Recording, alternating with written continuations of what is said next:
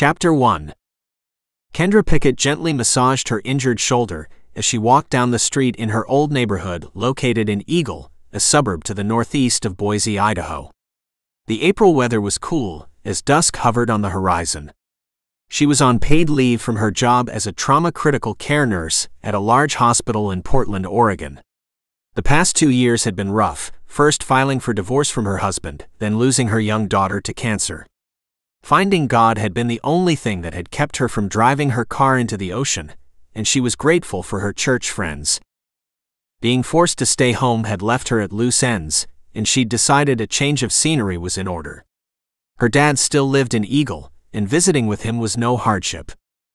Yet coming home brought troubling memories to the surface.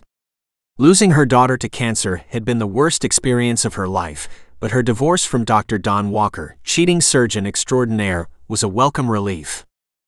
The second worst experience of her life was when Zoey Barkley, her best friend in high school, had gone missing. The 17 year old had been found 12 hours later in a cave on the other side of the creek, strangled to death. Twenty years later, Zoey's murder remained unsolved. At least officially, it remained unsolved. Kendra knew Zoey's former boyfriend, Hudson Foster, had killed her, but apparently the Eagle police didn't have any evidence to prove it. Hudson had claimed he was innocent, but everyone knew he had been in other fights, granted, mostly related to defending his drunken mother. Even so, there was no denying Hudson had a temper. Plus, he'd left the state to join the military right after graduation. Running away, she'd thought sourly. To her knowledge, he hadn't been back since. It irked her that Hudson had gotten away with killing Zoey. It wasn't right, and while she knew there was no statute of limitations on murder, it wasn't likely that new evidence would come to light now, 20 years later. Yet that hadn't stopped her from asking questions around town, starting with the police station. So far, her efforts had been met with disdain. Feeling restless, she'd walked from her dad's house down to the river, where she and Zoey had often hung out after school because Zoey hadn't wanted to go home. Zoey's dad had been the Eagle chief of police back then, and her brother Andrew had bossed Zoey around, making her do all the cooking and cleaning after their mother had passed away. As if those chores were beneath him. Zoey and Kendra had enjoyed sitting at the creek. They would sit beneath the shelter of large trees, and in the winter, they'd often hide out in the cave. The same cave where Zoey's body had been found. Kendra turned off the main road, heading over the hilly terrain to the creek. Maybe she'd been silly to come here at night, but she wasn't afraid. Nothing could hurt her anymore, not after she'd lost Olivia. Sweet, sweet Olivia. Two years felt like another lifetime. She was grateful for the darkness as tears pricked her eyes. Brushing them away, she fought back the memories. She'd cried more in those months after losing Olivia than she had in her entire life. Tears wouldn't bring Olivia back. Zoey either. They were both with God now, along with her mother Grace. Kendra stood for a moment at the water's edge, wishing she could talk to Zoey one last time. Zoey would have been there for her during Olivia's year long illness. Her friend would have supported her during the divorce too. What happened to you, Zoey? Her voice echoed over the water. I've been asking that very same thing, a deep male voice said. Kendra spun around.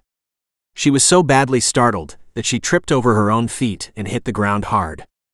Then she scrabbled backward to put distance between herself and the man and dog she could barely see standing within the shadows of the trees. Who's there? she asked, squinting through the darkness.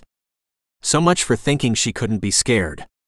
Her heart was pounding so fast she thought she'd suffer an acute MI. It's me. Hud and my dog Echo. A tall, muscular man stepped out from the shadows, a large tan and brown German shepherd at his side. She gaped in surprise at seeing the man she'd just been thinking about. When did you get here? Stupid question, but her brain wasn't firing on all cylinders. Here at the creek?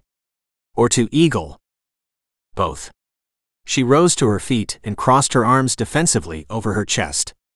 Her shoulder hurt worse after hitting the ground, and she gritted her teeth against the pain. Lifting her chin, she stared at him.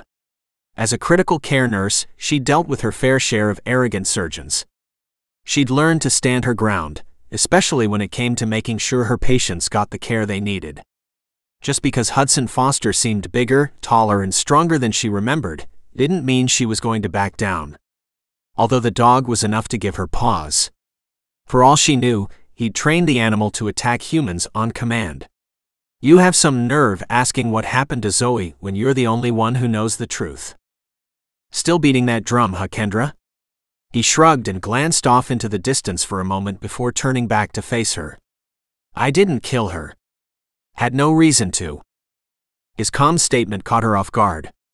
Twenty years ago, he'd seemed desperate for people to believe him. Now, Hudson Foster appeared as if he couldn't care less what people thought. Getting angry about Zoey dumping you and attending homecoming with Tristan Donahue is reason enough. She tell you that? Hud shrugged again, his hand resting on the top of his dog's head. I was glad she went with Tristan. I had no intention of going to homecoming anyway.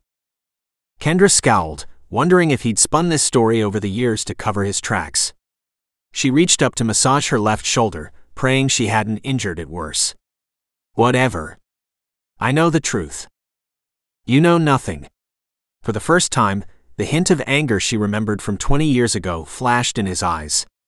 Then it was gone, and he waved a hand toward the residential area behind them. Echo and I will walk you home. No thanks. The last person she wanted to be seen with was Hudson Foster.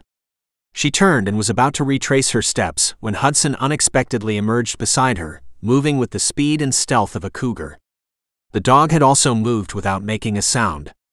She almost fell, but he grabbed her arm, holding her steady. We'll walk you home.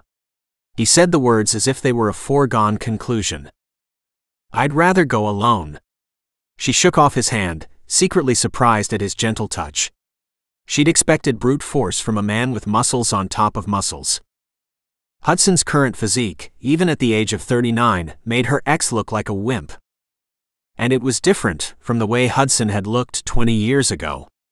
Obviously, being in the military had changed him.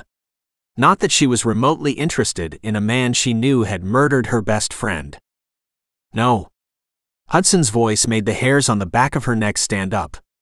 It was all too familiar to the way Don had treated her at the end of their marriage. Yes. Please leave me alone. She took a step away from him at the exact moment a shot rang out. Down. Hudson reacted instinctively, reaching over to pull her down, placing his body over hers while pulling something from his waistband. The dog growled and hovered beside them. With her face plastered against the ground, she couldn't tell what was going on until she heard more gunfire. Much louder. Coming from Hudson? Was he armed too? What on earth had she gotten herself into? Surprisingly, the gunfire had come from the direction of the residential neighborhood. Hud couldn't pinpoint an exact location, although he did his best to sweep his good eye over the area. After he'd returned fire, he thought he'd heard a car engine, possibly the gunman leaving the scene. His hearing was more acute now that he'd lost the vision in his left eye. Their last seal op had gone sideways, and he'd been hit in the eye with a piece of debris. Thankfully, his right eye had been spared, and he wasn't completely blind. Easy, Echo. The dog calmed but still looked alert. Hud stayed exactly where he was, covering Kendra's slim body with his, refusing to assume they were safe. If he'd been the gunman, he'd have taken cover and waited for them to stand up before trying again. Not that Hudson would have missed the first time. He'd been one of the better marksmen of their team, second only to Dallas. After several long moments, Kendra pushed at him. Let me up. I can't breathe.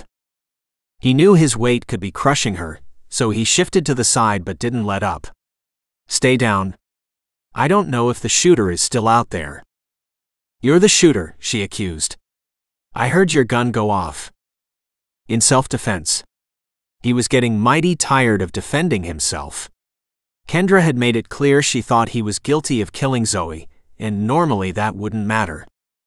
Except for some reason, it did. Especially coming from Kendra, a girl he'd secretly crushed on back in high school.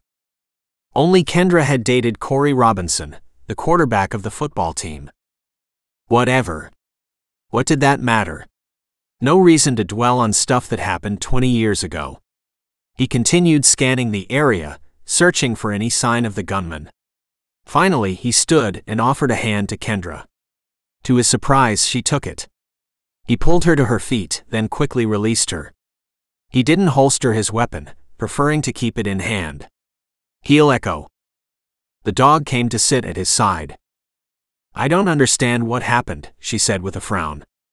Is someone trying to kill you? I'm not sure if I was the target or you were. He thought back to those last seconds before hearing the gunshot. You moved away from me, remember? I think the bullet passed between us. Me? Kendra's jaw dropped. That's impossible. I've only been here two days, why would someone shoot at me? I don't know. Hud didn't like the situation one bit. He'd been in Eagle for almost a week, minus two days of traveling to Los Angeles and back, but he'd made sure not to be seen around town. To be honest, he wasn't sure why he'd announced his presence to Kendra. If he had stayed silent, she'd have never seen him and Echo. Although if he hadn't shown himself, she might already be dead. He grimaced. This was why you didn't play the what if game. Better to focus on the situation as is. No point in trying to change the past. This way. He pulled her toward the trees where he'd been crouched when she'd arrived at the creek. Echo came with him, staying close to his left side. It was his vulnerable side after he'd lost vision in that eye. He focused on Kendra. Are you sure there isn't anyone after you? A boyfriend, husband, or jilted lover? She stared up at him. My ex husband left me for another woman, no reason for him to come after me. Besides, he's in Portland, Oregon. And no other men in your life. Why he was pressing, he had no clue. She shook her head. No. And I don't see why anyone would shoot at me. I think you must be the target. The guy missed because he's probably just a lousy shot and couldn't see clear in the darkness. Motive. Hudson drawled. I'm sure you've made enemies over the years. She waved a hand and showing up here after all this time is just asking for trouble. The entire town believes you killed Zoey 20 years ago. My guess is that someone is trying to make you pay for that. Like Zoey's brother, Andrew, or her father. George retired from his job as police chief two years ago but still actively hunts, and Andrew is the new chief of police. I doubt either one of them would have missed me. Kendra opened her mouth, then closed it again. Then she shivered, and he had the ridiculous urge to wrap his arm around her. It almost made him smile, to imagine her punching him in the stomach or slapping his face in response. Almost. Hud hadn't smiled or laughed in the months since being medically discharged from the Navy, minus one eye, while suffering terrible migraine headaches. If not for Echo, he figured he'd be dead by now. We can't just hide here. Kendra sounded annoyed. I need to get home. My dad will wonder where I am. He already knew Kendra had come home for a few weeks and was staying with her father at the house she grew up in. He'd kept his ears open while staying out of sight. It was surprising what the good citizens of Eagle discussed when they didn't know anyone was listening. But now wasn't the time to tell her everything he knew, including the murmurings of why people were asking about a 20 year old cold case. I need you to stay here while I check out the area to make sure the gunman isn't still hiding nearby. He stared down at her and mustered all the politeness he could find. Kendra, will you please stay here for me? I really don't want anything to happen to you. Again, you're assuming the gunman was after me. Her tone lacked conviction, as if she might be realizing the second possibility wasn't something to brush off so easily. Yes, I'll wait here. Thank you. He gently positioned her up against the thickest tree trunk. Stay right here until I return. Echo guard. The dog sat, his large ears perked forward. Good boy. Oh, for Pete's sake, hey, where did you go? The last words were said in a hushed whisper. Hud didn't answer, as he'd already left the clearing beneath the trees to move over the rocky, hilly terrain. The sound of water rushing through the creek helped cover the sound of his footsteps. Despite his large size, his SEAL training had taught him how to move silently, blending in with the environment. Every few steps he paused to listen. He didn't hear anything other than the muted traffic and the occasional door slamming from the residential neighborhood beyond the hill. It was a far cry from the abandoned shack he'd grown up in on the outskirts of town. It didn't take him long to clear the area. When he was satisfied the gunman was gone, he returned to Kendra and Echo. I never heard you. Her tone carried a hint of accusation. How did you do that? Training. He gave Echo the hand signal to come, and the dog trotted over. The area is clear. Are you ready to go? Yes? He was glad Kendra didn't bother to argue about his plan to escort her home. The gunshot had obviously shaken her. And with good reason. The more he thought about it, the more he was convinced Kendra was the gunman's intended target. Might be better for you to head back to Portland. What? She frowned at him. Why would I do that? To be safe. He hesitated, then asked, Have you been asking questions about Zoey's murder since you've been home? Her eyes narrowed. Did you hear that from someone in particular? He didn't respond. After a full minute, she sighed. Yes, I went to the Eagle police station to ask if they'd solved her murder. I was able to speak to Roger, one of the officers on duty, who told me the case was still open, but no one was actively pursuing it. That much he'd gathered for himself based on the rudimentary internet search he'd done and the bits of conversations he'd overheard. Still, he remained silent, waiting for her to continue. I may have suggested that I planned to check out our old hangouts to see if I could find out anything. She waved a hand. But that was mostly just talk on my part. I didn't really think I'd be able to find anything. Besides, even if I did, who would care? Unless, wait a minute, you can't seriously think the killer is still living here. Why not? I don't know. She sounded exasperated. Most people don't stick around Eagle forever. They move closer to Boise or out of state. We did, yes. But not everyone. Zoey's family is still here, and so are a few of our former classmates. Hud frowned, thinking about what she'd said. I heard that someone was asking questions about Zoey's murder, but I didn't realize you were the source. She kicked at a rock. Seems to me the Eagle Police Department should have continued to investigate. I can't imagine there's a ton of crimes keeping them busy. He felt compelled to agree with her on that front. Eagle had never been a hotbed of crime, outside of the usual drugs, alcohol abuse, petty theft kind of thing. Zoey's murder had been huge, and Police Chief George Barkley had sworn to bring the perpetrator to justice. Only he never had. Not that the guy hadn't tried everything possible to convince Hudson to confess to the crime. The chief had kept Hudson in the box for hours on end, forcing him to repeat his story over and over. Until Hudson wised up and asked for a lawyer. Still, Barkley had kept him in jail overnight, claiming it was too late to get a lawyer. By the morning, though, the police had reluctantly let him go. The only alibi he had at the time was his mother, who'd been drunk as usual. Which wouldn't have held up in a court of law if there had been any other evidence to tie him to the crime. Thankfully, there wasn't. Hud knew that was because he didn't kill Zoey. Although he'd kept expecting to get arrested again, despite the lack of evidence. And after he'd finally graduated from high school, he'd gone to the Boise Armed Services office and signed up to join the Navy. He told the recruiter that he wanted to be a Navy SEAL, and the guy had smiled and nodded. That's a fine goal, son, but you gotta understand only the toughest men of the bunch get through BUD/S training. The recruiter had been right about that. Getting through BUD/S training had been the hardest thing he'd ever done.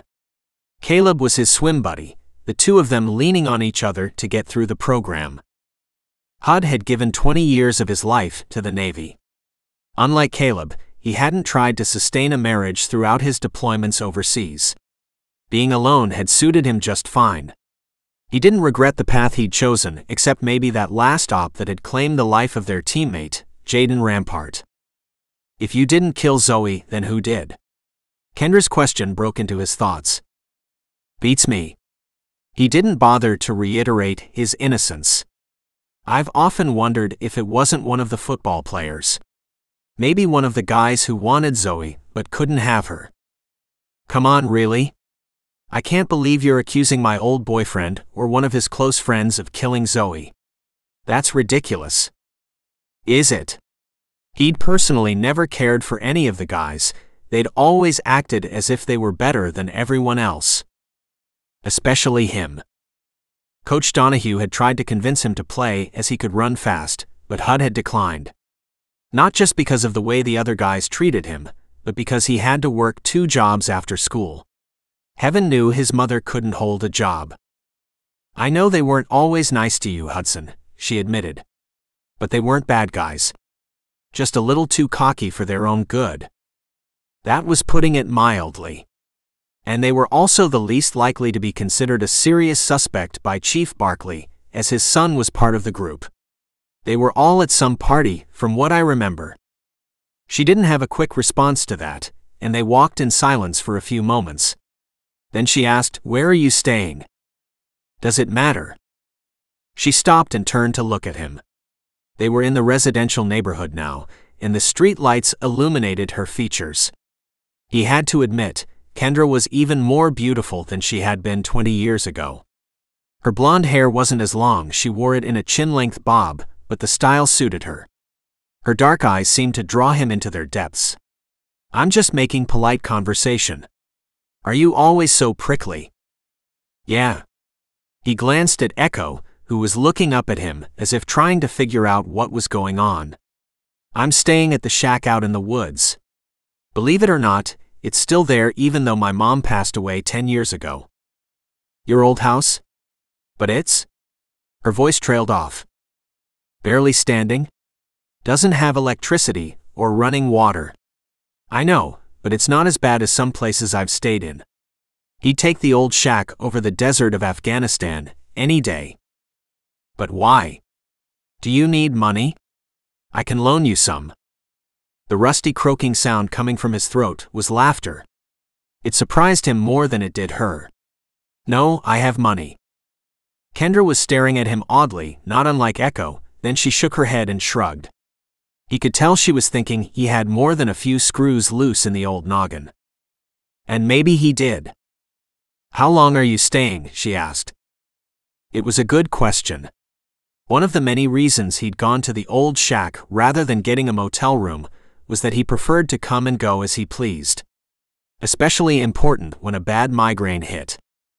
He wasn't sure why he'd come back to Eagle in the first place, to face the memories of his mother, to prove to Barkley that he'd made something of himself, to clear his name.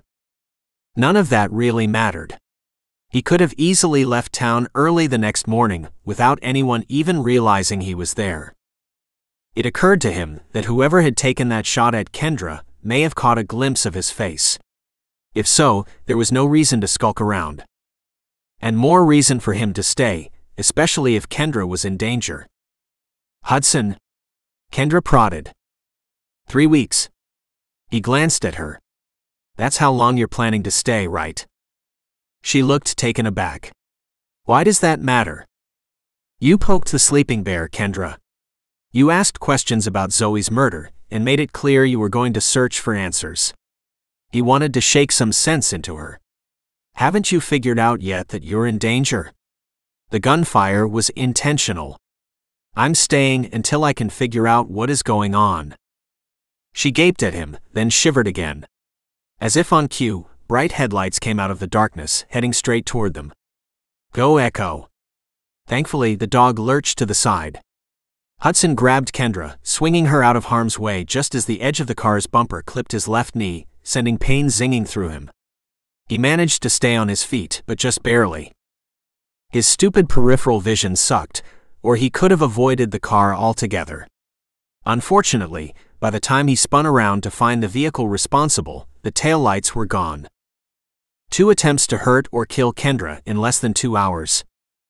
Not good.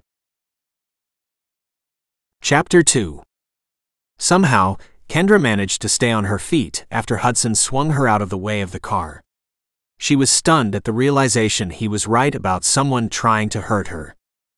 If not for Hudson's lightning fast reflexes, she'd be lying on the ground right now. Are you okay? Hudson's tense tone had her dragging her gaze to his. Echo had returned to his side. He rested his hand on the shepherd's head as if to reassure him. She found it a bit odd that the dog rarely barked and wondered if that was the way Hudson had trained him. You're holding your shoulder, did I hurt you? I had surgery on my shoulder about four weeks ago. She dropped her hand. Granted, he had grabbed her arm, which had put pressure on the tender joint, but her injuries could have been so much worse. He winced. I didn't realize. How could you? Besides, knowing wouldn't have changed anything. You yanked me out of the way to save my life. She shivered, and he stepped closer. I guess you were right about me poking the sleeping bear. He didn't gloat or point out how silly she'd been to think otherwise. Yeah. You should call the police. And tell them what? that a bullet whizzed past me and a car nearly ran me off the road, but I have no idea who might be responsible. Exactly. At least get the attempts on record. She shook her head, feeling as if doing such a thing would be useless. She could just imagine the look on Officer Rogers' face. I'll think about it. There was a pause before Hudson said, Okay, then let's get you home. As they continued walking, she couldn't help but glance constantly over her shoulder. Do you think I'll be safe at my dad's house? I hope so. His response wasn't exactly reassuring. What happened to your shoulder? I was lifting a heavy patient, and the nurse helping me tripped over a cord and let go of her side. I tore my rotator cuff. You're a nurse? Yes. I work in the Trauma Surgical Intensive Care Unit in Portland's largest hospital. Impressive. I have a lot of respect for nurses. His comment surprised her, and not just because he apparently had first hand knowledge of being cared for by a nurse. Hudson seemed so different now than he had been 20 years ago. Then again, she'd grown and changed too.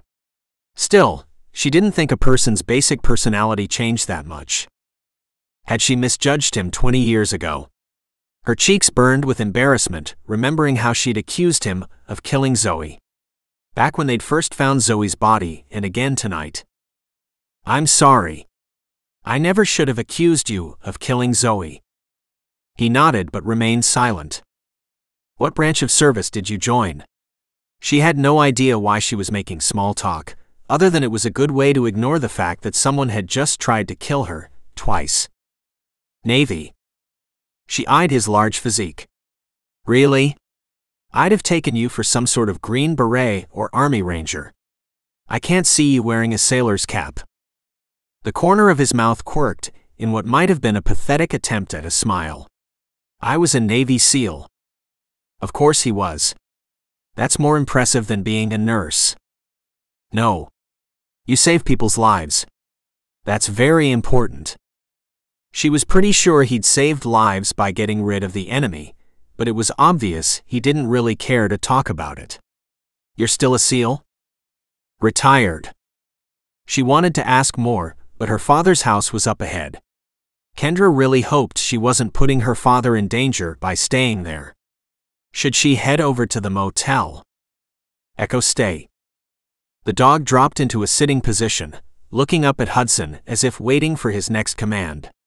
She didn't have personal experience with dogs, her mother had been allergic, but this one was extremely well trained. Thanks for walking me home. She tried to smile. Be careful heading back to the shack. There's still a possibility you're the target. I'll stick around here, make sure no one bothers you. What? She frowned. You can't do that. It's freezing out. He held her gaze. Good night, Kendra. She looked from Hudson to her father's house and back. Somehow, she just knew that Hudson would in fact stay outside all night to watch over her.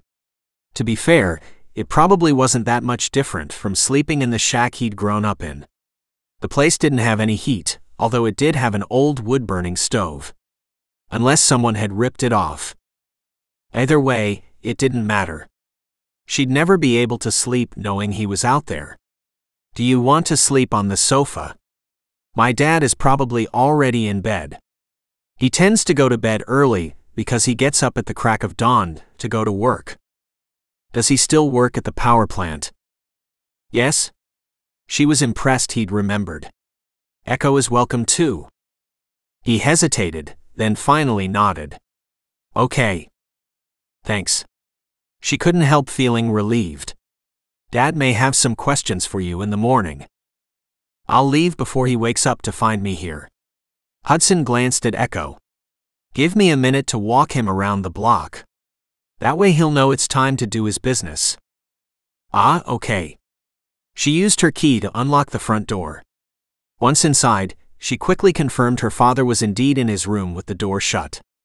She grabbed a pillow and blanket out of the hallway closet and carried them to the sofa. It was a normal size but probably still too short for Hudson. When she saw him approach the front door, she hurried over to let him in, gesturing toward the living room. The sofa is a bit short, she said apologetically. It's fine.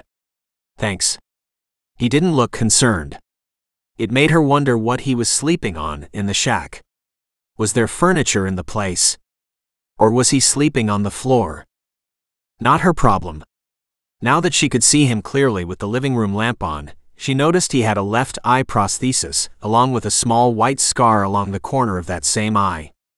Apparently, something had gone wrong during one of his SEAL missions. Was that why he'd mentioned having respect for nurses? The fact that he hadn't mentioned his disability, and that he hadn't let it stop him from shielding her with his own body when danger was near, was humbling. The man had more integrity in his pinky finger than Don had in his whole body. Something she should have figured out sooner rather than later. With an effort, she put her past mistakes behind her. Um, the bathroom is down the hall. Don't worry about waking my dad, he sleeps like a rock. Thanks. Let me know if you need anything. She was starting to babble now and tried her best to stop. Good night, Hudson. Good night. His husky voice sent tingles down her spine. Kendra mentally rolled her eyes at her foolishness as she went to her room. Ridiculous to put Hudson on some sort of pedestal. Hadn't she been impressed with Don's skill as a doctor when they'd first met? He'd only been a resident at the time, but even then he'd had a great bedside manner with his patients. Kendra had married him, supported him financially and emotionally throughout his five year residency program, until he'd become a full fledged trauma surgeon. That was when he'd grown arrogant, especially when they were at work. At first, she thought it was his way of not giving her special treatment, but when he reamed her out one day in front of a patient's family, she'd confronted him. He'd had the nerve to laugh it off as if it didn't matter. Then she found out she was pregnant. So she'd done her best to make things work. Until she realized his bedside manner had included bedding her fellow nursing colleagues, women far younger than her. She'd kicked him out six weeks before Olivia was diagnosed with cancer. They'd come together for the sake of their daughter, but Olivia had died before her fifth birthday. And the night Olivia had gone home to God, Don was supposedly on call. Only the truth was that he was staying overnight with his new woman. She punched the pillow and sighed. There was no reason to compare Don to Hudson. They were as different as night and day. One man who'd used his hands to save trauma victims' lives, the other who'd used his hands to fire a weapon in defense of his country. Kendra tossed and turned, unable to stop her racing thoughts. It seemed clear that Hudson hadn't killed Zoey. After the way he'd saved her life twice tonight, it was impossible to imagine him choking her best friend. Was he right about the real killer being one of the football players? Anything was possible. But maybe Zoey's killer wasn't a fellow student at all. There were too many possible suspects to count. Which was why everyone had focused on Hudson Foster, Zoey's former boyfriend and son of the town drunk. What bothered her more was that the killer must still be living in the area. Otherwise, why come after her? She grimaced as she stared up at the ceiling. She never should have opened her big fat mouth. Kendra must have slept at some point because she blinked in the darkness when she heard the sound of a door closing. Instantly wide awake, she threw off the covers and ran her fingers through her tangled hair as she headed out to check on Hudson. The man and his dog were gone. Not only that, but the pillow and blanket had been returned to the linen closet, the living room appearing as if the pair had never been there at all. She blew out a breath, ignoring the stab of disappointment. Hudson had said he'd leave early before her dad woke up. Apparently, the guy meant what he said. A trait she should have appreciated 20 years ago when he'd claimed he was innocent of killing Zoey. Kendra? What are you doing up so early? She turned to see her dad standing in the hallway. Your shoulder bothering you? A little. She managed to smile. Would you like me to make breakfast before you head out? Nah, you know I like to stop and have my usual breakfast sandwich on the way to work. It was a bad habit her dad had fallen into since her mother had passed away. She tried to convince him the fast food sandwiches weren't healthy, but he didn't care. Don't trouble yourself. Go back to bed, get some sleep. Okay. She padded back to her room, knowing getting more sleep was impossible. Now that she was up, her shoulder ached worse than ever. Hitting the ground twice yesterday hadn't helped. After taking a shower, she sat down to do the exercise routine recommended by her physical therapist. Yet her mind wandered as she went through the various stretches and movements. Maybe Hudson was right about reporting the incidents to the police. It couldn't hurt to have the attempts on record. But then what? She'd started the whole thing by poking her nose into Zoey's murder. Silly, really, as she was a critical care nurse, not a detective. For a nanosecond, she considered packing her suitcase and heading back to Portland. Then she stiffened her resolve. No way. What if the killer followed her there to finish the job? Running wasn't the answer. Getting to the truth was the only way she'd really be safe. And for that, she'd need Hudson's help.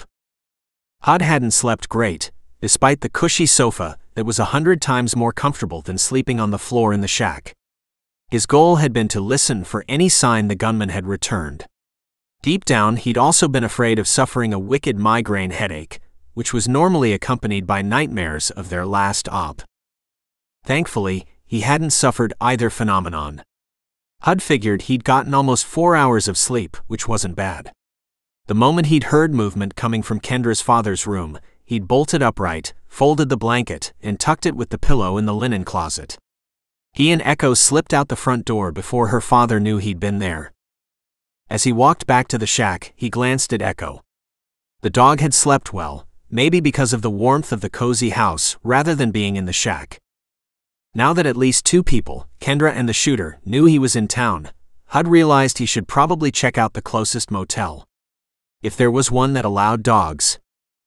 The shack was isolated from town, which wouldn't be helpful if the gunman made another attempt to harm Kendra. He needed to figure out a way to convince her to head back to Portland. As soon as possible.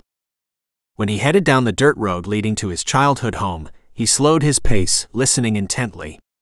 He was armed with his 9mm Sig Sauer and his MK3 knife, both preferred weapons of the SEAL teams. He raked his good eye over the terrain, searching for any sign of an intruder. Two legged or four, although he was far more apprehensive about the two legged variety. In his experience, man was more lethal than beast. To his surprise, he didn't find anything amiss. He entered the shack, ignoring the musty, dilapidated site, and quickly fed Echo. Then he went around to the side of the structure to examine his Jeep. That too appeared untouched. It didn't take him long to pack up his things. He didn't have much, and what mattered was the dog dishes, food, and toys for Echo. He'd been training the German Shepherd ever since he'd been discharged from the hospital. He and the rest of his teammates had all been given dogs by Lillian, the woman who dedicated her life to rescuing animals. They'd named their dogs after the Greek alphabet used by the Navy. Echo responded extremely well to his commands, and probably would have made an awesome police dog. Hudson was thankful to have Echo with him. He'd gone off grid, feeling like a wounded animal needing time and space to lick his wounds. Being around his teammates had been difficult. But that wasn't the case with Echo. The dog was a great companion. Every time he awoke from a night terror, Echo was there, licking his face or nudging him with his nose. When he couldn't get up due to the debilitating migraines, Echo stayed right by his side, crowding close as if to offer comfort. You're a good boy, he murmured, scratching the dog behind his ears. Those large ears flickered a few seconds before Hudson heard the rumble of a car engine. Without hesitation, he went into hunter mode, pulling his weapon from its holster and sliding to the side of the door. He gave Echo the hand signal to stay. In the distance, he caught a hint of movement through the bare trees, which were just beginning to show signs of springtime buds. He swiftly considered his options. Wait there and confront the intruder at gunpoint, or head out the back with Echo, disappearing from sight. The latter would mean leaving his Jeep, and he didn't much care for that plan. Especially since Echo's things were packed inside. He waited, frowning when a small bright red sedan bounced into view. It took a moment to recognize Kendra was behind the wheel. Why had she come here? He grimaced, realizing he shouldn't have told her where he was staying. Yet deep down he was happy to see her. Which only proved he had several screws loose in the old brain.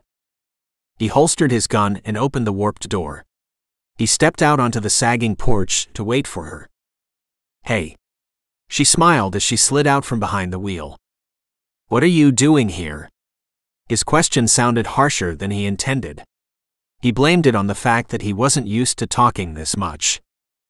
I was hoping you would come with me to the police department. He kicked himself for the flash of hurt in her brown eyes. Sorry, I didn't mean to sound gruff. He tried to smile. Haven't had any coffee yet. Oh, I picked some up on the way.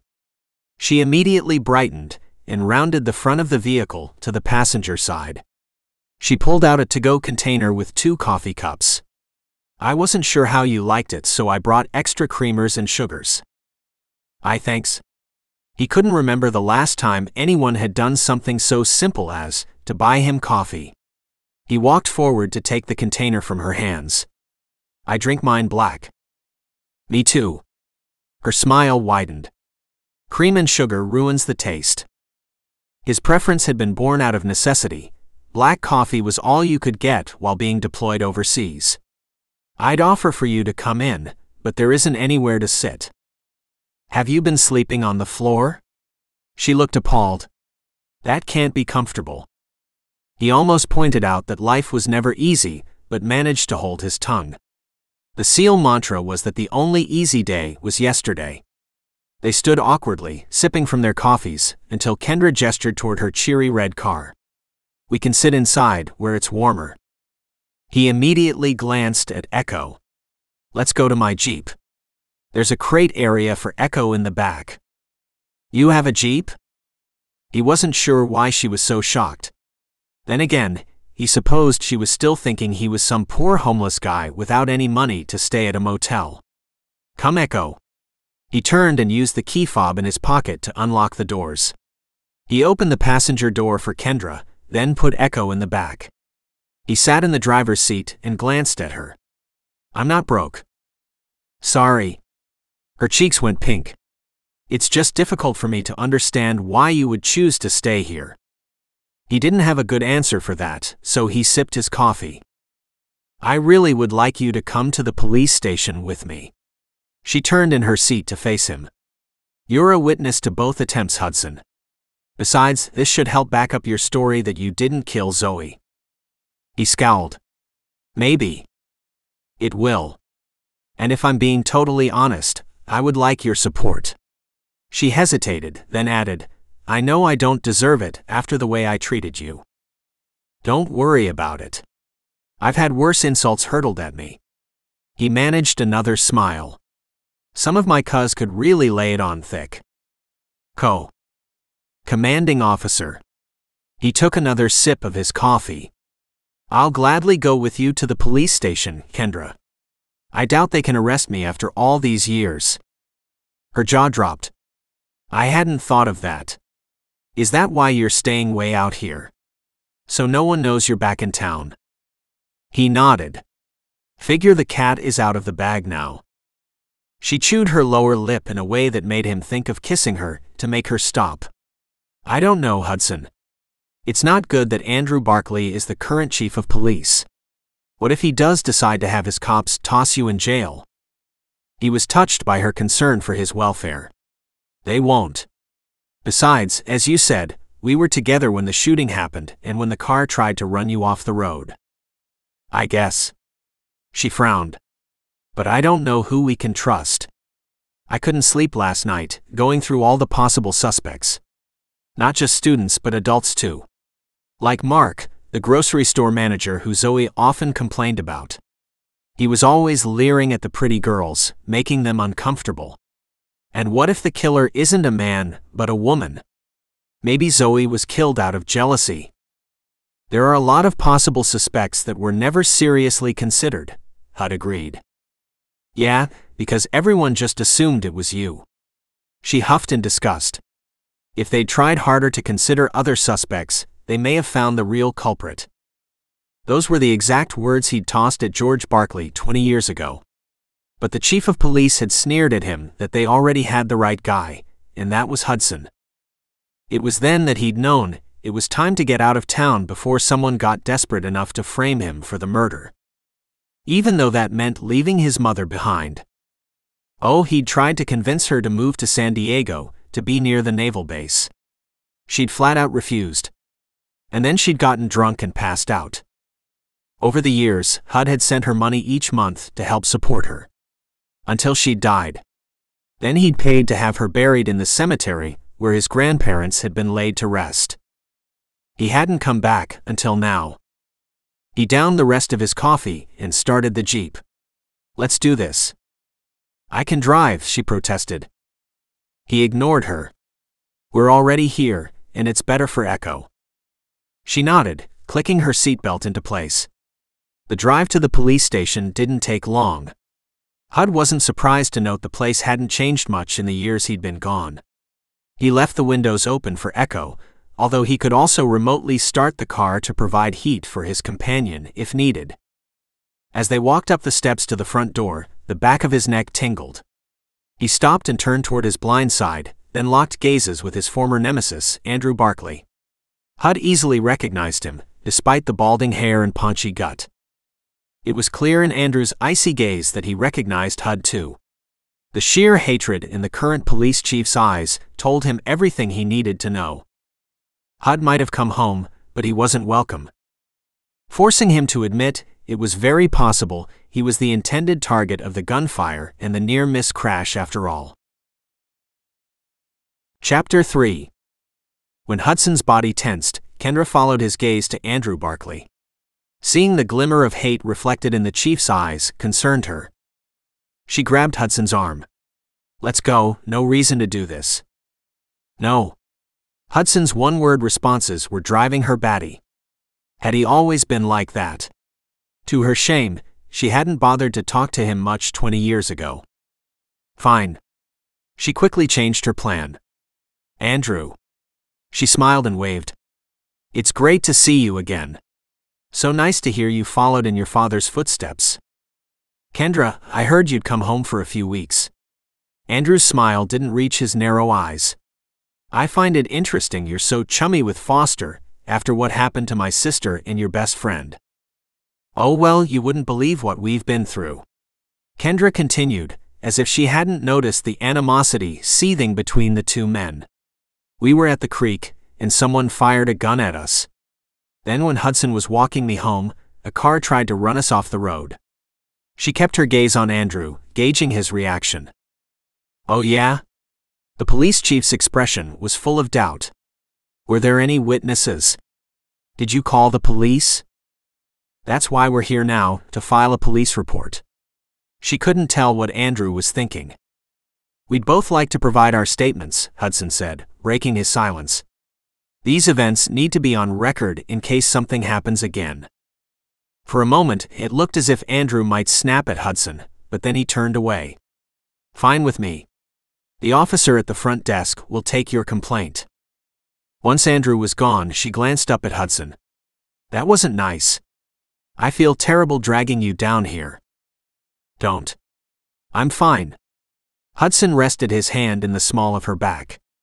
Let's do this. The warmth of his hand made it difficult to concentrate. This weird awareness of Hudson had to stop. Neither one of them would be an eagle for long, before they went back to their respective lives. Yet deep down, she could admit how she'd never felt this way with Don. She'd admired him as a resident, a guy who actually listened to the nurse's opinion. And she'd been impressed by his skill. He'd been sweet when they'd first gotten married and grateful for her help in supporting him through those difficult residency years. Then his ego had gotten blown way out of proportion, turning him into someone she didn't recognize. Easy to see now she was better off without him. And maybe this odd response to Hudson was a reaction to being alone for so long. Dating hadn't interested her in the least after losing Olivia. Why was she thinking about it now? Hudson opened the door for her. They entered the police station and walked up to the counter. She'd expected the officer there to be aware of why they were there, but clearly Andrew hadn't bothered to say anything. Officer Aaron Campbell agreed to take their statements. He seemed earnest enough, expressing concern over gunfire happening in their small town. You should interview the residents living along the creek, Hudson said. They'll have heard something. Oh, yes, of course, Campbell agreed. From the corner of Kendra's eye, she could see Andrew standing off to the side, speaking to one of his officers. They were smiling and laughing, as if a serious crime hadn't just happened under their nose. In that moment, Andrew reminded her very much of Don. Full of himself and unwilling to be bothered by the small stuff. Not that gunfire and being run off the road should be considered minor crimes. Just the opposite. After they left the police station, Hudson gestured toward the corner cafe. Breakfast? Sure. She'd had a bowl of oatmeal earlier, but doubted there was any food in the shack where Hudson had stayed. And she wasn't ready to end her time with him either.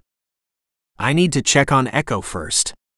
Hudson went over to the Jeep and opened the back. Echo jumped down, wagging his tail with excitement. I hate the thought of him being stuck in the car, she said. Bring him along. He raised a brow. Dogs aren't allowed in restaurants. They are if they're service dogs. Trust me, we see service dogs in the hospital all the time. If you tell them he's a service dog, they can't kick him out unless, of course, he lunges at someone or tries to bite the staff. He won't. Hudson reached into the back of the Jeep and pulled out a leash. You really have service dogs in the hospital? All the time, she grinned. I was the charge nurse one day and had to kick one lady's dog out when the little yappy thing bit a nurse's finger.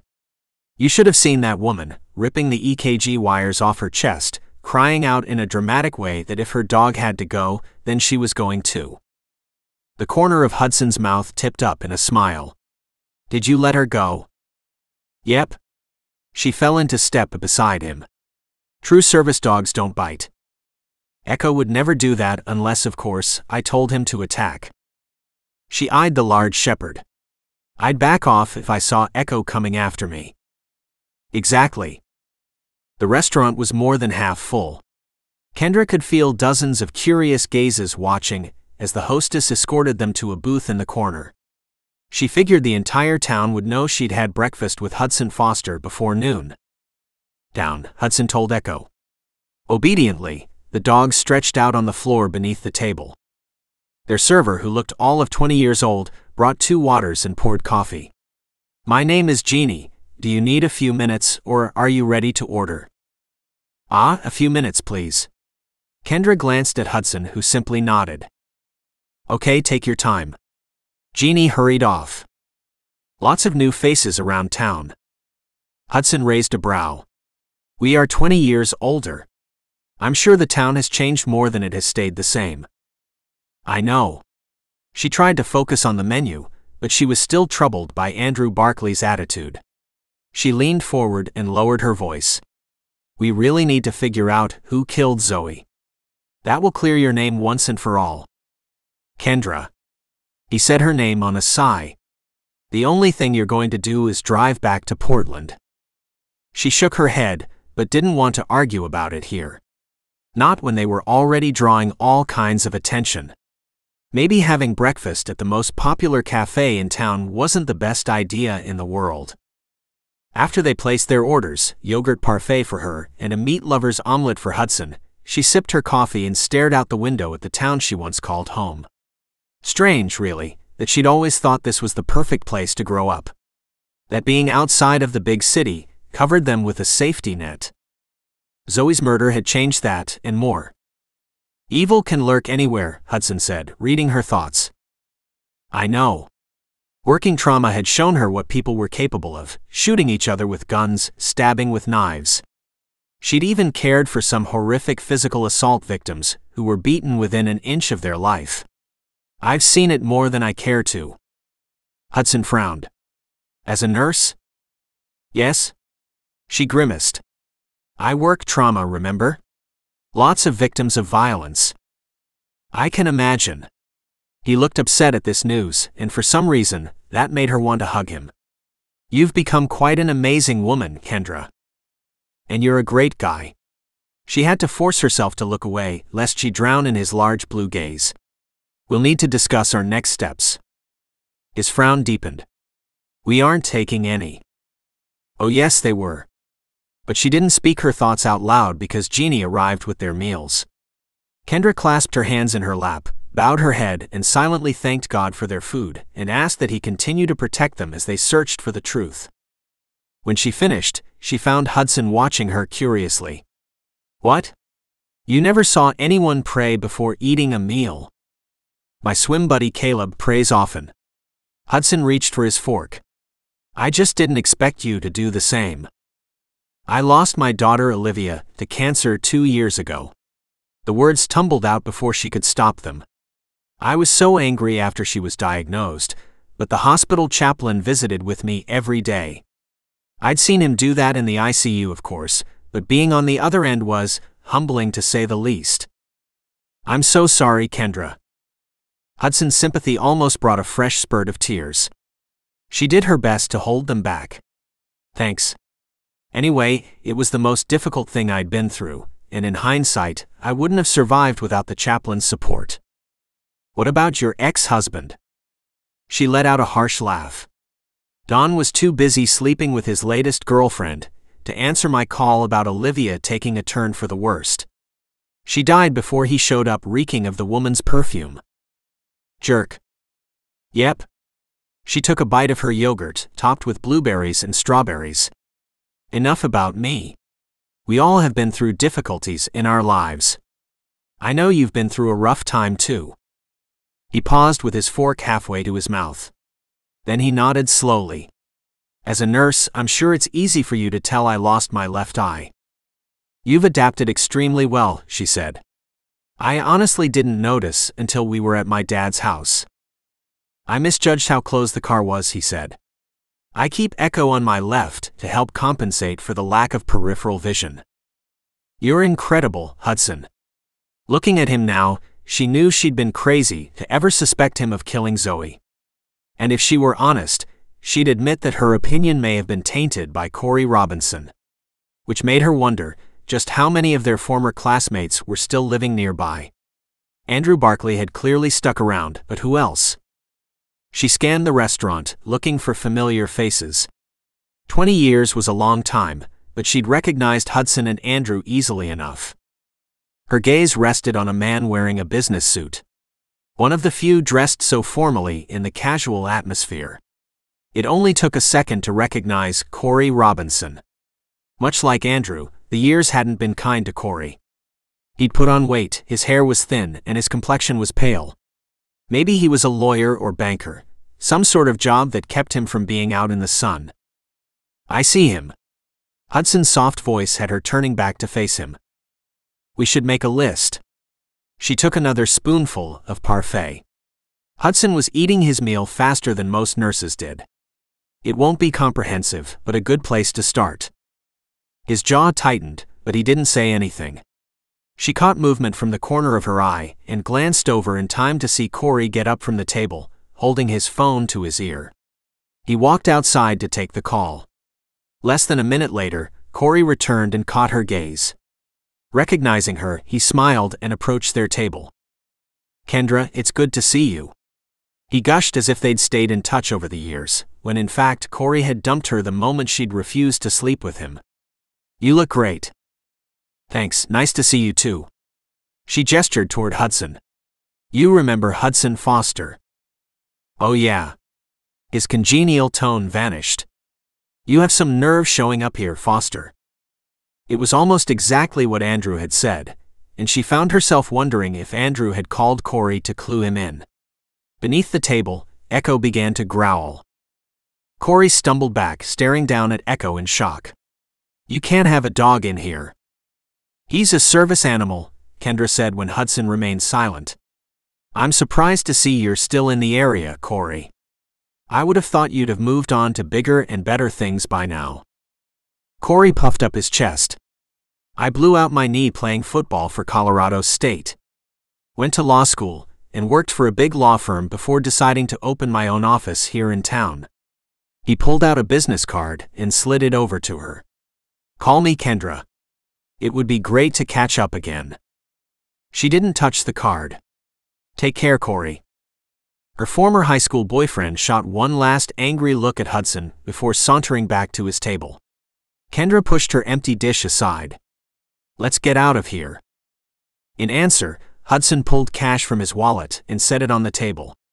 She was glad to see he really did have money, but when she reached for her purse, he shook his head. I've got it covered. Thanks. She rose and waited for Hudson to do the same.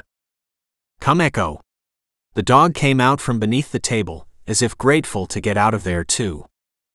As they walked back out into the sunshine, she glanced back over her shoulder to where Corey was in deep conversation with the others at his table. I don't like this, she said in a low voice. It's wrong the way everyone still blames you for Zoey's death. What did you expect? Hudson cupped her elbow and steered her toward the Jeep. All the more reason you need to get back into your cute little red car and return to Portland. I'm not. She slid into the passenger seat. You may as well get used to the idea that I'm staying. Hudson muttered something under his breath as he opened the back for Echo. She didn't care. It was a shock to realize she was more upset on Hudson's behalf than he was. And if she were being completely honest, she wanted to find the person responsible to clear his name equally as much as she wanted to bring the killer to justice. Hudson had never been around a more obstinate woman. Kendra was being far too idealistic about all of this. As if they could really figure out who killed Zoey 20 years after the fact. He was more concerned with the recent attempts against her, which were likely related to the past. He'd been an idiot to have had breakfast with her at the corner cafe, where the whole world could see them together. He should have stuck to his original plan to keep out of sight. Too late now. He started the Jeep and prepared to back out of the spot when Kendra gripped his arm. Look over there, is that Joe Jameson? He was one of the football players, too. Yeah.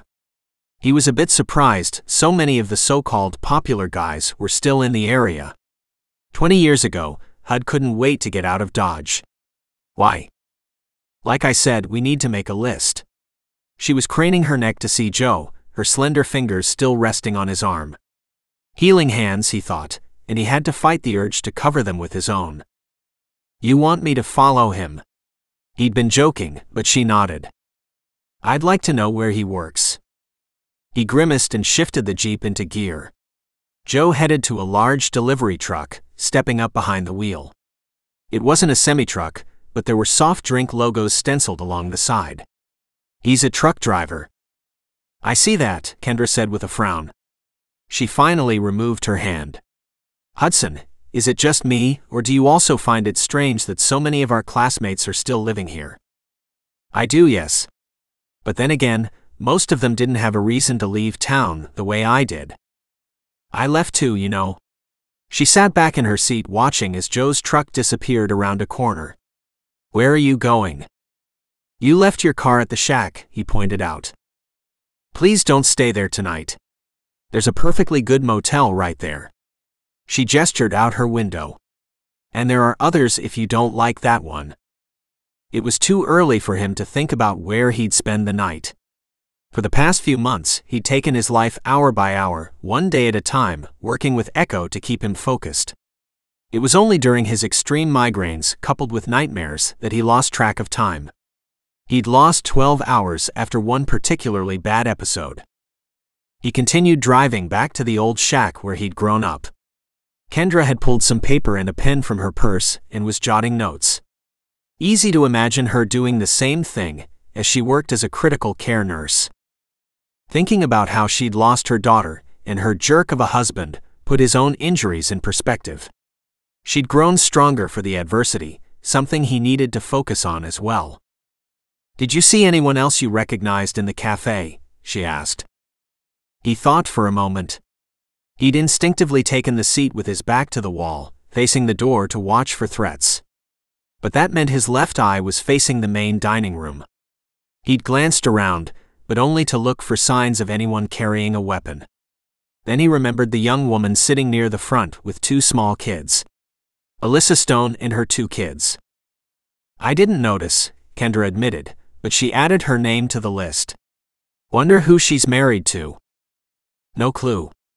He turned away from the main subdivision and headed toward the dirt road leading to the shack. When he pulled in behind Kendra's red sedan, he threw the gear shift into park and turned in his seat to face her. Is there anything I can say to convince you to head back to Portland? Nope. She lifted her chin the same way she had last night. He didn't remember her being this stubborn back in high school. We should think about where to start looking for clues. He swallowed a sigh. We're not detectives working the case.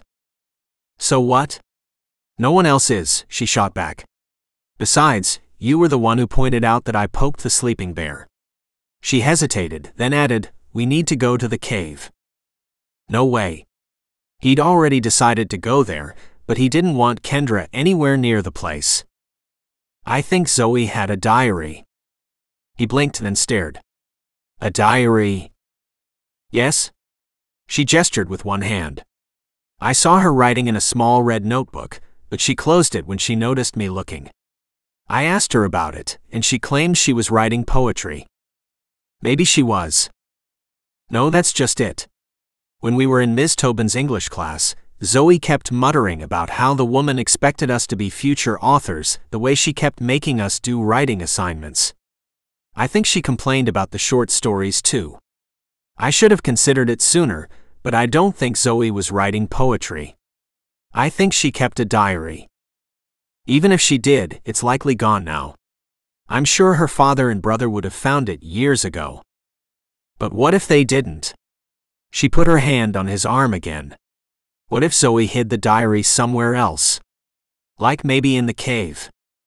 He hated to rain on her excitement. Think about it, Kendra. The cave is cold and damp. Even if she had hidden a diary in there, it's probably nothing but a pile of mold by now. We can't know that for sure, she protested. And even if it does have some mold, we still may be able to read parts of what she'd written. If there's a diary at all. Do you have a better idea? she demanded with annoyance. If so, I'd love to hear it. Hud sighed. Okay, fine. We'll hike to the cave. Thank you. She frowned at him. Are you always a Debbie Downer? The question almost made him smile. His teammates had teased him at times, calling him Hudson the Grouch. Not always. He shut down the Jeep, reached over and grabbed a flashlight from the armrest compartment and handed it to Kendra. He shoved his driver's side door open. Let's do this. Kendra jumped down from the passenger seat as he let Echo out of the back. Then he went around to pull his Sig Sauer and MK3 knife from the glove box where he'd stored them before going into the police station. You don't need those, Kendra protested. He didn't bother to respond. Not only did he have no idea who or what they'd find in the cave, it wasn't that long ago that someone had tried to shoot her. Good thing Idaho was an open carry state. One less reason for Barkley and his officers to haul him in. Not that Hud really thought the law would stop the cops from doing whatever they wanted. He took a moment to remove Echo's leash. He didn't want the shepherd to be restricted when entering a potentially dangerous situation. As they crossed the hilly terrain, Kendra massaged her shoulder. When she noticed his gaze, she quickly stopped. I'm fine. I did my exercises this morning. Good. He knew from Caleb how important it was to rehab an injured joint properly. As a nurse, he figured she understood that better than most. I'm sorry if I made it worse. You didn't. The cave was on the other side of the creek. He scanned the ribbon of water, looking for a good place to cross. Kendra tugged on his arm. This way. There used to be a few rocks to use as stepping stones. You and Zoey went to the cave often. She nodded. I haven't been there since that night, though. He felt a little sick at the thought that Kendra could have just as easily been the one who was strangled, rather than Zoey. Unless the girl had been targeted for a specific reason. Even so, he had no idea why someone would have wanted Zoey dead. And he'd thought about nothing but that during the night he'd spent in jail. The rocks were still there, appearing smaller than they had been. Or maybe it was just his mind playing tricks on him. He crossed the creek first, then waited for Echo to nimbly follow. After his dog reached the other side, he went back to hold out his hand for Kendra. She took his hand but didn't seem to need his support as she lightly moved from one rock to the next. Seconds later, she stood beside him. If I'm remembering correctly, the cave isn't far. She gestured with the flashlight toward the larger hill looming ahead. Lead on. He gestured for her to go first, mostly so he could cover her six. Not that he could allow himself to notice her sweet curvy backside. No siree. Aha. Off limits. Echo lifted his nose to the air, his large ears swiveling from side to side as he picked up on various sounds. He needed to take the dog for a run later. The animal was used to being active. And normally, he ran with Echo to help himself sleep better. Kendra's steps slowed as they grew closer to the cave. It doesn't look any different, she said in a whisper. He hadn't spent much time there, working two jobs had kept him busy. Maybe you should let me go first. The echo of gunfire cut him off. Hud pushed Kendra toward the cave entrance as the shot had come from behind them. Then he spun and dropped to his knee and fired a warning round before seeking coverage near a tree. If this guy wanted a fight, then fine. Hudson had never shied away from a threat. And Navy SEALs always came out on top. Chapter 4 Heart thundering in her chest, Kendra landed hard on the cave floor, pain stinging up her arm. She had the fleeting thought as she scrambled deeper into the cave that if this kept up, she'd need more surgery on her injured joint before being able to return to work. Hudson, she called in an urgent whisper. Are you okay? No response. She drew a deep breath and reminded herself that Hudson had returned fire and was likely hunkered down, watching for more. He was a highly trained Navy SEAL, and better at evading bad guys than anyone she'd ever known. But that didn't mean he couldn't be injured. He'd lost his left eye during his last mission. She'd feel awful if he was hurt again because of her. Echo trotted over to sniff at her. For some reason, the dog being there was alarming. She'd feel better if the dog stayed close to Hudson. Is he okay? she whispered against Echo's fur. The dog didn't answer. Reining in her panic, she crawled toward the opening, feeling along the ground for the flashlight she'd dropped. She found it but didn't turn it on as she huddled close to the side of the cave. In the back of her mind, she knew there could be snakes, bats, mice, or other vermin hiding in the depths, but she tried not to think about it. She focused her attention on listening for sounds of Hudson being out there. There was nothing but silence. Easing closer, she risked a quick peek. No sign of Hudson. Her heart thudded painfully, and she swallowed hard. If Hudson wasn't there, it meant he wasn't injured, at least not too badly. The bitter taste of fear coated her tongue. She knew with every fiber of her being that Hudson had gone after the gunman. Last night he'd done the same, leaving her with Echo. On one hand, it was sweet the way he was so determined to protect her, but she hated the idea of something happening to him. Please, Lord, keep Hudson safe in your care. Kendra watched the surroundings for several minutes, wondering if she dared to use the flashlight or if that would only draw the gunman's attention. She could almost hear Hudson's voice in her head, telling her to stay down and well hidden. No flashlight. Echo nudged her with his nose. She rested her hand on his back, grateful she wasn't alone. Her younger self hadn't been frightened of the cave. She and Zoey had come here often, treating it as an adventure. Being shot at twice and nearly run over by a car was more than enough adventure. All this because she'd mentioned searching for the truth behind Zoey's murder. It hardly seemed possible. She sat beside Echo for what seemed like forever. Finally, Echo's ears perked forward and the dog rose to his feet. Seconds later, Hudson appeared in the cave opening. He'd been so silent she hadn't heard him. But Echo had. How do you do that? she asked. Practice. He knelt beside her. Are you okay? Did I hurt your shoulder again? I'll survive. She didn't want to whine about how much it hurt, especially since coming here was her idea. Did you find him? I found where he stood and caught a glimpse of a black SUV as he drove off. He scowled. I didn't get his license plate number, though. I'm sure black SUVs are fairly common, everyone owns one to drive in the mountains. The thought was depressing. You're not hurt? No. But I really wanted to find him. He's smart enough and cowardly enough to shoot at us from a distance. It lessens his chance of taking us out, but improves his ability to get away without being caught. A shiver rippled over her. Never in her life had she been the target of someone who wanted to hurt or kill her. It seemed incomprehensible. You have the flashlight? She was gripping it so tightly, her fingers hurt. After turning it on, she passed it over. I'm hoping Echo will alert us to any animals hiding inside. He will. He's a good hunter. Hudson played the beam over the interior of the cave. So far, I'm not seeing any places to hide a diary. We'll have to go in farther. She rose. At 5 feet 6 inches tall, she was able to stand, but Hudson was bent over. His shoulders were so wide she wasn't sure how far he'd make it into the cave. She moved forward, a bit surprised that even here the cave looked the same. No beer cans or other garbage, Hudson said. Guess the teenagers don't hang out here the way you used to. We didn't have parties in the cave, she protested. Zoey was the one who never wanted to go home after school. Sometimes we'd hang out here and do homework by flashlight. He turned to look at her. Why did she avoid going home? She claimed her brother and father made her do all the work laundry, cooking, cleaning after her mother died. She hated being treated like the hired help. Hum. Hudson's gaze was thoughtful.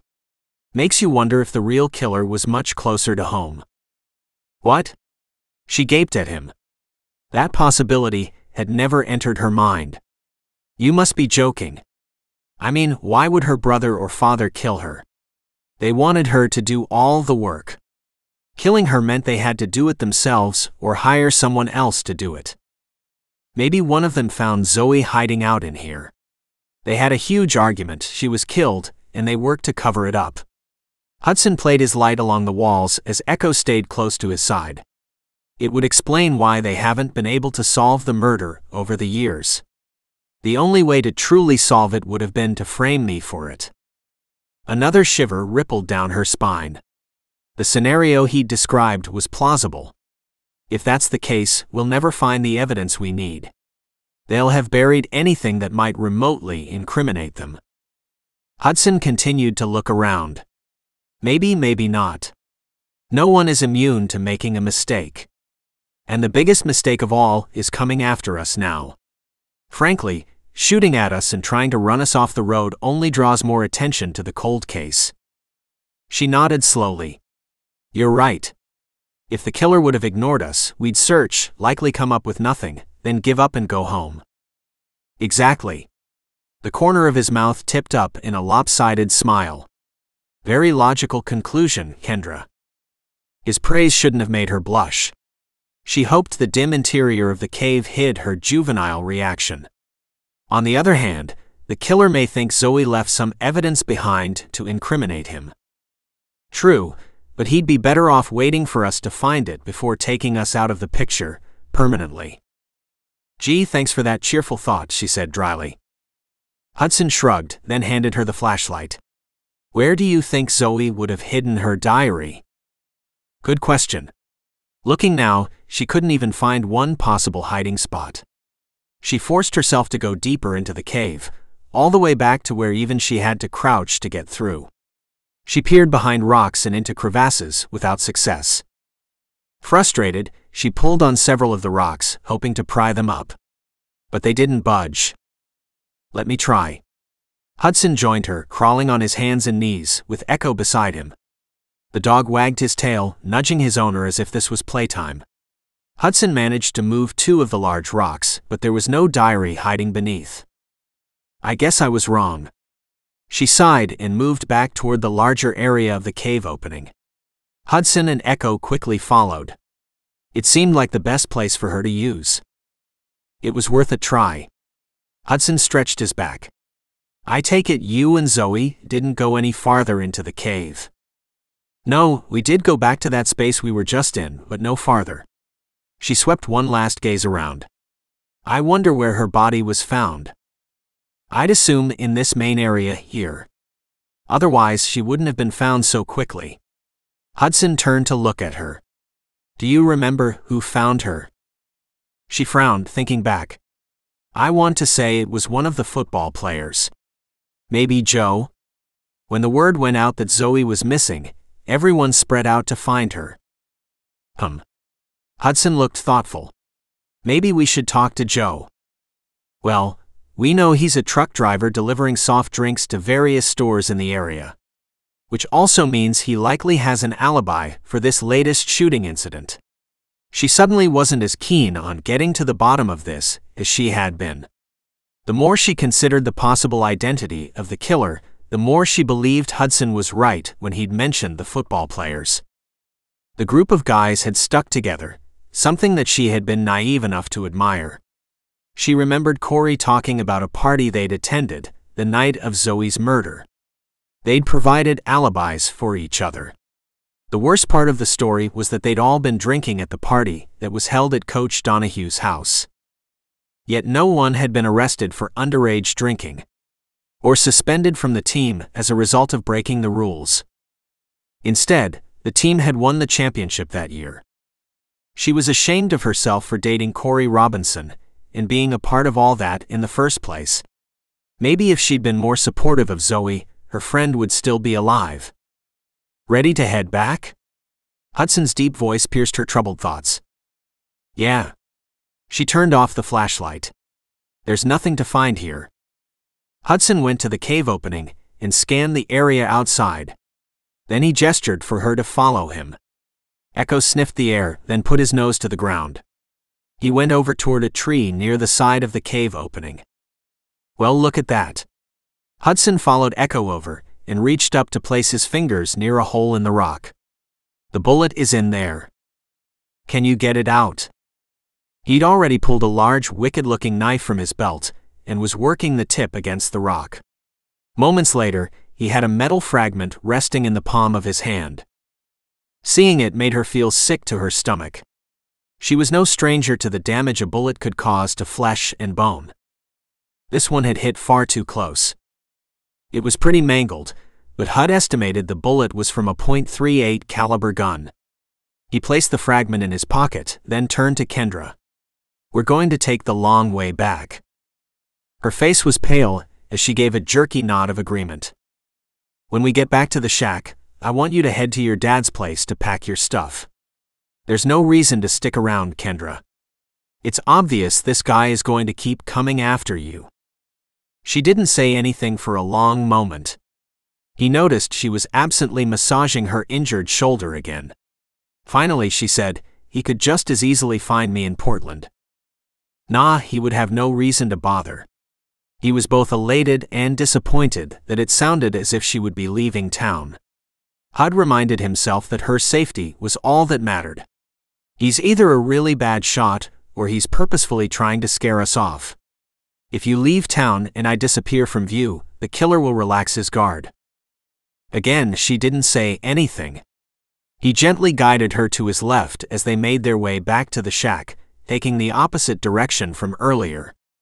Echo pried his way between them, as if annoyed that Kendra had intruded on his normal spot. I'll pack up my stuff, Kendra said, breaking the silence. But I'm not going to head back to Portland. He frowned. Where are you planning to go? A motel.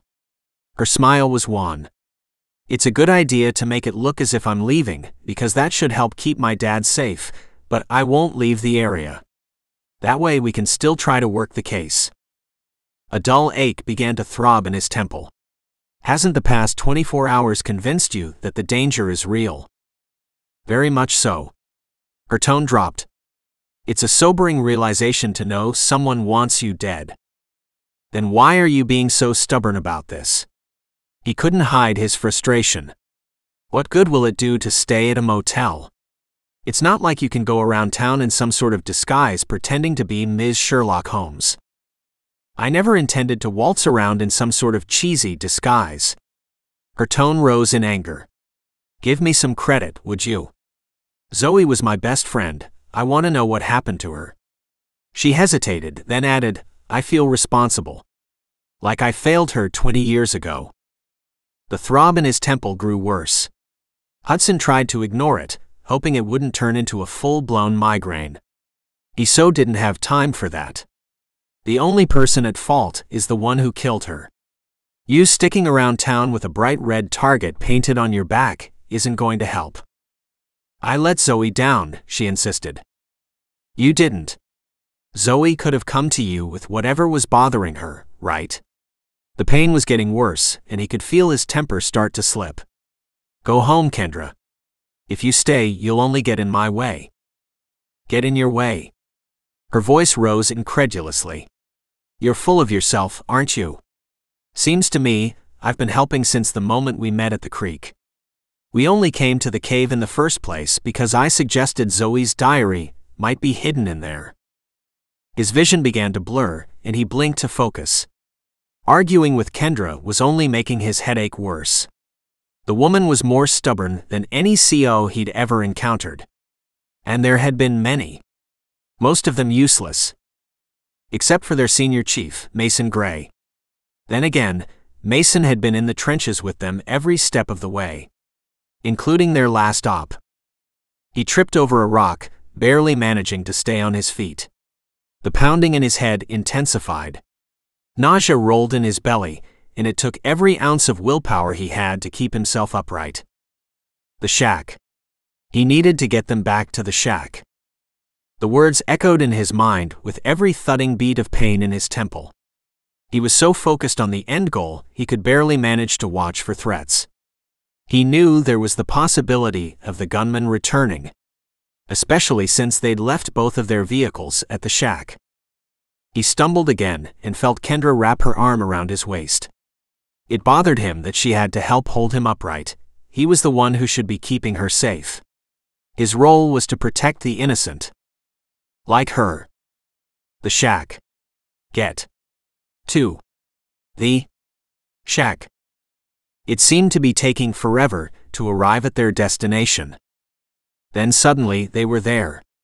The structure looked blurry, but there was no mistaking the ramshackle place he'd grown up in. The sagging building that didn't hold any good memories, only bad ones.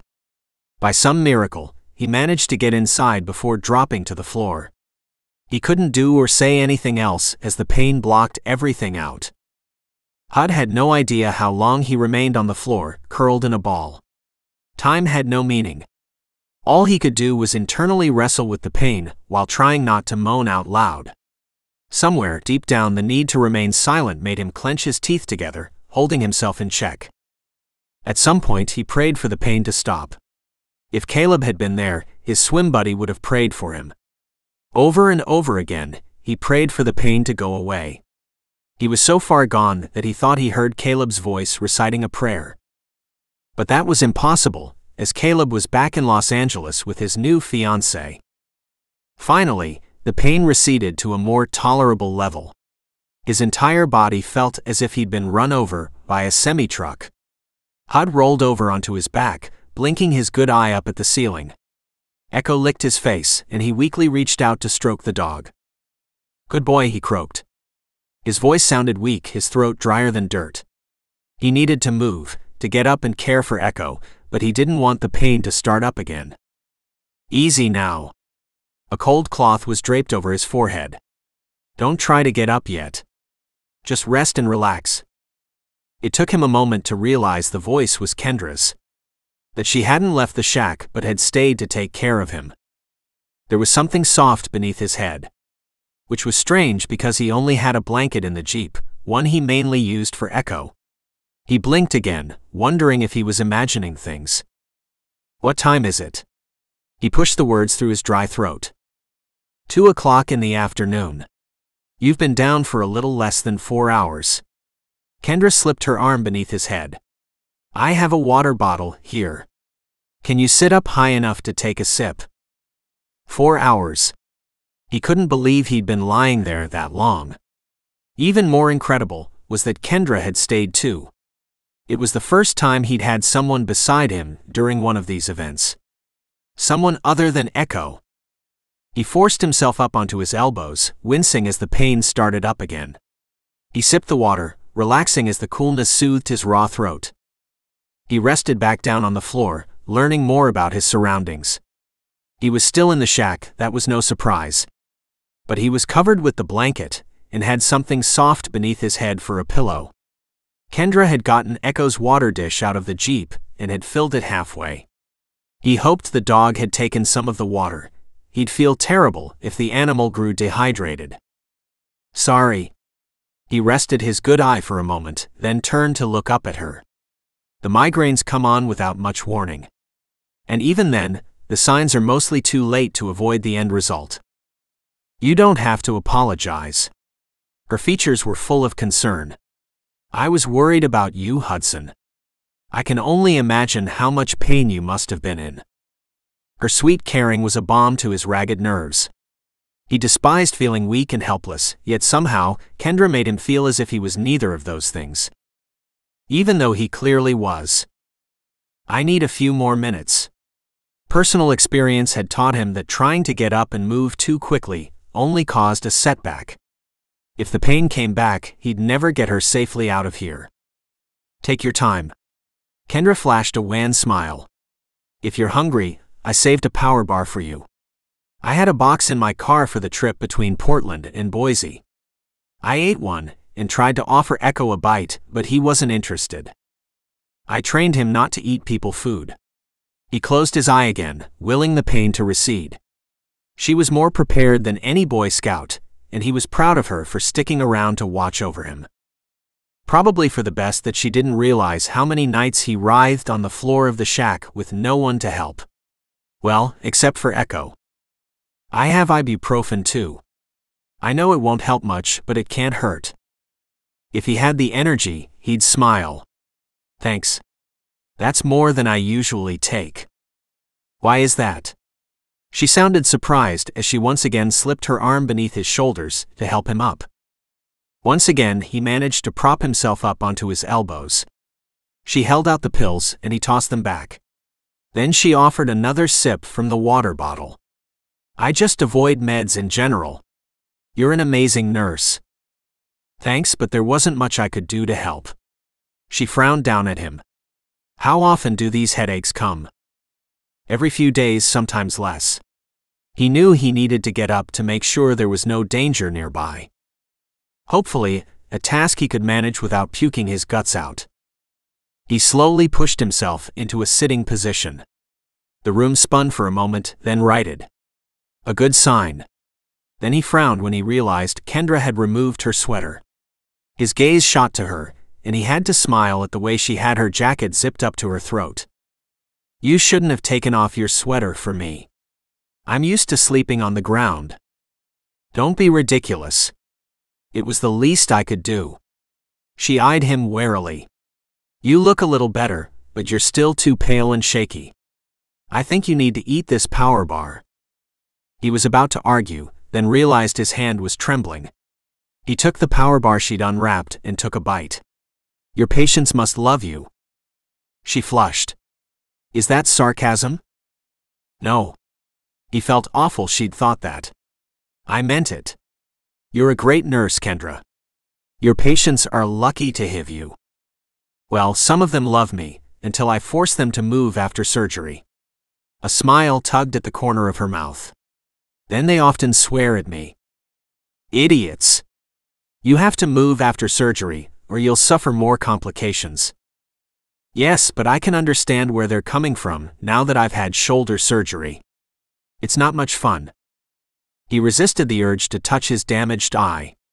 It probably wasn't nearly as painful as having shoulder surgery. Or knee surgery like Caleb had. The power bar settled his stomach. He finished it off, then slowly rose to his feet. I'm surprised you didn't try to drive to the hospital to get help. I planned to, but that was impossible. He frowned. Why? She sighed. The wheels of my car and your Jeep were slashed with a knife. We're not driving anywhere. Slashed by the gunman? While he was lying vulnerable on the floor. He was surprised he and Kendra were still alive. When? I think it happened while we were in the cave. I found them after you fell to the floor. I couldn't get you up, especially with my injured shoulder. She grimaced. Looks like we'll have to walk out of here. Which was probably exactly what the gunman intended. Hud felt certain the guy might be hiding out somewhere nearby, ready to take another shot at them. Something he couldn't allow to happen. Chapter 5 Did Echo bark or growl while I was out? Hudson demanded, moving from one window to the next.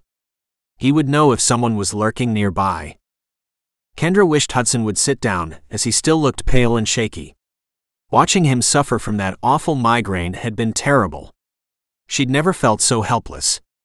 He growled when we first arrived at the shack. Maybe he picked up the gunman's scent. When did you go outside? Shortly after we arrived. I wanted to get the water bottles and the power bars. She glanced at Echo, who kept pace with his owner. Echo actually came with me, which was surprising. He sniffed all around the vehicles where the tires were slashed, growling the whole time. But when we came back inside, he stopped growling. The dog's growls had been unnerving, and she'd gotten everything out of the car so that she wouldn't have to go back out again later. Good boy, Hudson murmured, reaching down to stroke the dog. He's a good protector. Yes, he is, She'd been amazed at how the dog had stayed right next to Hudson the entire time he was curled up on the floor. Every so often, Echo would lick his face or rest his chin on Hudson's arm. She'd known the dog had likely done this before and often. And that Echo wouldn't let anything bad happen to his owner.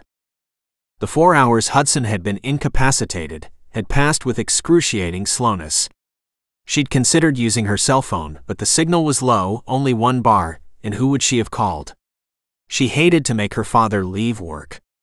And after the recent events at the cafe, she didn't trust the police. After seeing the destroyed vehicles, she'd shied away from walking toward the road to get a better signal. The shack was isolated, and she couldn't discount the possibility the shooter was out there. Although she'd been prepared to do that if Hudson didn't get better soon. She'd kept a close eye on his pulse and respiratory rate, which had both been faster than normal. No doubt because he'd been battling pain. Please sit down for a few minutes. Pushing yourself may cause a relapse. Hudson glanced at her. I know, that's happened before. But there's a good chance the shooter is stationed out there somewhere, waiting for us to show ourselves. I need to head out to look for him. I'd rather you stayed here, at least for now. Check your phone, I only have one bar. But if you have a better signal, we can call a tow truck. He stared at her for a moment, then pulled out his phone. One bar, he said. Figured. She sighed. Okay, then we'll need to walk outside a ways, see if we can pick up another bar. No, we're not. You're going to stay here with Echo. I'll head out to find a signal and search for the gunman. The brackets of pain around the corners of his mouth hadn't lessened much. She could tell he was holding himself together with superhuman effort. Will you allow me to try something to ease your pain? He frowned. Like what? Pressure points. She wished there was a chair to sit on, but the floor would have to do. Sit down, I'll show you. When she saw his hesitation, she added, I don't think it will make your headache worse and if it lessens some of the pain, it's worth it. He nodded, then did one more sweep, going from window to window before dropping down to the floor. He was so tall that she had to go up on her knees in order to apply the pressure. She'd learned the technique through her physical therapist, who had also been a massage therapist. Attempting to press on the trigger points on yourself didn't work as well, but she hoped she could ease some of Hudson's discomfort. Try to relax, she said in a low voice. Using the pads of her fingers, she pressed hard on the trigger points on his temple, holding the pressure for several seconds before releasing it. Then she moved on to the other trigger points, repeating the applied pressure. She took her time, there was so much tension in his head and neck. Yet as she moved from one spot to the next, she could feel some of that tension easing away. She finished with the trigger points on the back of his neck. Her knees were stiff and sore, and when she stood, she had to hide a wince. That was amazing. Hudson turned to look up at her, his blue eye full of awe. I feel a hundred percent better. Not back to normal, that usually takes several hours, but way better than before you started. She smiled. I'm glad. It's a technique some massage therapists use. I thank you. He stood and smiled down at her. It occurred to her that it was the first real smile she'd seen from him. One that lit up his bright blue eye. Any time. Her voice was breathy, awareness shimmering like a living, breathing force between them. Crazy as it sounded, she longed for him to kiss her. Kendra. He said her name on a sigh and pulled her into his arms. He didn't kiss her but cradled her close, resting his cheek on her hair. I'm not sure what to do with you. She had no answer for that, but couldn't deny how much she liked being held by him. His sweetness and caring at odds with his muscular strength. She was secretly glad she'd been able to give him something in return for all the times he'd saved her life. I need to go. He released her, taking a step back. It was all she could do not to throw herself back into his arms. Stay away from the windows. If Echo growls, you need to find a weapon. He glanced around, then handed her the flashlight. Use this if anyone tries to get close. Okay. Hard to imagine hitting anyone over the head with the flashlight, but then again, she'd never been in danger like this before. Feeling grim, she realized she'd likely do whatever was necessary to survive even if that meant resorting to violence. Something she abhorred. Be careful. The corner of his mouth tipped up in a rueful smile, and she was glad to see the brackets of pain had disappeared thanks to her pressure point relief technique. Always. He turned to Echo. Guard. The dog sat in front of her. Good boy. Hudson moved to the back door, the one they'd entered hours ago shortly before he'd collapsed onto the floor. Remember, stay down. She lowered herself back to the floor. From this angle, Echo looked huge beside her. Especially his teeth. Hudson disappeared from her line of sight. Blowing out a heavy sigh, she stroked Echo's fur. As much as she wanted to go along with him, she knew her being there would only be a hindrance. The man moved as if he walked on air, without making the slightest sound. Kendra told herself to get a grip on her emotions. This teaming up with Hudson was temporary. He didn't live in Idaho, and neither did she. She wasn't sure where he lived, and suspected that he didn't have a place to call home. No reason he couldn't make a home for himself in Portland, Oregon. She rolled her eyes at her foolishness. Even if Hudson was interested, she had no intention of risking her heart ever again. Especially not with a man who could easily have any woman he wanted. Temporary arrangement, she muttered to Echo. That's all this is, right? Echo turned his head and licked her face. Gee, thanks. She swiped at her cheek.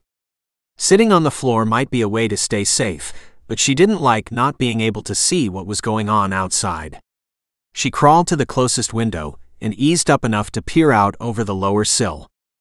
The wind had picked up, the budding tree branches swaying in the wind. She strained to hear other sounds like that of the gunman but didn't. And glancing at Echo, watching his ears twitch, she didn't think he heard anything either.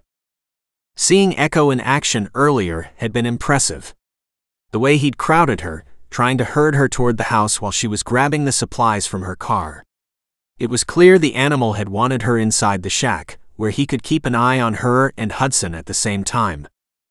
If she didn't work 12 and a half hour long shifts in the ICU, she'd consider getting a dog. But being left alone that long wouldn't be fair to the animal. Unfortunately, she was allergic to cats. The minutes dragged by slowly. She found comfort in the dog's demeanor, alert yet calm. She felt certain Echo would let her know if something bad had happened to Hudson.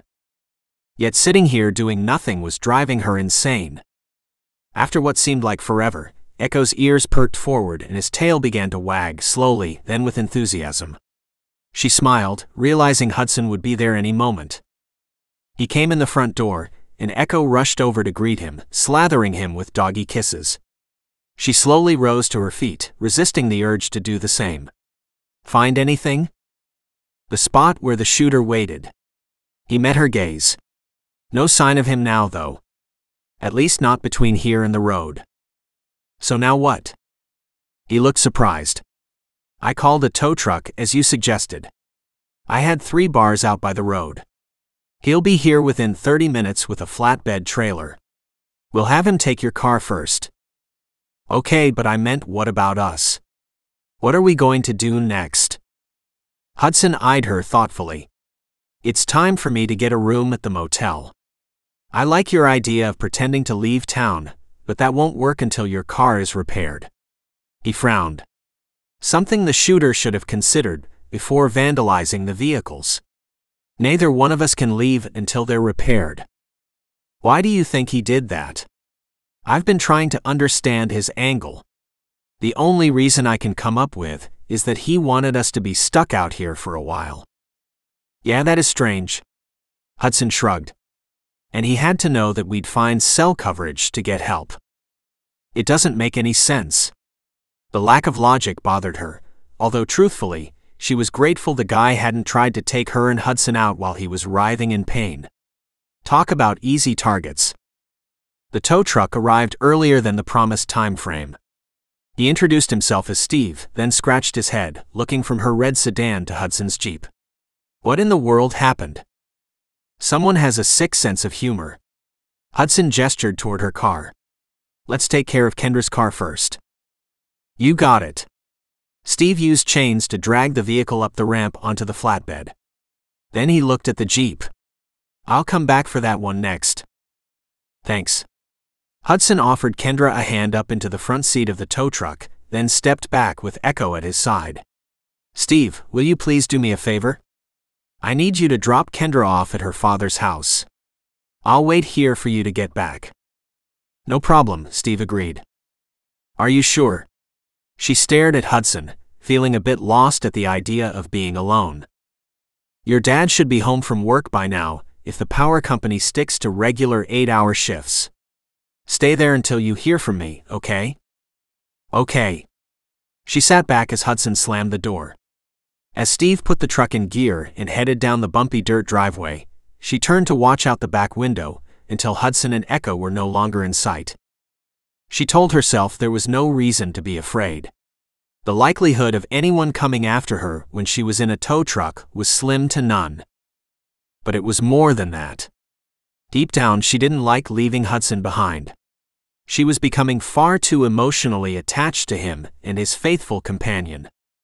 Hudson didn't like sending Kendra off with the tow truck driver, but he felt certain her father would keep her safe long enough for him to get back into town. Let's go, Echo. He wanted to take Echo with him to walk the area, hoping the dog might find something he'd missed. His limited vision wasn't his strength these days, and he wanted Echo to have a chance while there was still plenty of daylight. I need you to help me out, buddy, he said to the dog. Alert me if someone is hiding nearby. Echo eagerly trotted along as he made his way through the wooded area around the shack. Not only was Echo's eyesight better than his, but the dog's nose should help him find what he was looking for. If there was anything to find.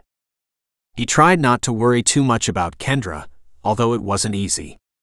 Three separate attempts to harm her, and one act of vandalism indicated someone was truly ticked off about her asking questions about Zoey's death. If only he could convince her to head back to Portland. Maybe he needed to get her father involved in that conversation. The thought cheered him up. Not that he wouldn't miss her because he already missed her, and she'd only been gone 20 minutes. He told himself to get over it. Because having her safe was more important than anything else, including his ridiculous feelings for her.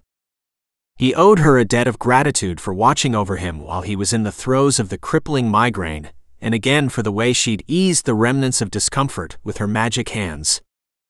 Healing hands. As he approached the area where he felt certain the gunman had waited, based on the flattened grass beneath the tree and scuff marks in the dirt, Echo lowered his nose and picked up his pace. Hud had him off leash to give him room to maneuver.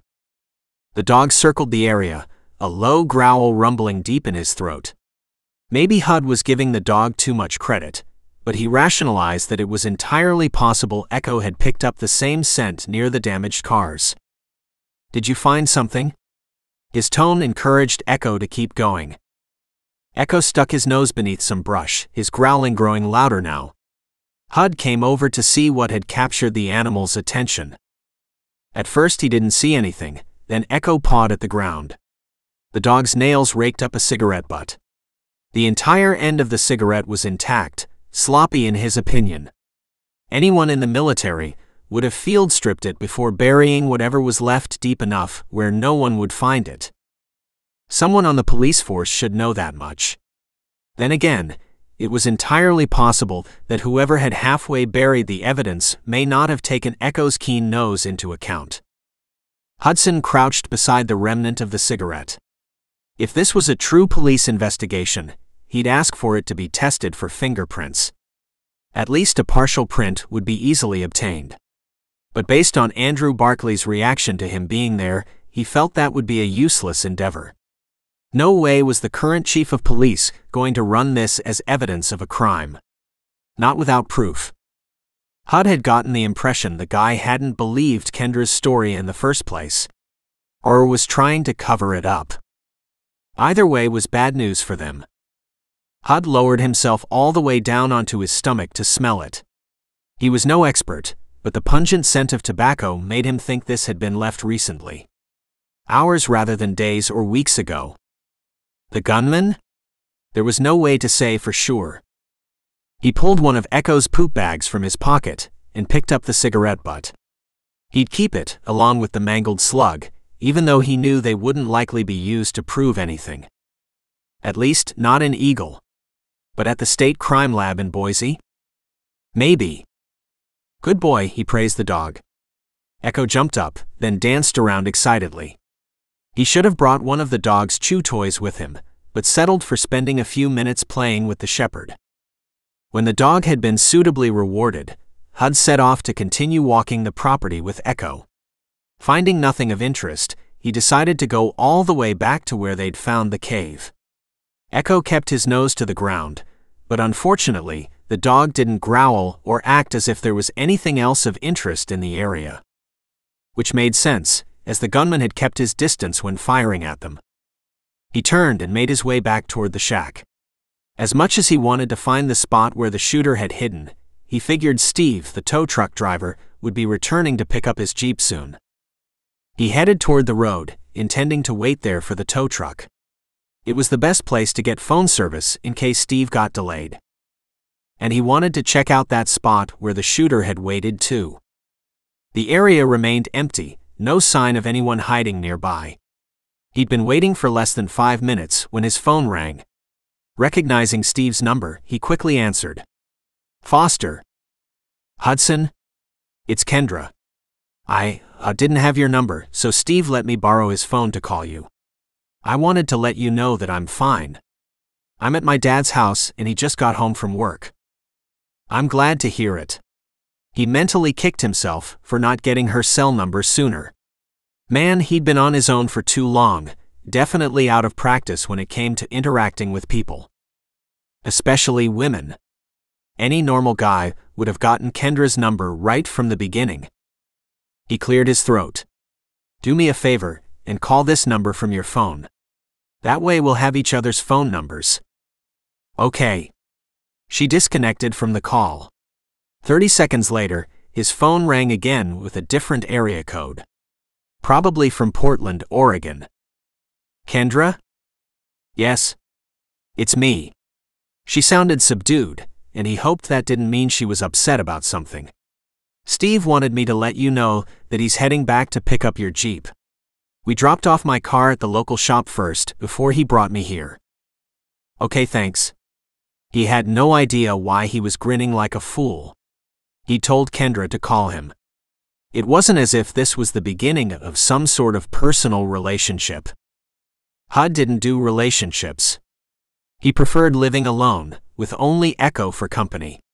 The dog was all the companionship he needed. So, you're going to call me when you get into town, right? Kendra asked. I wasn't sure what to tell my dad about my car, so I only mentioned a flat tire, not that all four tires had been slashed. Yes, I'll call you. We can fill him in on the whole story later. In the meantime, stick close to your dad, and if you see or hear anything suspicious, do not hesitate to call 911. I will. And you be careful too. See you later. She ended the call without waiting for a response. He felt bad she felt it necessary to lie to her father. Should they tell him about the danger? Or go with Kendra's plan of pretending to head back to Portland while going to a motel instead? The latter may be better for her dad in the long run. The deep rumble of a car engine reached his ears. Not a sedan like Kendra's, but something bigger. Remembering the black SUV that had nearly run them off the road, he moved back from the road, taking coverage in some trees. Ironically, not far from the location the shooter had used. Sit, he whispered to Echo. The dog sat at his side, looking alert. Hud was glad the car engine appeared to be coming from the right, his good eye catching the glimmer of sunlight bouncing off the silver frame. Not a black SUV, but a gray one. He didn't move, watching and waiting for the driver to get closer. The little he could see through the tree branches obscuring his good eye. The vehicle rolled slowly down the street. Too slowly, well below the posted speed limit. A warning tingle raised the tiny hairs on the back of his head. It seemed as if the driver was looking for something. Or someone. Like him. It wasn't a stretch to believe the shooter had discovered Kendra had returned to her father's house without him. He was beginning to think the shooter had an inside track of information. He couldn't accuse anyone without evidence, but if Andrew Barkley was involved, he could easily have his cops be on the lookout for him and Kendra. As the vehicle drew closer, he could see it wasn't a police issued car. But it did have a large spotlight mounted on the dashboard. Not that unusual in the hunting community. Many hunters went out to shine deer, flashing them with light at dusk to find where they bedded down for the night. Seconds later, he dropped closer to the earth, bringing Echo with him. The driver of the gray vehicle had flashed the spotlight at the area where he was hiding. There wasn't a doubt in Hud's mind that the driver was searching for him. To finish the job he'd botched so far. He barely breathed, waiting with infinite patience for the SUV to move on. Which it finally did. Still, he didn't move. Echo was stretched out beside him, looking up at him with curious dark eyes. Hud stroked him reassuringly. The dog didn't mind lying in the dirt any more than he did. He decided to act as if he were in hostile territory in Afghanistan. He and the rest of their SEAL team had not taken the enemy lightly the Taliban were very skilled at the art of deception. He stayed where he was, waiting with infinite patience. A long 15 minutes later, the gray SUV returned from the opposite direction, moving just as slowly as before. He knew the driver, and for all he knew, a passenger too were searching for him. He wished he could see the interior of the car better, but his view was limited. Yet it wouldn't surprise him to find out the killer had help. The light played over his hiding spot again. Hud held his breath, waiting for the vehicle to move on. It wasn't until he heard the louder engine of the tow truck that he pushed up from the ground and signaled for Echo to join him. He needed to figure out a new plan and soon. Because whoever had killed Zoey was clearly growing impatient. It was only a matter of time before he struck again. Chapter 6 Kendra told her father about the vandalism to her car, mentioning only one tire, not all four, as being slashed, while keeping the attempts to kill her and Hudson to herself. Her father was on medication for high blood pressure, and she didn't want to add to his stress. And he would absolutely go off the deep end if he learned about the attempts against her. Since her mother's passing seven years ago, she and her dad had grown closer. She couldn't bear the idea of anything happening to him. Why are you rubbing your shoulder? he asked with a frown. She immediately dropped her hand. Oh, I tripped over a rock and fell on it. He lifted a brow. Maybe you should go to the hospital for an x ray. What if you injured it worse? She was very much afraid she had done exactly that. Yet she managed to smile. I may have to head back to Portland to talk to my surgeon. There isn't anything a doc here can do for me. You know best, Kendra, her father conceded. She didn't like keeping secrets from him. She managed a weary smile. Thanks, Dad. I hate to leave so soon after coming home. Well, you'll still come back to recuperate, right? He waved a hand. Best that you get checked out by the experts. And maybe hiking near the creek isn't a smart idea. You can't risk hurting yourself again, he chided. You were a cheerleader, I'd have thought you could stay on your feet. I know, I guess I'm out of practice. Her cheerleading days were long ago, and being dragged to the ground by Hudson to avoid being shot wasn't exactly her fault. Are you hungry? Her dad looked chagrined. I can order carry out pizza. Dad. She tried not to roll her eyes. How many times have I told you that you should watch your salt intake? Bah, Doc says I'm doing fine. Her dad picked up his cell phone. I'll grab your favorite, okay? She caved, partially because she wasn't the greatest cook on the planet, and also because Hudson had asked her to stay here to wait. Ordering carry out pizza was the best way to do that. Sure, but do me a favor and get two pizzas. I ran into Hudson Foster in town and invited him for dinner. Foster. Her dad frowned. A bit of a troublemaker, wasn't he? Not really. He worked two jobs all through high school, and the only time he got into arguments was when people treated his mother poorly. She felt guilty for being one of the crowd who'd looked down on him at the time. As if his mother's drinking was his fault. He's here in town for a short while, so I invited him over. Her father's frown deepened. Why would you do that? Because he needs a friend. She was annoyed with his attitude and propped her hands on her hips. Since when are you so judgmental? Hudson joined the Navy after graduation and became a SEAL. He was injured in his last deployment, losing vision in his left eye. I think he deserves respect for the service he provided to our country. Well, that's true, and very impressive that he was a SEAL. Her father eyed her curiously. Quite the coincidence that he showed up here at the same time you've come home to visit. She couldn't deny it was a huge coincidence. But then again, God was the one in charge, and for all she knew, this was part of God's plan. Maybe. But I didn't meet up with him in Portland, if that's what you're insinuating. We both just happened to come home at the same time. Aha. She could tell her dad wasn't convinced.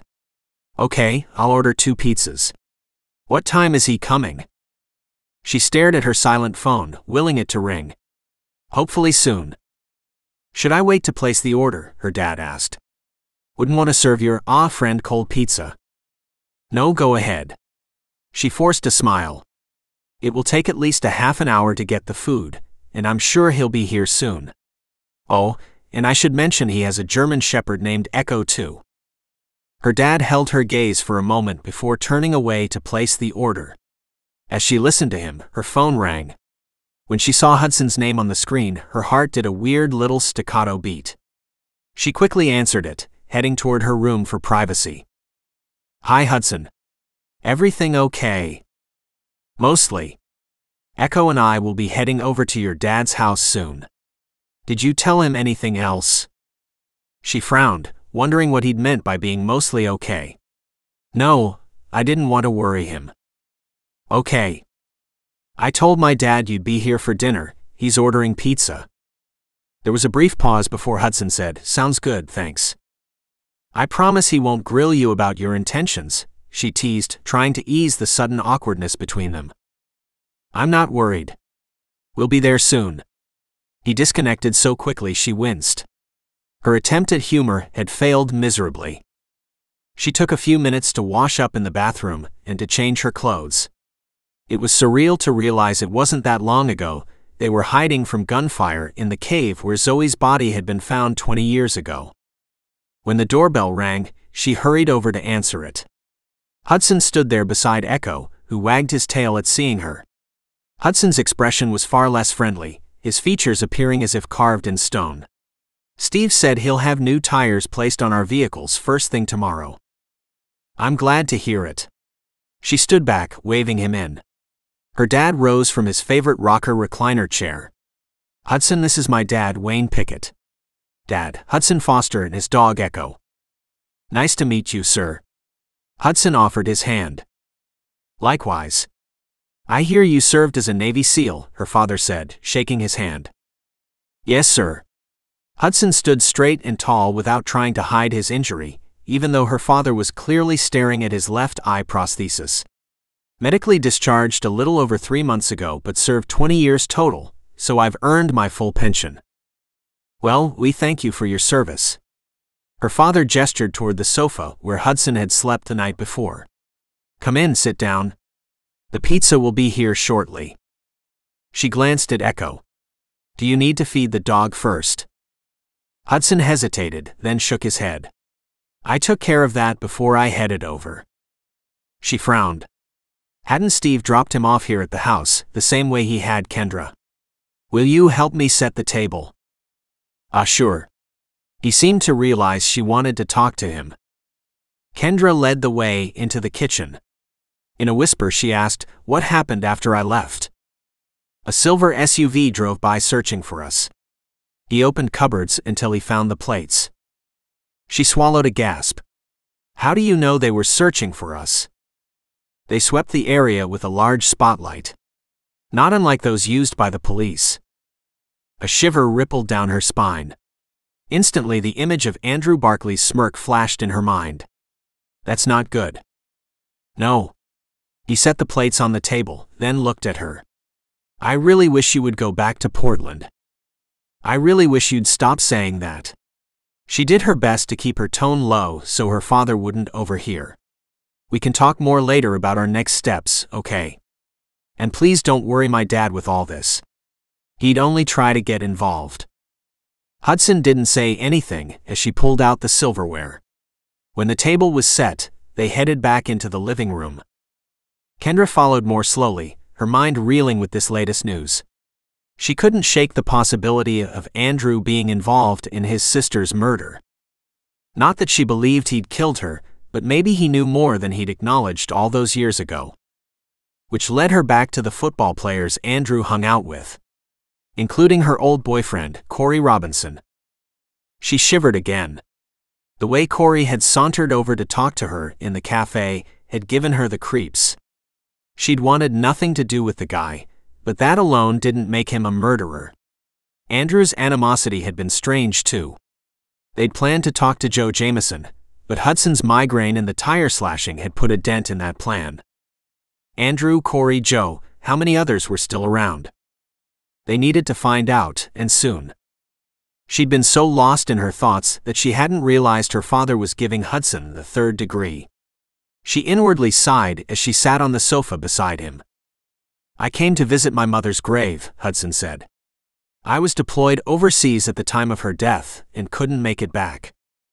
They don't give you a leave of absence when you lose a parent? her father demanded. Hudson shrugged. If they can, yes. Depends on what is going on. The missions I was involved with are classified. Oh, sure. I understand. Her dad nodded. What are your plans now that you're back? Are you looking to get a job? I'm considering my options, Hudson said evasively. The way her father frowned, she could tell he wasn't thrilled with that response. You should see how well trained Echo is, Kendra interjected, trying to change the subject. Hudson's been working with Echo the past few months, and he's amazing. If I didn't work 12 and a half hour shifts, I'd consider getting a dog just like him. He's a good boy. Hudson reached down to stroke Echo's fur. The dog was stretched out at his feet, but the way his large ears swiveled from side to side, she could tell he was on alert for his next command. The doorbell rang. Kendra jumped up to answer it. Pizza's here, she called. Hudson rose and took the boxes from her hands, carrying them into the kitchen. Echo was his shadow, and her father soon joined them. The spicy tomato sauce and melted cheese smelled amazing, and her stomach rumbled, reminding her they'd only eaten a power bar for lunch. Moments later, they were seated around the table. I, I'd like to say grace. She glanced at her father. As far as she knew, he still hadn't attended church since her mother died. Lord, we ask you to bless this food and the people seated here this evening. We ask for you to continue to watch over us. Amen. Amen, Hudson echoed. Her father hesitated, then softly added, Amen. For a moment, tears threatened to spill down her cheeks. Memories of her mother praying before meals were something she'd forgotten about until Olivia had gotten sick. She and her father hadn't talked much about God and faith in those last few days when Olivia had taken a turn for the worse. Her father had arrived shortly after her daughter had breathed her last. A good three hours before Don had arrived, smelling of heavy perfume with makeup stains on his shirt. It was all she could do not to punch him in the face. Thankfully, her father had held her close, giving her the support she'd needed.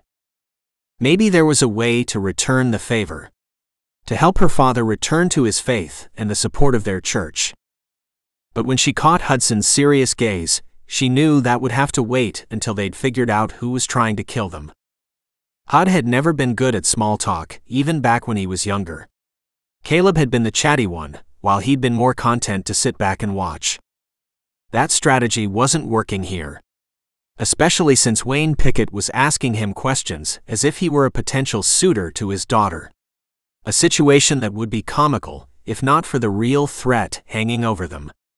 And if not for the way he was inexplicably attracted to her. Twenty years ago, he would have jumped at the chance to date Kendra. Now, he knew he needed to keep her at an emotional distance if he was going to succeed in keeping her safe.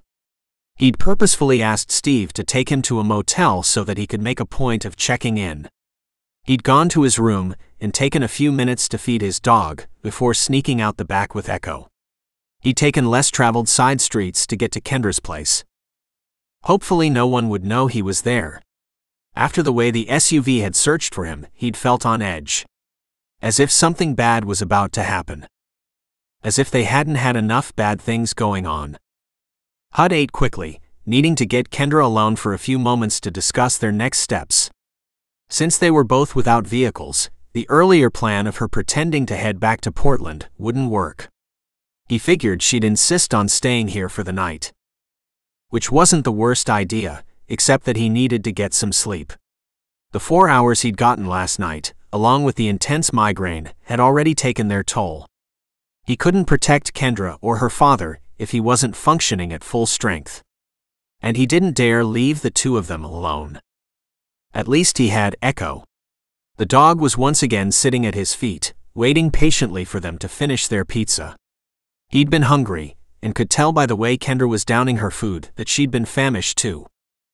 I ran into Corey and Andrew earlier, Kendra said, glancing at her father. I was surprised they were living here. Do you know if any others from my graduating class are still around? No, but I haven't paid much attention, her father said. I knew about Corey and Andrew, though, since they've both made big names for themselves. Yeah, Corey mentioned he's a lawyer, and I know Andrew followed in his father's footsteps into law enforcement and is now the chief of police. Kendra finished her slice of pizza and pushed her plate away. I thought I saw Joe Jameson too. I don't remember Joe, Wayne said with a frown. Why all the questions about your old high school friends? Are you thinking of planning a reunion? Hudson almost choked on his pizza. The idea of voluntarily reuniting with the classmates who'd mostly treated him like scum was the dead last thing he'd want to do. Oh no, I think our 20 year reunion was last year, Kendra said quickly. Don't you remember? They scheduled it for the 4th of July weekend, and I couldn't get off work to attend. That's a big trauma weekend in Portland, and it was my holiday to work. Maybe it was wishful thinking on his part, but Hud got the impression that Kendra had purposefully avoided the reunion, the same way he would have if he'd known about it. Which he hadn't. Not that it mattered, as he was in Afghanistan at the time. Oddly enough, he was glad to know she hadn't wanted to attend. He stood and carried his plate to the sink. I'll help with the dishes, then I need to take Echo outside. The dishes can go in the dishwasher, Wayne Pickett said firmly. Go ahead and take care of your dog. Thank you. Meeting Kendra's gaze, he jerked his head toward the door. She nodded in understanding. Why not take Echo out back? She dried her hands on the towel. I'll show you. Hud followed her out to the small backyard. Until last night, he'd never been inside her house, but he had gone past the property often enough. The area looked tiny, compared to his memories of the place. Back then, he'd thought Kendra lived in a castle, compared to the shack he'd shared with his mother. Now he realized it was a normal sized house and that they were hardly rich. It was just that he'd been so poor. I'm sorry about my dad, Kendra said quietly. I don't know why he has the impression there's something more going on between us than friendship. I never gave him any reason to believe that. I never thought you did. He tried to smile. I think it's a rule that a father has to look after his daughter. No matter how old she is. Yeah, he means well. She sighed. I really hate knowing he might be in danger because of me. Because of the killer who wants his secret to remain deeply buried, he corrected. I assume you're staying here tonight. I can't pretend to go back to Portland without a car. She hesitated, then added, I know I'm asking a lot, but will you and Echo stay too? We have a guest room you can use rather than the sofa. I think my dad will understand you're staying here for the night, knowing your Jeep was damaged. He didn't see that he had many options. He could either stay inside or outside the house. After the earlier migraine, he wasn't sure he should push his luck with trying to sleep outside. Are you sure your father won't mind? Hud glanced at Echo, who was watering every tree and bush around the perimeter. I'm sure. Besides, I would feel better having you close by. For my dad's sake as well as my own. Are you sure you don't want to let him know about the danger? Hud made the offer, despite his own misgivings about her dad trying to get involved with the case. He never had a relationship with his dad, who had left shortly after he was born. Not yet. She sighed. Tomorrow morning, after my car tires have been replaced, I'll tell him I'm heading back to Portland to have my shoulder looked at. He knows I fell and injured it. But we'll get rooms at the local motel instead. I already have one room booked, I asked Steve to drop me off there. I'm hoping the news gets out that I'm staying there. Which will work against you. Your dad could hear from the town grapevine that you're still in town, Hud felt compelled to point out. I know. She shook her head. It's a risk I have to take, and something I'll deal with when it happens. I hate lying to him, but I want to be sure he's safe and stays out of this. She met his gaze. I'm the one who spouted off about why Zoey's murderer had never been brought to justice. Stop taking the blame, he said gently. This is the killer's fault, not yours or mine. Besides, these are exact questions Zoey's father and brother should be asking, not her old childhood friend. That part is really bothering me, she confided. As the chief of police, Andrew should have detectives working his sister's murder in between their other calls. But I don't get the sense he's ever done that. No, because it's easier to blame me. Okay, but even then, why not continue to search for the truth? Find evidence that points to your guilt? She shook her head. It doesn't make any sense. She had a point. Hud watched as Echo sniffed the area around the edge of Kendra's yard. I forgot to mention, Echo found a cigarette butt where the shooter was hiding. He patted his pocket. I kept it because it could potentially be used as evidence, not that I planned to turn it over to local police. Her jaw dropped in shock and she glanced at Echo. He really found it. Yeah. He couldn't help but smile. He's a smart dog, pawed at the ground to bring it up from where the perp hit it. Too bad we can't prove it's from the killer. Tell me about it, he muttered. What if we sent it to the state police lab? Kendra asked. I'm assuming Idaho has one, Oregon does. We sometimes get trauma cases that come in from highway crashes, which give the state police jurisdiction over the crime. A murder here wouldn't be within the state police jurisdiction, he argued. Although the FBI has gone in to investigate corruption within police departments. Her eyes widened. They have. Yeah. He shrugged. I don't have any connections there, though. He'd met a couple of federal agents over the years, but none that would remember him. The only thing he had going for him was that his SEAL team had high security clearance. Their last op that had gone completely sideways had been to infiltrate a terrorist cell. A task they'd accomplished. It was only the extraction that had gotten complicated. Their teammate Jaden had paid the ultimate price. He lightly touched the scar at the corner of his left eye socket. The doc had told him he was lucky the debris didn't get lodged in his brain. He hadn't felt lucky at the time, but he knew that it was true. His injury could have been so much worse. Being killed was one thing, but living in a prolonged vegetative state would have been so much worse. Yeah, maybe it was time he counted his blessings. Kendra's prayers had helped him realize he had much to be grateful for. But we'd need evidence of corruption too, she said, interrupting his thoughts. Too bad we don't have someone inside the police force that we could trust. I'd love to know what Andrew has done with his sister's cold case file. Probably nothing, Hud drawled. He glanced around, watching as Echo sniffed the perimeter. He'd come to depend on the dog's nose to alert him to trouble. Thankfully, the dog didn't react the way he did at the bush where they'd found the cigarette butt. We should get back inside, Kendra said. I need to let my dad know our plan of staying here tonight. He tried to step around her at the same time she turned toward him. The result was that she bumped into him.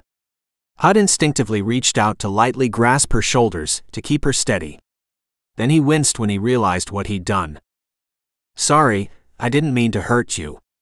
He let go of her left shoulder. No, it's my fault. She tipped her head back to look up at him.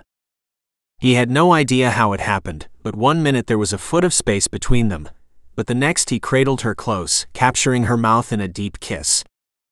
On some level, he'd expected her to jerk away. He wasn't in her league, not by a long shot. But she surprised him by slipping her arms around his waist and holding him tight. She kissed him back in a way that set his entire body on fire. He couldn't stop himself from deepening their kiss. Never in his life had he wanted a woman more than this. Kendra tasted like sweetness and sunshine. And it took every ounce of willpower he possessed to break off from her embrace. Rotten timing. They couldn't do this. Not now.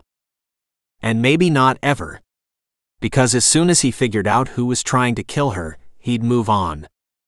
Living alone, the way he was meant to.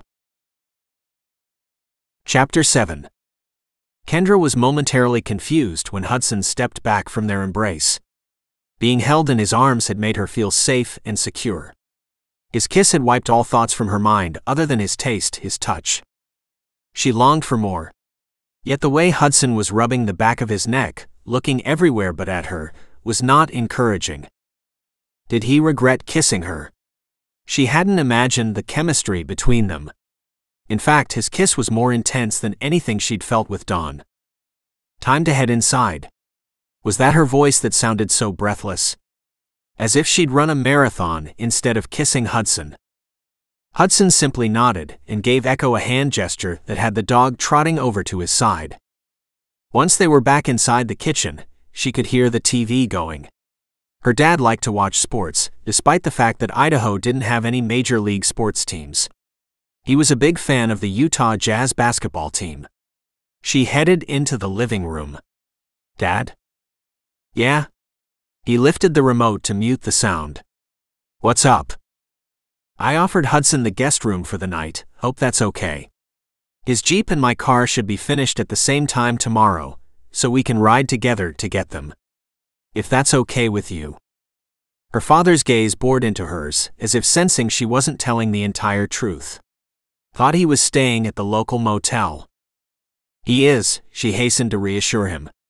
She'd been surprised to hear Hudson had checked in at the motel. That he'd gone as far as to ask Steve to drop him off there. It would just be more convenient if we could share a ride back to the garage in the morning. He nodded slowly. Okay, but I expect him to act like a gentleman. Yes, sir, Hudson said from behind her. He stepped forward. You have my word on that. Okay. Her father shrugged. I get up early. I told Hudson that. He knows you need to be at work by six. She smiled and bent down to kiss her father's cheek. Try not to work so hard, okay? Yeah, yeah. He yawned and increased the volume with the remote. She turned and went down the short hall, pausing to pull two thick towels from the linen closet on her way to the guest room. Here you go. She set the towels on the edge of the bed. Let me know if you need anything else. We'll be fine, thanks. He stood off to the side, well out of reach. There was so much more she wanted to say, but she decided to leave it alone. Good night, Hudson. Good night. She went to her room and blew out a heavy sigh. As much as she'd enjoyed every minute of kissing Hudson, she hated knowing the easy camaraderie between them was gone, replaced with this terrible awkwardness. After changing into her pajamas, she headed to the bathroom just as Hudson was coming out. They did that weird side to side jig before she finally plastered herself up against the wall to give him room to pass. He paused, then turned to finally meet her gaze. I'm sorry. I shouldn't have crossed the line with you. His apology was worse than the awkwardness. I wasn't complaining, but I understand you're not interested. It's fine. Good night. Without waiting for him to respond, she ducked into the bathroom and closed the door behind her. After their long day, she didn't mind heading to bed early. She was physically exhausted and emotionally drained. Hudson's kiss replayed over and over in her mind, and she had to shove the memory aside with an effort. The guy was dealing with enough, no reason to pile on. The terrible migraine must have taken a toll on him, and she told herself to get over herself. Her feelings were her problem, not his. She finally fell asleep, waking early the next morning when she heard her dad moving around. Getting a full night of rest felt wonderful, and she quickly climbed out of bed to find her father. When she walked into the kitchen, she was shocked to see Hudson seated at the table with Echo at his feet. She immediately felt self conscious about her less than flattering flannel pajamas. Oa, good morning. She wished she'd stayed in her room. Everyone is up early this morning. Hudson nodded but didn't say anything as he sipped coffee. To give herself something to do, she crossed over to the pot to fill a mug for herself. Hudson was telling me about how he lost a teammate in his last operation. Her father frowned. That must have been very difficult. She was surprised to hear he'd confided in her father, and tried not to feel hurt that he hadn't told her. I'm sorry to hear that, Hudson. Thanks. Hudson didn't meet her gaze. There was a moment of silence before her dad asked, You'll call me when you find out what the surgeon says about your shoulder? She nodded, hating to lie. I'm sorry to leave so soon after coming home. Well, you'll be back, won't you? Her father asked. You still can't work for several weeks. Yes, I'll be back. She bent to kiss his cheek. As soon as possible. Her father patted her hand, then glanced at Hudson. Are you going with her? No, sir. I'm here for a few more days to get a headstone made for my mom's grave. I see. Kendra wanted to roll her eyes at her father's obvious disappointment. Well, I hope I get a chance to see you again, Hudson. Would you like me to make you breakfast? Kendra asked. I know I'm not the cook mom was, but I can make eggs and toast. No thanks. I'll stop on my way to work. Her father rose from the table and set his empty coffee cup in the sink. Take care, Hudson. Kendra, don't forget to call me. Will do. She watched as her dad left the kitchen. Then she pushed away from the counter and joined Hudson at the table. I hope my dad didn't give you a hard time. No, he was fine. Hudson drained his coffee. I'll make breakfast. Really? She frowned. Is that because you don't trust my cooking skills? Maybe. But I honestly don't mind. The corner of his mouth kicked up in a half smile, and she was relieved the previous tension between them had evaporated. Thanks. I'll get changed. She jumped on the opportunity to take a quick shower and to change her clothes. When she finished, she followed her nose and the tantalizing sense of bacon and eggs to the kitchen. Breakfast is ready, he announced. He slid eggs onto a plate, added two slices of bacon, and set it in front of her. I hope your dad doesn't mind I used some of his bacon. I'm surprised he had any in the first place, since he eats out each morning. She smiled. Thanks, this looks amazing. No problem. He took the seat across from her, then waited expectantly for her to pray. Dear Lord, please bless this food and continue to keep us safe in your loving care. Amen. Amen, he echoed. The food was amazing, but the domestic scene only made her more keenly aware of their kiss. We have several hours before our cars will be ready.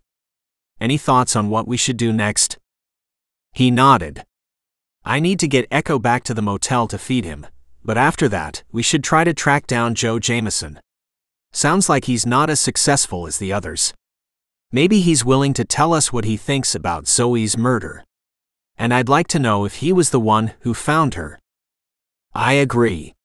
She bit into the crispy bacon. I remember him as being a decent guy. I never did understand what you saw in Corey Robinson. She swallowed hard.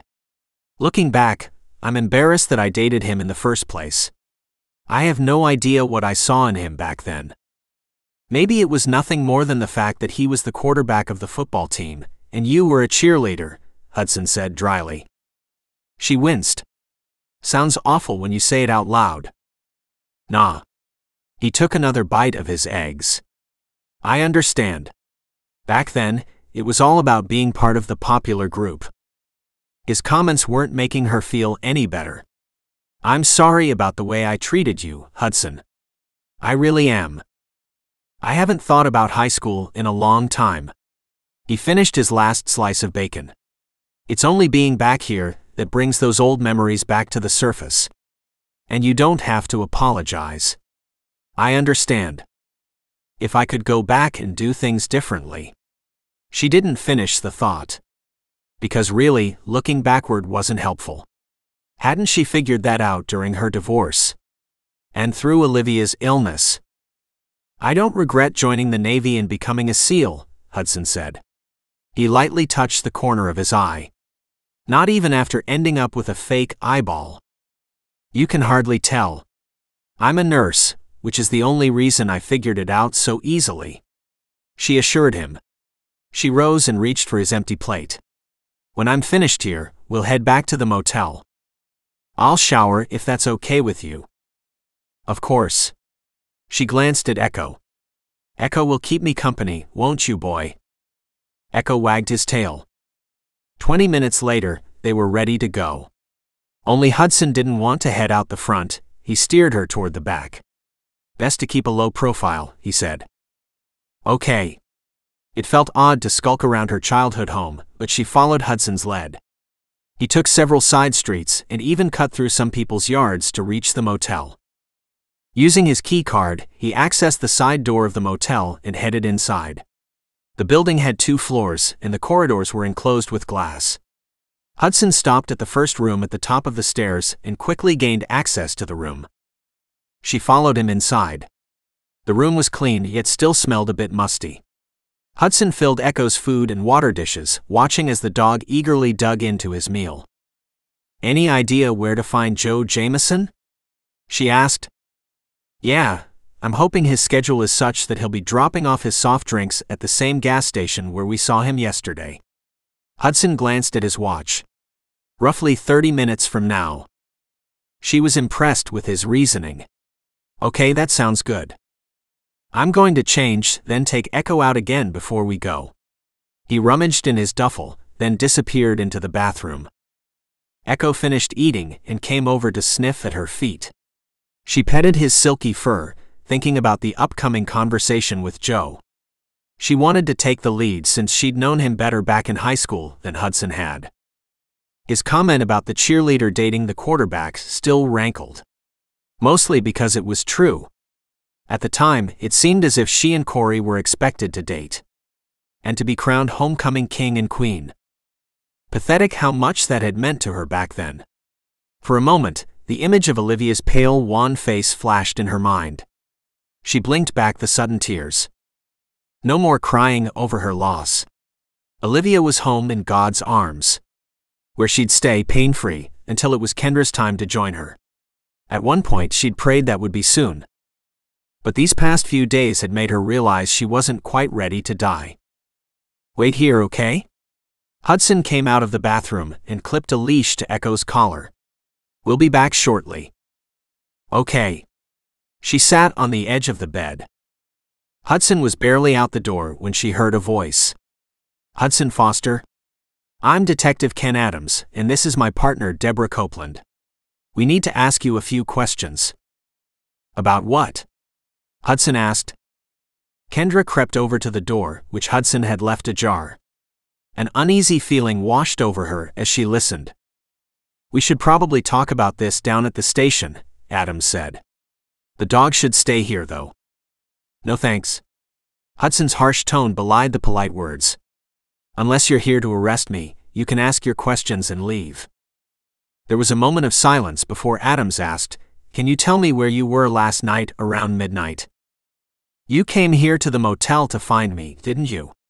Hudson asked. Why ask the obvious? Do you know a woman named Jeannie Mayberry? A female voice asked. A woman named Jeannie served me breakfast yesterday at the corner cafe, Hudson replied. But I haven't seen her since then. Can anyone provide an alibi for your whereabouts last night? Adams asked. Kendra couldn't stand it. She swung open the door, surprising the trio. I can. Hudson and Echo stayed overnight at my father's house last night. The detectives looked dumbfounded by her presence there. They looked at each other, then back to her. And you are? Kendra Pickett. My father is Wayne Pickett. He works at the power company. He can verify Hudson was with us last night too. What's this about Jeannie Mayberry? I was with Hudson when she served us at the cafe. She was murdered. Her body was found in the cave across the creek. There was a hint of annoyance in Adam's tone. I'm going to need you both to come down to the station and provide statements.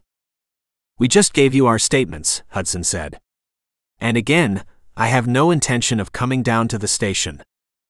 The detectives looked as if they weren't sure what to do next. Finally, Adams pointed his finger at Hudson. Stay in town, he ordered. Or I will get an arrest warrant to take you in. Understand? I don't plan to leave town, Hudson said calmly. Me either, Kendra piped up. Good. The two detectives turned and left. She watched, feeling sick to her stomach. Jeannie's murder changed things. She didn't like the way Hudson was being set up for her murder. They had to do something, and soon. Before he was thrown in jail, possibly for the rest of his life. Hud had figured things couldn't get much worse. He'd been wrong. Yet on some level, he wasn't surprised. In fact, his efforts to make sure he was seen checking into the motel last night paid off. The detectives obviously knew he'd been staying there. So did the real killer the same man who'd struck again, killing their young server in cold blood, hoping Hud would be a suspect as he'd be alone in the motel room. The killer had no idea he'd stayed with Kendra instead. Come inside, Kendra said, tugging on his arm. We need to call a lawyer. Not Corey Robinson, he said as he followed her inside. And why did you speak up about being my alibi? You made it sound like we spent the night together. I know, but I was afraid they'd haul you off in handcuffs. She planted her hands on her hips. This is serious, Hudson. You need a good lawyer, not Corey, but someone else. The real killer is setting you up to take the fall. I'm aware. He sighed and rubbed the back of his neck. He felt certain that his arrest wasn't imminent, thanks to Kendra claiming to be his alibi. Granted, she hadn't lied, he had stayed at her house for the night but he could have easily slipped out to kill Jeannie, returning before she knew he was gone. Something he wasn't about to tell either of the detectives, unless he absolutely had to. Let's go. We still have time to chat with Jameson. Wait a minute. She tightened her grip on his arm. Let's find you a good lawyer first. I'm worried they'll come back to arrest you. Not with you as my alibi, he countered. Besides, I think it's clear we've made the killer nervous. Why else would he strike again, putting the body in the same place where Zoey was found? Even a blind man could figure out that he's trying to set me up to take the fall. Something the detectives should consider. Unless Andrew is feeding them a line of baloney, she muttered darkly. True. He lightly covered her hand with his. Try not to worry. If I need help, my SEAL teammates will come at a moment's notice. Why not call them now? She was really digging in her heels over this. I'm worried about you. Her concern was sweet but unnecessary. They're not going to arrest me with you as my alibi. We need to talk to Jameson. The best way to clear my name is to find the real killer. Trust me on this, okay? Okay, okay. She finally nodded and released his arm, although her expression remained troubled. Let's go. He paused at the door, then turned to face her. I don't expect you to lie for me, Kendra. If I am arrested at some point, I don't want you to lie about spending the night with me. She flushed, and it was all he could do not to kiss her again. I won't. But how insane is it that someone actually believes you'd kill a random cafe server? Not entirely random, he countered. She was young and had long dark hair like Zoey. I'm sure the real killer chose her because of that. Both Corey and Andrew saw us at the cafe with her, she said slowly. Along with dozens of other citizens, he felt compelled to point out. Come on. Let's get out of here. We don't want to miss Joe. She nodded and followed him and Echo outside. This time there were no detectives to stop him from heading back down the stairs and out the rear door of the motel. He glanced down at Echo, who trotted happily alongside him. The dog hadn't reacted in a negative way toward the two detectives. Remembering how the dog had growled at the location where the shooter had stood made him wonder if Echo might be able to sniff out the killer. Something to consider, although he doubted he'd be able to convince a cop that Echo could ID the guy by his scent. He thought briefly of Bravo, Mason's canine partner. Bravo had been their scent dog over in Afghanistan. The K9 had helped them find several tangos, even the leader of the Taliban house they'd infiltrated. Should he give Mason a call? He knew the senior chief wouldn't hesitate to come join him. However, he didn't have anything for Bravo to use as a scent source. And there was a part of him that didn't want his former leader to know he'd once been considered a suspect in Zoey's murder. He decided against making the call as he led the way to the gas station located catty corner from the cafe. It bothered him that Jeannie had been murdered. He felt certain that she'd been used to throw suspicion off the real killer and onto him. A pawn in a sick, deadly game. Hudson? I think that's Joe's truck. Kendra's voice broke into his thoughts. I see it. He was glad his hunch had paid off. Let me talk to him, Kendra said. I'm less threatening than you. That made him want to grin. You can be fierce, Kendra. But I agree he's more likely to respond to you in a positive way. Here goes, she said as they grew closer. Hud held back a bit, turning away and giving Echo the signal to stay as she hurried forward. Joe? Hey, it's me, Kendra Pickett. I was in your chemistry class with Mr. Johnson, remember? Joe glanced over his shoulder, eyeing Kendra with interest. Oh, yeah, hi. What brings you back to town? Heard you were a nurse in Portland. Hud crouched beside Echo, trying to make it look as if he wasn't listening intently to the conversation. He found it interesting that Joe knew where Kendra had ended up. He doubted any of his former classmates knew he was a Navy SEAL. Not that it mattered. He couldn't care less what they thought. Not entirely true, he silently admitted. He didn't like being accused of murder. I am, but I injured my shoulder, so I came home to stay with my dad for a few weeks. Kendra smiled brightly at Joe. I didn't realize you were still in the area. Joe shrugged. Don't want to leave since my kid is still here. Oh, are you married? Kendra asked. Divorced from Denise. He grimaced. My son is worth it, though. Joe Jr. is a great kid. I'm sure he is, Kendra gushed. I remember Denise, she was one of the cheerleaders on our squad. Yeah. A wistful expression crossed Joe's features. Those were the good old days.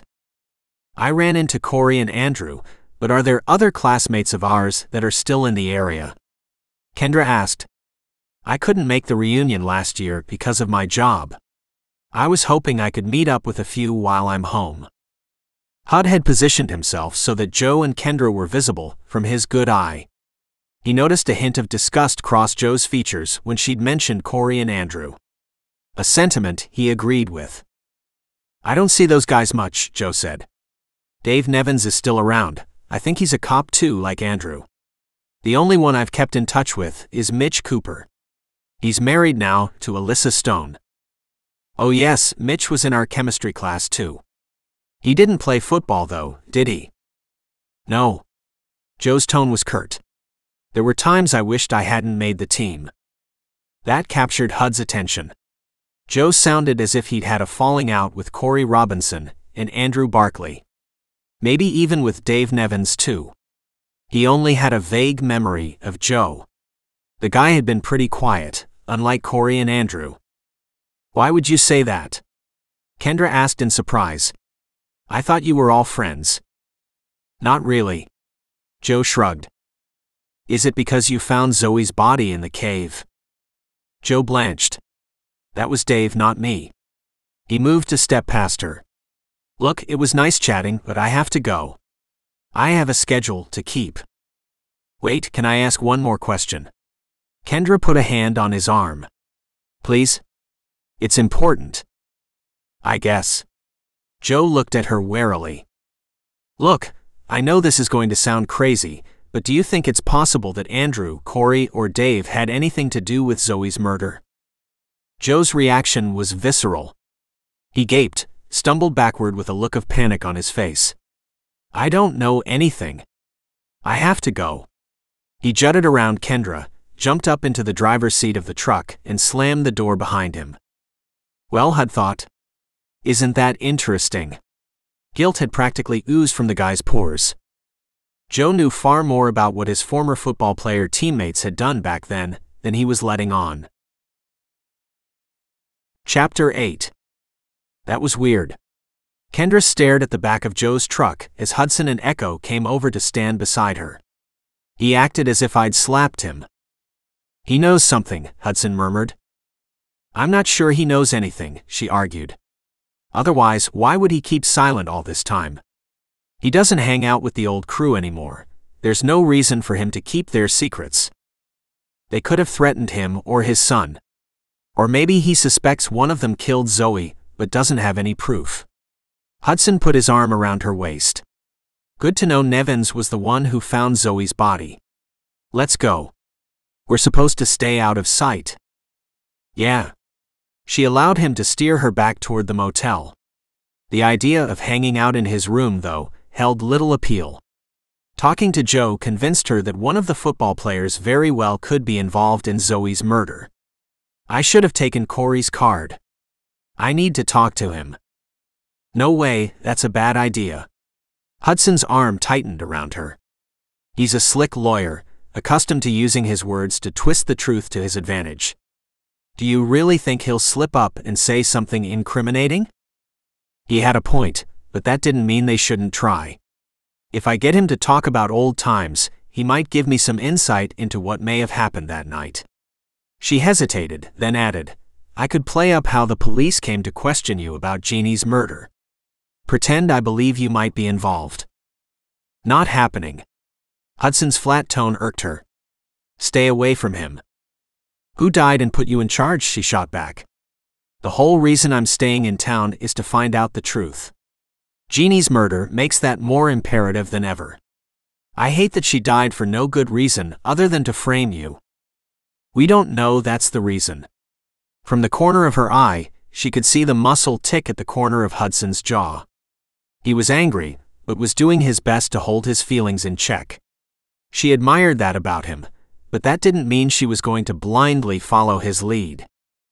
She couldn't help feeling as if they were living on borrowed time. That the detectives would return at any moment to put Hudson in cuffs and haul him to jail. They needed to do everything possible to prove his innocence, including setting up a meeting with Corey Robinson. One thing she'd learned about arrogant surgeons is that they believed they were more skilled and smarter than everyone else, which sometimes resulted in them blowing off a nurse's concern about a patient. She'd gone over a surgeon's head more than once and had been proven right on all but one occasion. She hadn't cared about the blowback. Some surgeons couldn't handle being wrong, but her patients were her top priority. Somehow, she felt certain arrogant lawyers would be the same way. Corey would likely act cool and confident.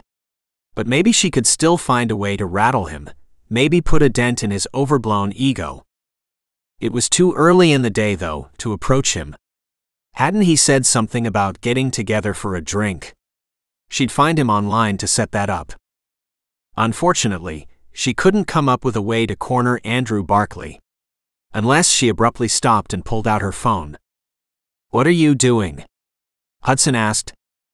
Looking to see if Andrew is married. She scrolled through social media until she found Andrew's page. He had a wife, Sasha, and two kids. When she switched to Sasha's page, she didn't see any employer listed. Some people didn't bother to include that kind of information, but she could easily imagine Andrew encouraging his wife to be a stay at home mom. So, what if he is? Hudson urged her forward toward the motel. I highly doubt his wife is going to know anything about what happened 20 years ago. Sasha was one of our classmates, two years behind us. She tucked her phone away and followed Hudson into the motel.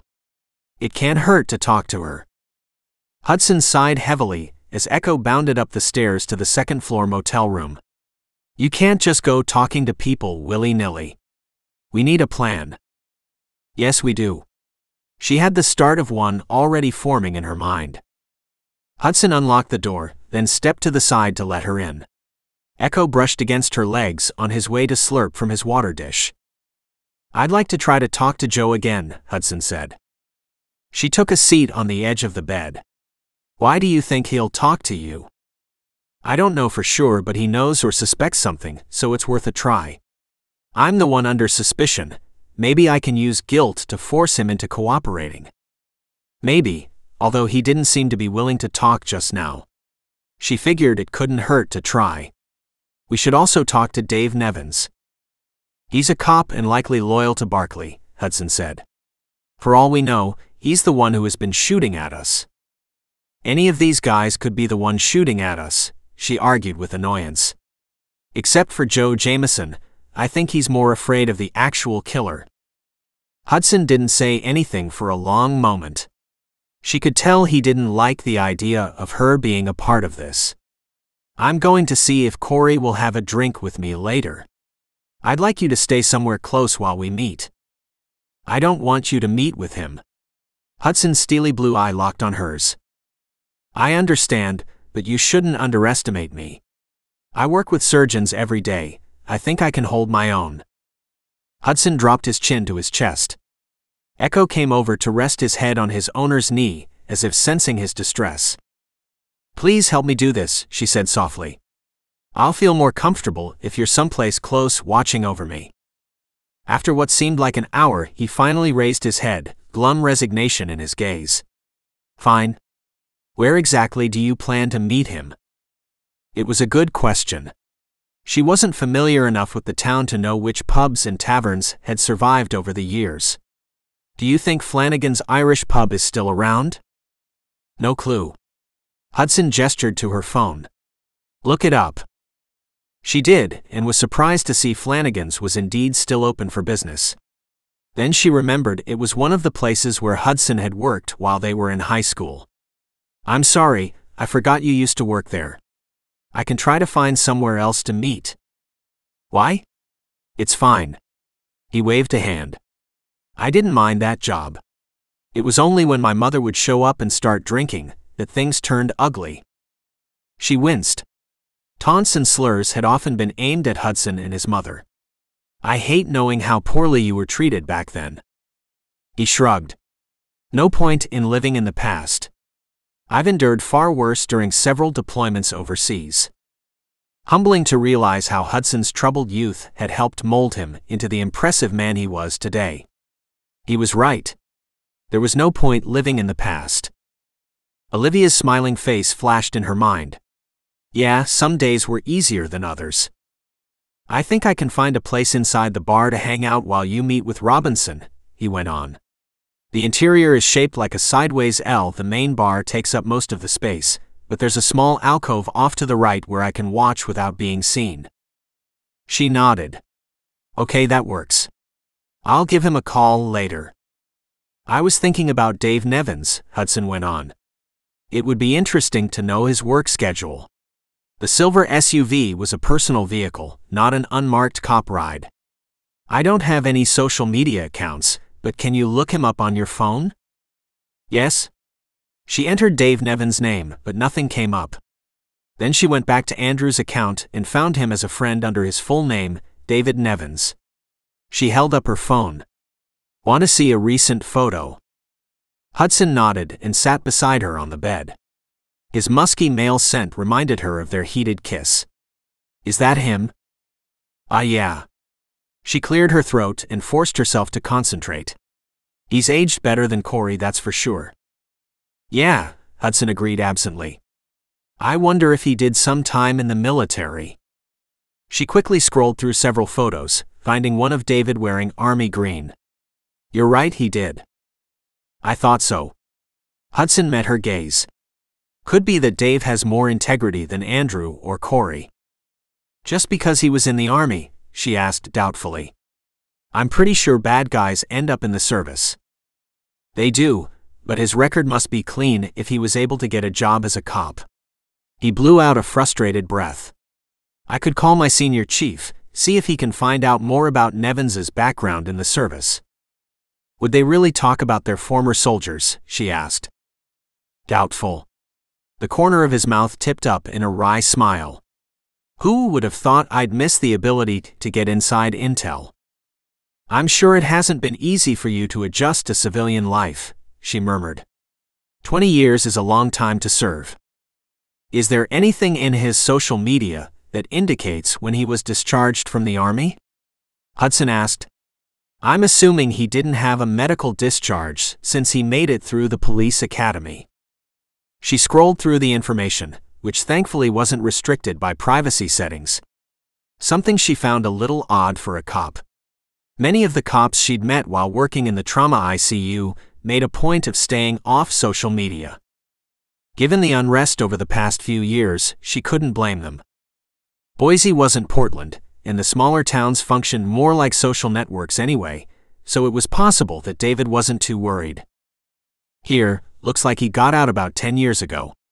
She showed Hudson a photograph of David being sworn in as a newly minted cop. Maybe you're right about him. He's still a suspect because he found Zoey's body, which may have been because he'd known where to look. It can't hurt to talk to him. That's what we thought about Joe, Hudson said wryly. True. She glanced at the time. How much longer before we pick up our vehicles? I'll feel better about my dad's safety, when I can pretend to leave my father's house to head back to Portland. Should be soon. Hudson stared at her. There's still time for you to change your mind about returning to Portland. She rolled her eyes. I won't. They sat in silence for a few minutes until her phone rang. Recognizing Steve's name on the screen, she quickly answered. Hi, Steve. Hey, your sedan and Hudson's Jeep are ready to be picked up. Thank you. We'll be there very soon. She disconnected from the call and stood. Let's go. Do you mind walking? Hudson asked as he strode toward the door. It's only a mile from here. Not at all. She jumped to her feet, glad to have an excuse to move. Bedside nursing was hard work with long hours of standing on your feet. But having surgery made her realize that sitting around with nothing to do was far worse. The route Hudson chose kept them off the main thoroughfare. When they arrived at the garage, Hudson spoke to the serviceman first, then came out to hand her the keys to her car. It's all set. She frowned. Where do we pay? I took care of it. Why would you do that? Because I wanted to thank you for supporting me during that migraine. I don't need to be repaid for helping you, Hudson. I'm a nurse. I could never leave someone lying in pain. I'm still grateful. He gestured toward her car. Head back to your father's house and pack your things. I'll wait for you at the motel. Make sure you drive around back, that bright red car is fairly noticeable. I will. She slid behind the wheel, hoping and praying this plan would work. Her dad was the only family she had left in the world. She couldn't bear the thought of him being in danger. Hudson opened the back of his Jeep for Echo. The dog nimbly jumped inside. As he walked around to the driver's side, he frowned when he noticed Joe's truck rumbling past. Without hesitation, he jumped inside the Jeep and followed him. He didn't own a fancy phone, but he was able to shoot off a quick text warning Kendra he might be late meeting her at the motel. When she texted back asking why, he simply said they'd talk later. Tailing Joe's truck wasn't difficult, it was large and easily seen from a distance. Of course, that worked against Hud too. But he doubted Joe knew he drove a blue Jeep. He didn't believe the guy was the one who'd shot at them, tried to run them off the road, or slash their tires. But he felt certain the guy knew something that would help them get to the bottom of Zoey's murder. And these recent attempts against them. He expected Joe to be headed to his next drop off location, but the guy pulled up in front of a small white house.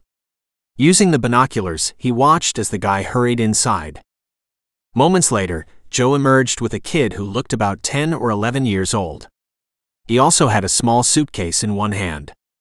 Fear was etched on Joe's features, and Hudson knew his hunch about the child being in danger was dead on. No wonder Joe had reacted so strongly to Kendra's question about Zoey's murder. All roads lead back to Andrew Barkley and Corey Robinson, he thought grimly. Who else would have the power to instill that level of fear? So much so that Joe was getting his son out of harm's way. It bothered him that the kid was in danger. He'd spent his entire adult life protecting the innocent. He shoved open his car door and ran over to where Joe was helping his son get inside. I'm a former Navy SEAL, and I can protect your son. Joe's eyes widened. Hudson? How did you find me? The truck. He stepped closer. I know you're scared, and I don't blame you. But I can protect you and Joe Jr. if you help me. Indecision flashed across Joe's features. I'm just taking Joey to see his grandparents in Boise. The only problem with that plan is Andrew, Corey, and the others know who your parents are. It wouldn't be difficult for either of them to use their respective resources to track down your family. Joe's shoulders slumped as he realized Hud was right. I don't understand what's going on, Dad, Joe Jr. said. Why this sudden rush to get me to Grandma and Grandpa's house? I'm only off school today and tomorrow. I have to be back on Monday. I can help protect you, Hud repeated. I have a German Shepherd named Echo who is a great guard dog. After what seemed like an eternity, Joe reluctantly nodded. Okay, but we have to hurry. I don't want to take any chances. Agree. Hudson gestured toward the truck. Leave this here for now. I'll drive both of you to a local motel. We'll have you stay there until it's safe. Are you really a Navy SEAL? Joey asked. Yes? Hud met the boy's gaze. I know you must have questions, but we can talk later. After you're safe. Why are you doing this? Joe asked as he and the boy climbed into the back seat of Hudson's Jeep. Because kids shouldn't be used as pawns, Hud said curtly. You're right. They shouldn't. Joe stared down at his hands for a long moment. Thank you. Hud met his gaze in the rearview mirror. Echo sniffed at Joe and his son through the crate. He was glad the dog didn't growl. Neither should women. Did you know that Kendra Pickett has been shot at twice and nearly run off the road? Jameson paled. Why? Because she's been asking questions about Zoey's murder. Like why it hasn't been solved over the past 20 years. Hud drove to a different motel from the one he was staying in. Going back to the same place where the detectives knew his room number wasn't smart. We need to understand what happened back then. Before there's another attempt to hurt Kendra. Jameson looked at his son, who was momentarily preoccupied with Echo. Nice doggy, Joey murmured. I don't know anything about Zoey's death, Joe protested. Hud didn't believe him. You know enough to get your son out of harm's way. Jameson winced. My son is the most important person in the world to me. Hud nodded. I can understand that. But are you willing to stand by and watch more innocent women die? Jameson turned to stare out the window. When Hud pulled into the parking lot, he shifted the Jeep into park and killed the engine. Stay here. I'll get a room for you. Okay, Jameson agreed. Hud went inside, secured two connecting rooms, then hurried back outside. He drove around the back of the motel, parking near the dumpster. Let's go. We'll get Joey settled with a movie, then we'll talk. Jameson didn't argue. Hud texted Kendra to let her know the change in plans. She sent back a thumbs up emoji. Is there a swimming pool? Joey asked. Afraid not. Hud handed Jameson a key. Unlock the connecting door when you get in. After entering his own room, he unlocked the connecting door. Finding the other side still locked, he lightly rapped on it. Echo sat beside him. After a few minutes, Jameson pulled the door open. I found a Star Wars movie for Joey to watch. Good. Hud stepped back and gestured for Jameson to join him. Echo come. The dog wagged his tail and followed Hud into Jameson's room. Joey was stretched out on the bed, his eyes glued to the TV. Guard Echo. He can stay with me? Joey asked in surprise. For now, yeah. He left the boy and dog together, returning to his room. A few minutes later, his phone rang. Yeah? It's me, Kendra said. Which room are you in? 110.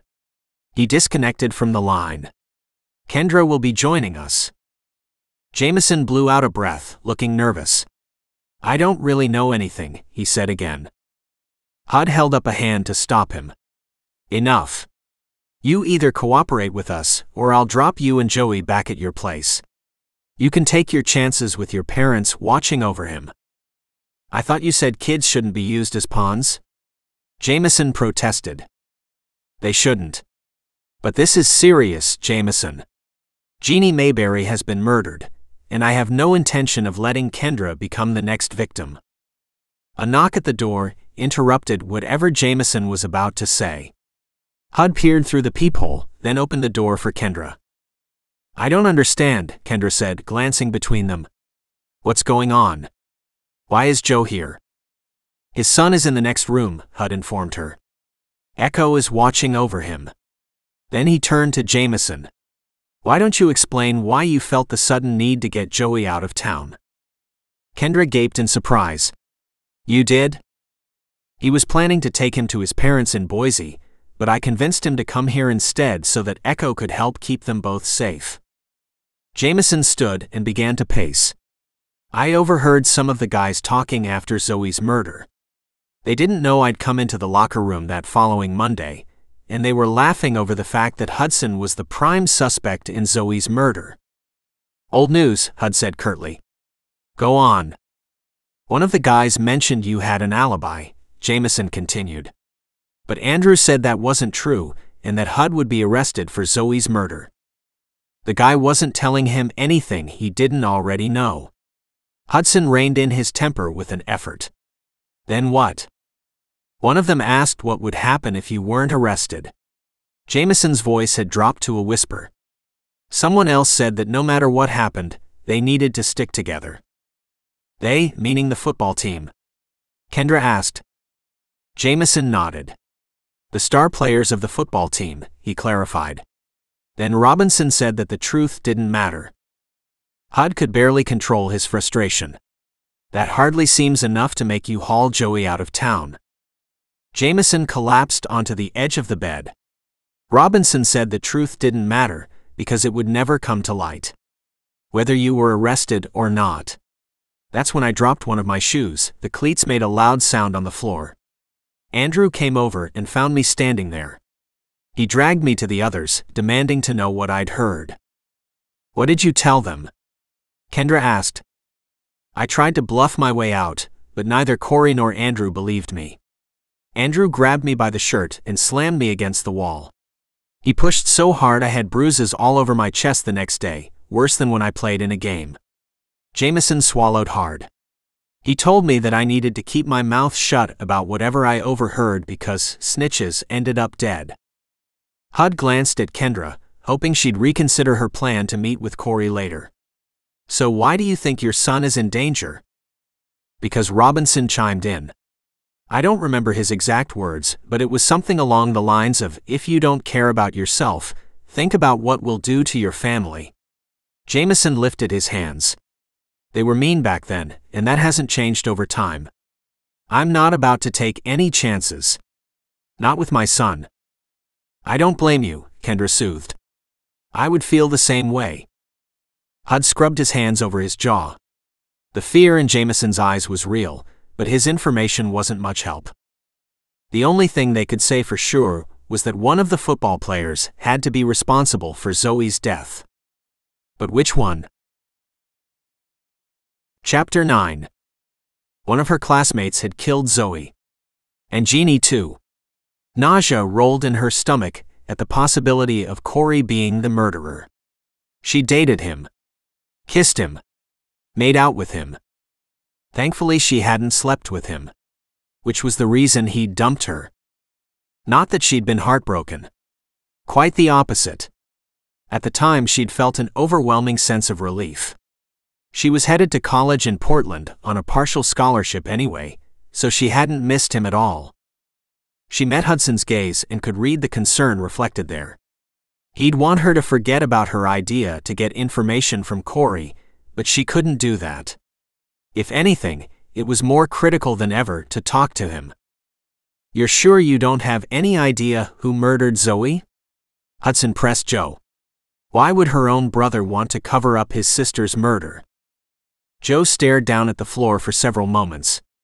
I don't know why Andrew would want to cover it up unless he was the one responsible. But I swear I have no idea which one of them killed her. Who was there that day you overheard them talking? Kendra asked. Andrew and Corey, but who else? Tristan, the coach's son, and Ben, Joe admitted. She frowned. Not Dave Nevins? Joe shook his head. No, he wasn't there. To be honest, he was one of the nicer guys in the group. Tristan Donahue and Ben Clemens, Hudson said thoughtfully. Do you know if either of them are still in town? Tristan is, but I haven't seen Ben Clemens since graduation. Kendra used her phone to look up Tristan. She remembered him as being very stocky but fast, the way a good running back should be. Coach Donahue had always bragged about how Tristan, Andrew, and Corey were the stars of the team. Andrew had been Corey's favorite wide receiver, and Tristan had been the bulldozer, plowing his way through the defense. Found him, she said. He's bald now. Joe ran his hand over his thinning hair. We can't all look as good as you two. I wasn't trying to be mean, just that I may not have recognized him if I passed him on the street. She tried to backpedal. Looks like he works at the local bank. She remembered the guys who were seated at the table in the cafe. Do you think he's still chummy with Andrew and Corey? Joe nodded. I've seen them hanging out sometimes. Anyone else we should consider? Hudson asked. No. They were the ones who hung out together the most. I don't think they'd have included the other guys in anything illegal. Other than minor stuff like underage drinking or smoking pot, Joe added. Three suspects. Thanks for telling us, she said softly. We need to get to the truth in order to stay safe. But Hudson is going to protect Joey, right? Joe asked, glancing between them. We will, yes. Hudson nodded toward the connecting door. Why don't you go watch the movie with your son? Kendra and I need to talk for a few minutes. He hesitated, then rose and moved toward the door. At the threshold between the two rooms, he glanced back at Hudson. I'm sorry I wasn't nicer to you back then. Hudson waved a hand. Don't worry about it. Joe ducked inside the connecting room. Hudson went over to close the door partway before turning to face her. Robinson and Barkley are at the very top of my list of suspects. Agree, although it seems crazy to think Andrew killed his own sister. But don't even think of asking me to hold off meeting with Corey. We need to do something proactive, and I know you'll keep me safe. His jaw tightened, and the muscle tick was back. He's dangerous. I know. She wasn't going to downplay the threat. But we'll be in a public place. Besides, he hasn't even agreed to meet yet. You called him? I left a message, she confirmed. He grimaced and looked away. She could tell he was hoping Corey was either too busy or uninterested enough to get back to her. I need to return to my old room to pick up my stuff and Echo's food and water dishes. I'd like you to stay here until I get back. That's fine. She absently rubbed her injured shoulder. I'll do my exercises while you're gone. Hudson left without saying anything more. She went through her physical therapy recommended routine, wincing at the tightness of the injured joint. She silently prayed the damage wasn't bad enough to require more surgery. Her thoughts whirled around what Joe had told them.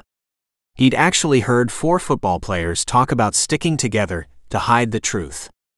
There had been no evidence that Zoey had been sexually assaulted, so she didn't think they'd all ganged up on her. But something happened, and the killer used his closest friends to cover his butt. She agreed with Hudson. Corey and Andrew seemed the two most likely suspects.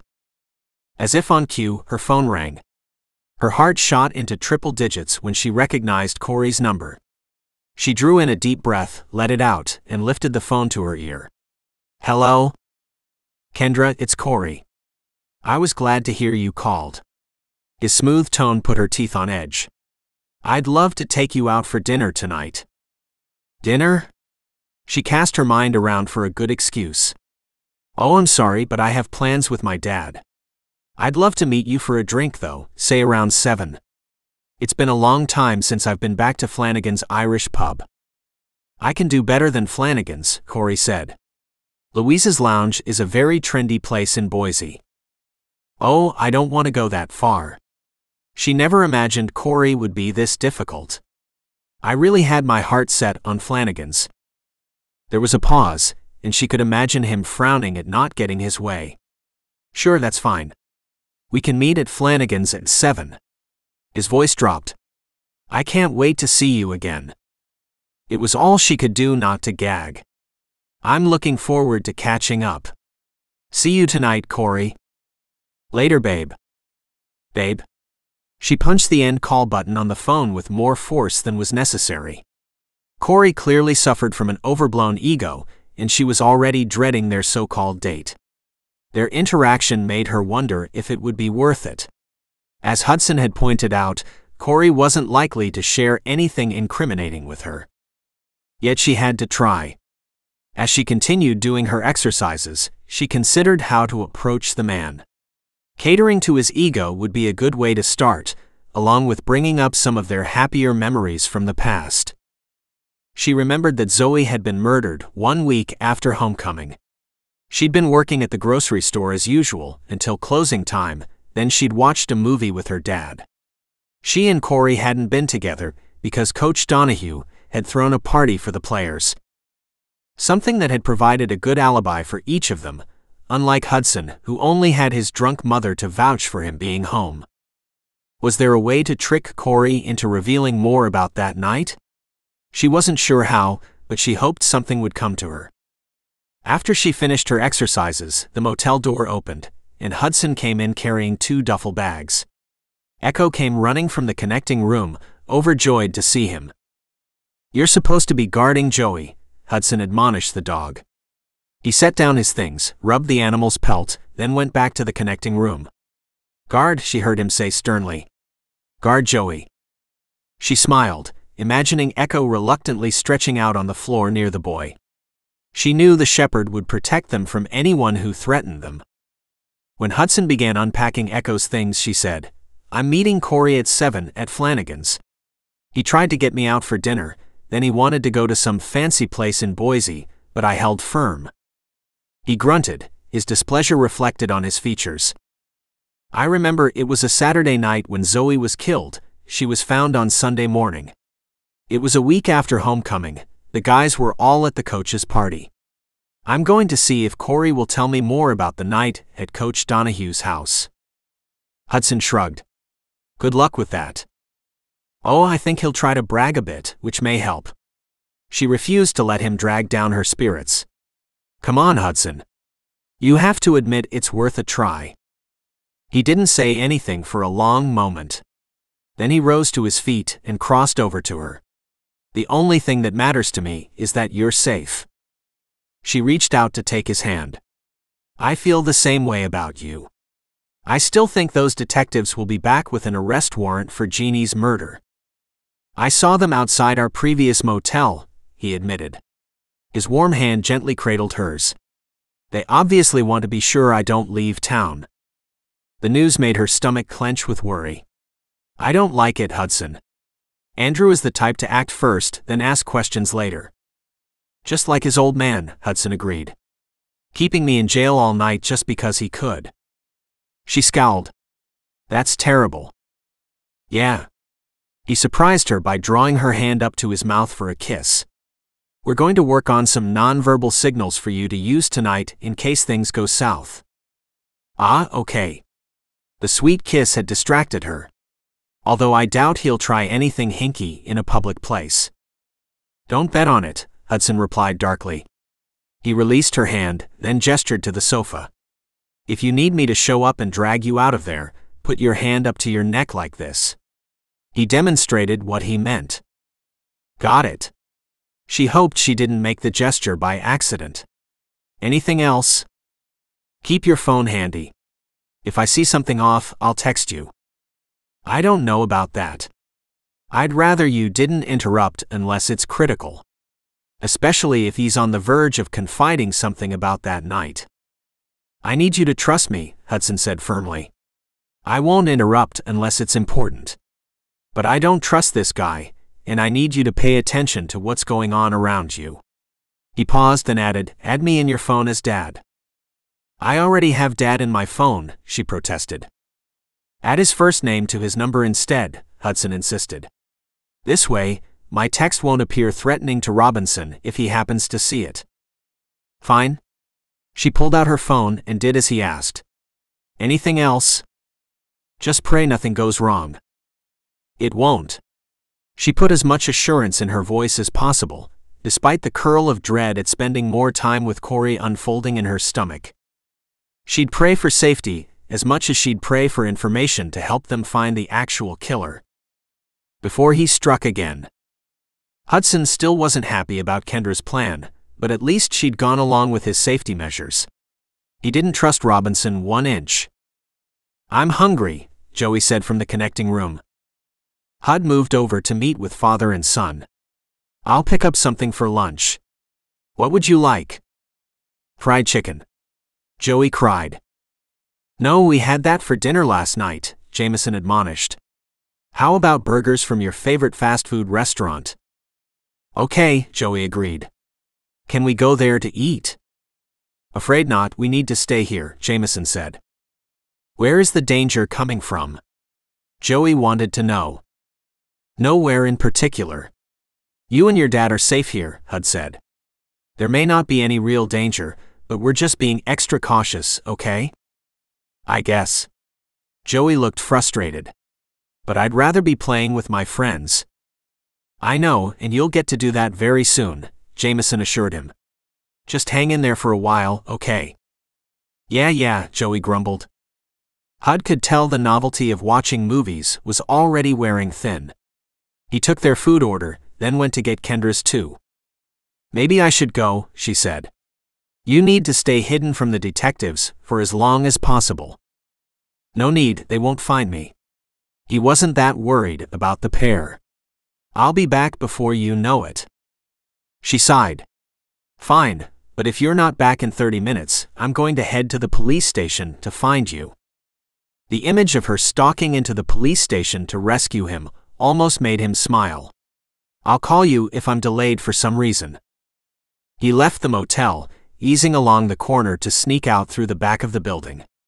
The setup here wasn't as nice as the previous motel, but the situation couldn't be helped. He knew it was only a matter of time before he was arrested. Once that warrant was issued, the detectives would realize he'd checked out of the motel. They'd send a bolo out for him, which would make it that much more difficult to stay under the radar. If he were alone, it would be easy. He'd been here for a week without anyone knowing. But that was before the added responsibility of watching over a kid, the kid's father, and Kendra. He managed to get to the fast food restaurant easily enough, but he had to wait 15 minutes for the order to be fulfilled. As he was about to leave, a police cruiser pulled into the parking lot. Hudson turned and left the restaurant from the opposite door. Outside, he hesitated, then risked a glance at the cop who entered. Unfortunately, it was a cop he didn't recognize. He'd hoped to run into David Nevins, the former Army veteran. Too bad, he had no idea if the guy was even working today. He kept his head down while taking as many shortcuts as possible to get back to the motel. They gathered in Jameson's room to eat, and he hid a smile when Joe Sr. looked surprised when Kendra insisted on saying a brief prayer before they ate.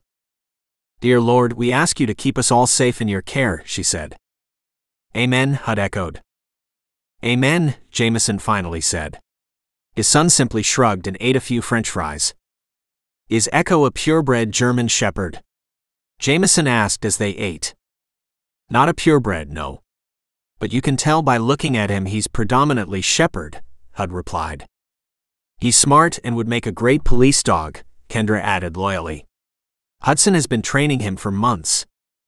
I can tell. I've never been around a dog this well behaved, Jameson agreed. Hud didn't like leaving Echo behind, He'd gotten used to having the dog as a companion. Yet he also knew Echo's skills were needed to protect Joe and his son while he was out working the case. And keeping an eye on Kendra later that evening. The rest of the day passed slowly. He asked Kendra to pull up Nevins's social media page again, but there was no way to know where the guy lived. Or what his work schedule was. Frustrating, but he certainly understood there was no way he'd ever put himself out on social media. Mostly because of the classified missions he'd participated in. And the possibility of Taliban leaders tracking him down. From that perspective, it surprised him that Nevins had an account. When he couldn't stand sitting around a moment longer, he stood and turned toward Kendra. I'm going to check Flanagan's. Make sure there haven't been many changes since I worked there. I'm sure there have been, she said with a frown.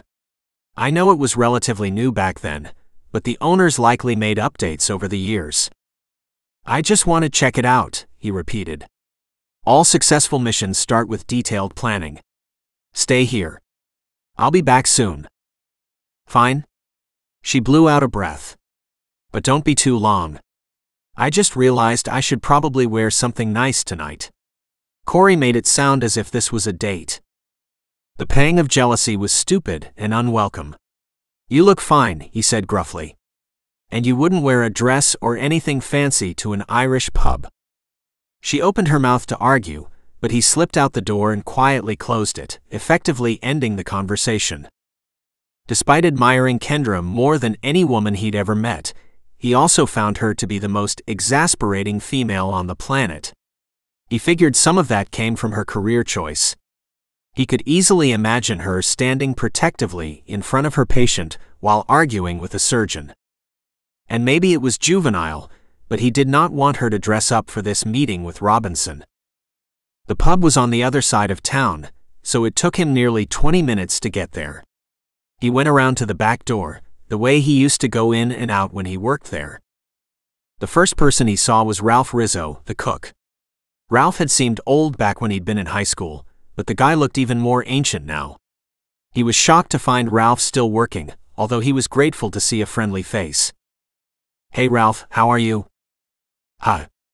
Ralph squinted at him through thick glasses. Foster.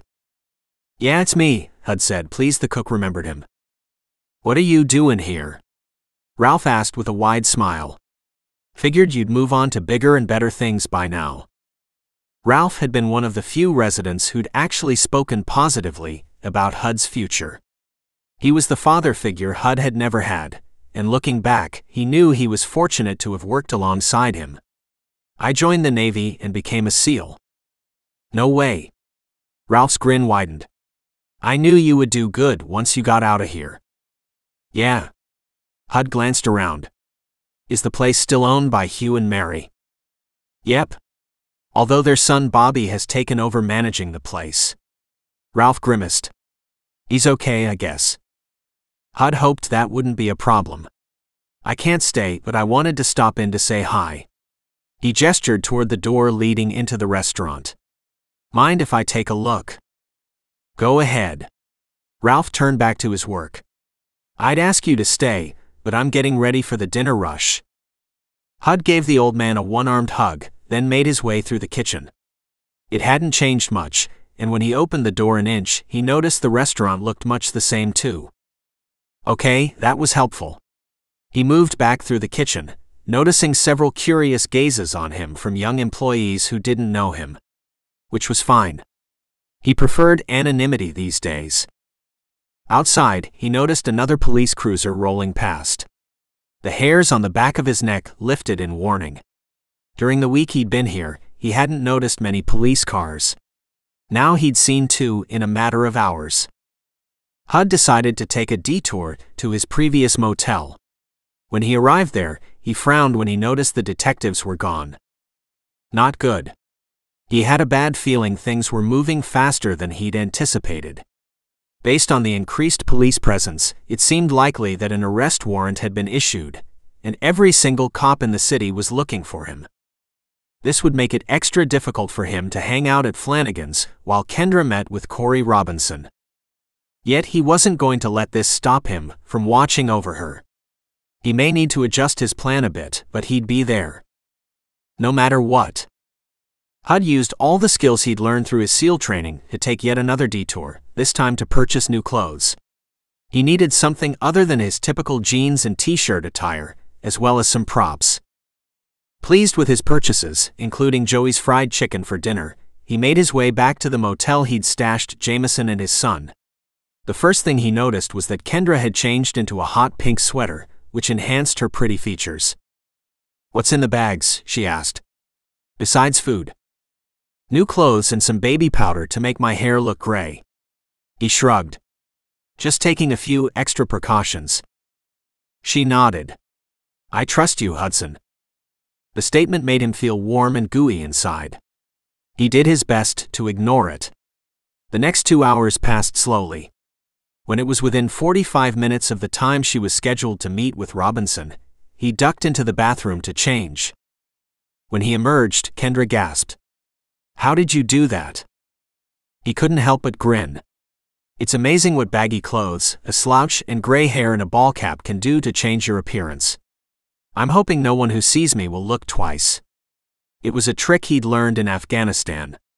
He'd been forced to dress like the Taliban on more than one occasion and he knew from personal experience that people tended to avoid looking at those who appeared downtrodden.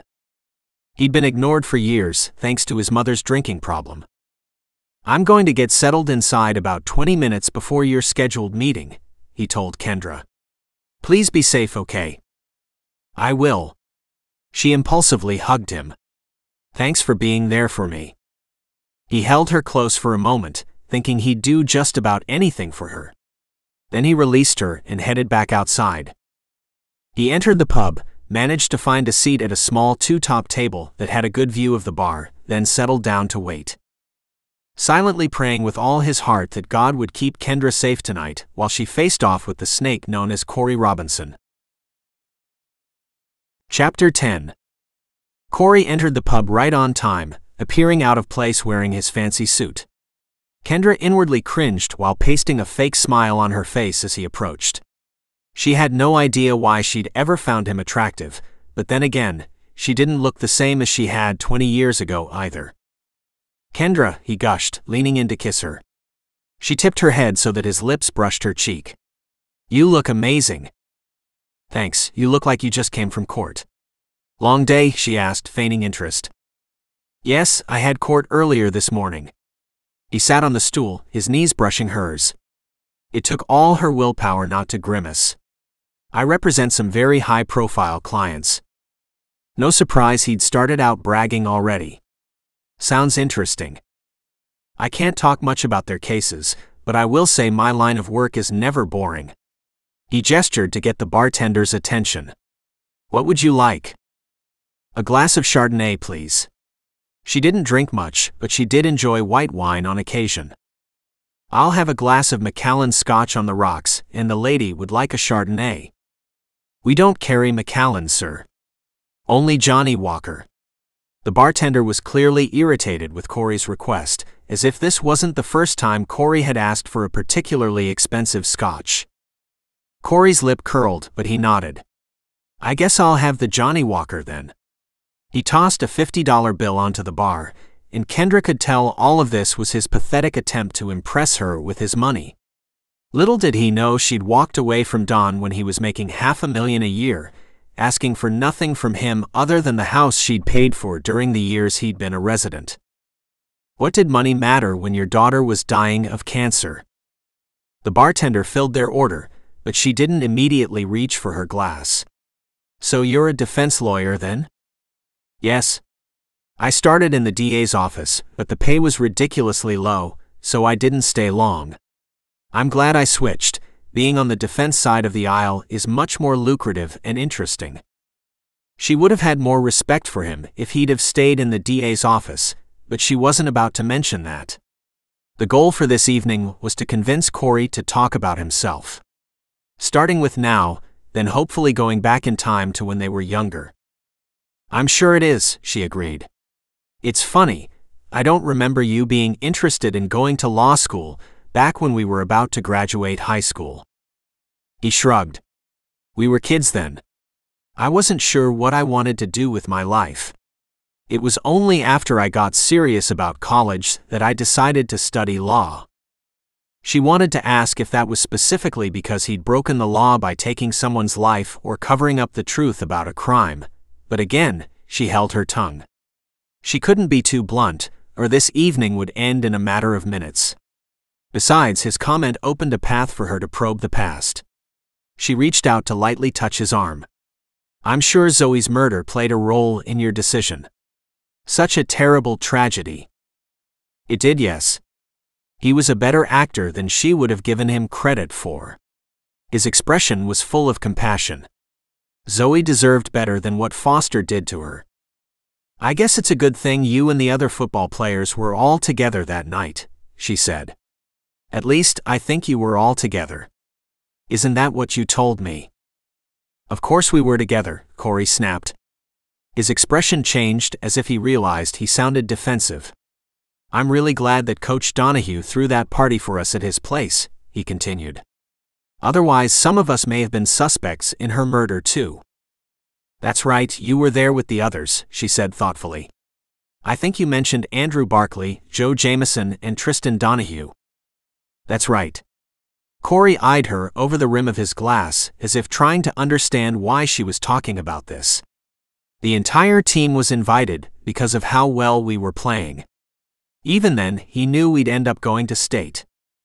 It had been exciting at the time, but she didn't point out that they'd lost the state championship because Corey had thrown an interception in the end zone.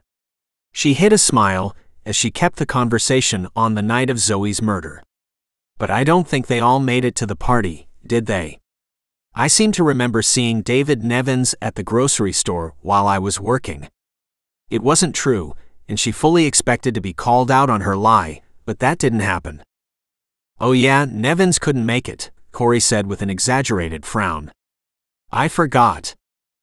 Her pulse spiked, and she clenched her hands in her lap as she realized what he'd done. There were only two reasons he would have gone along with her lie. Either he knew a few of the guys weren't at the party that night, and figured one of them was Nevins, or he'd been somewhere else himself. Her instincts were leaning toward the latter. I wish I could have been with Zoey that night. She glanced up at Corey from beneath her lashes. If I had been there, she might be alive today. You don't know that, Corey protested. Foster could have found another day to kill her. Everyone knew the guy had a bad temper. She desperately wanted to support Hudson's claim that he hadn't touched Zoey, but of course, that would defeat the purpose of this meeting.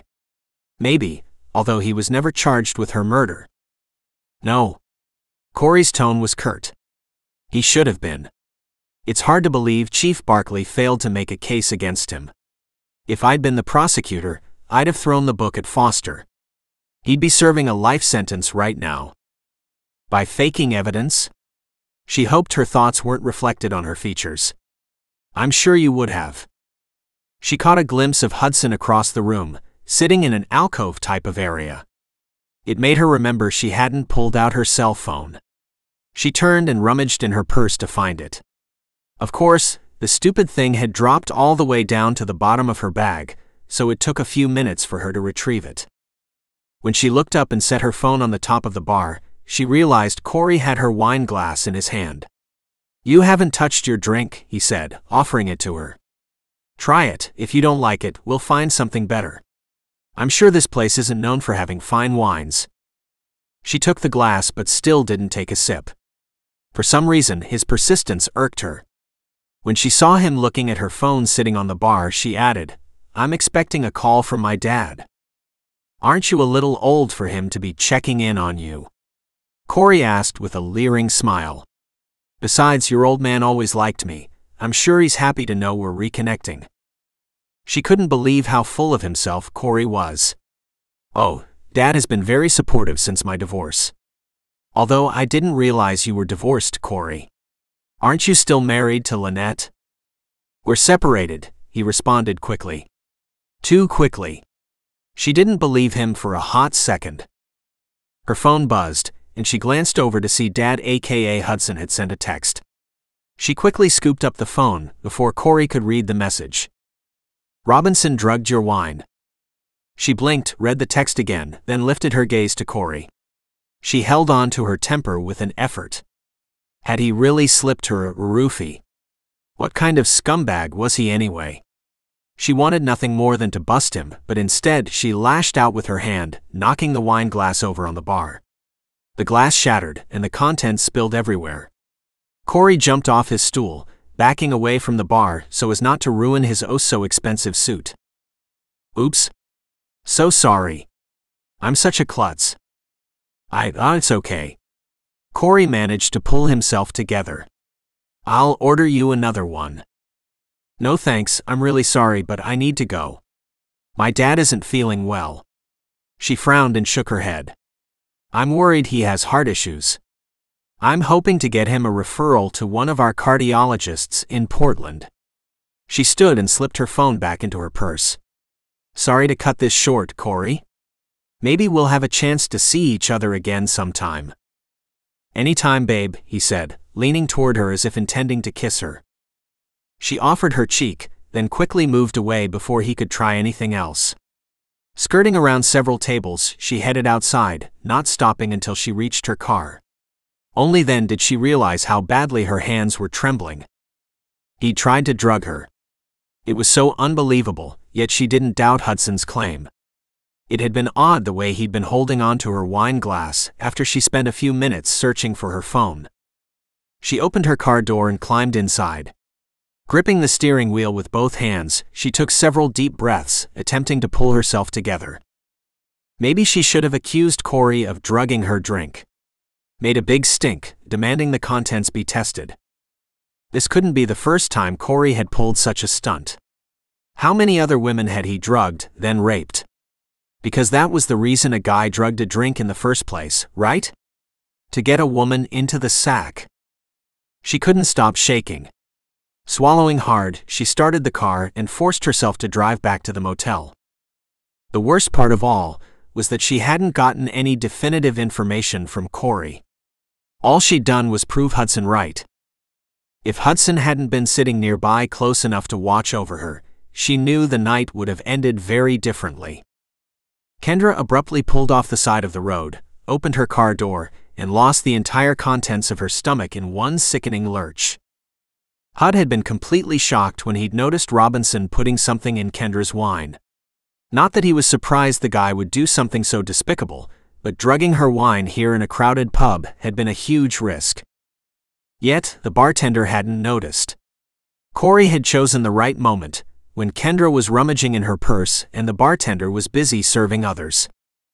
When she'd purposefully knocked her glass over, Hud had wanted to jump to his feet and cheer. But of course, he'd stayed where he was, waiting for Kendra to make her next move. Thankfully, she'd ended their evening, moving quickly away from Robinson. He didn't blame her one bit. The guy was lower than a snake in the grass, a slug on the bottom of the river. Hud had intended to follow Kendra back to the motel, but when he realized Robinson wasn't leaving, he'd changed his mind and remained seated. So far, no one inside the pub seemed to have recognized Hud. Wearing the baggy clothes, adding the powder to whiten his hair, and pulling the rim of his cap low over his brow had proven to be good camouflage. He continued to watch Robinson. The guy had turned to survey the occupants of the restaurant bar area, as if scouting for his next victim. Robinson was a sexual predator, no question about that. But was he also a murderer? The two didn't necessarily go hand in hand. Even so, the guy should be in jail. It was difficult not to go shake him down to find the vial of whatever date rape drug he had tucked in that pricey suit coat. Hud decided to wait and watch, see if he tried the same thing with someone else. Fifteen minutes later, Robinson pushed away from the bar and headed toward the door. Hud followed him. He easily identified the car Robinson drove because it was a flashy sports car, so he ducked around the corner of the pub to get into his Jeep. By the time he pulled around, he could see the flash of Robinson's taillights as he pulled out of the parking lot. Keeping a couple of cars between them, he followed Robinson all the way to a house located a few miles from Kendra's father's place. It didn't take long for Hud to realize Robinson had gone to see his old buddy, Andrew Barkley. There was a large silver Ram truck in the driveway. Barkley's personal ride?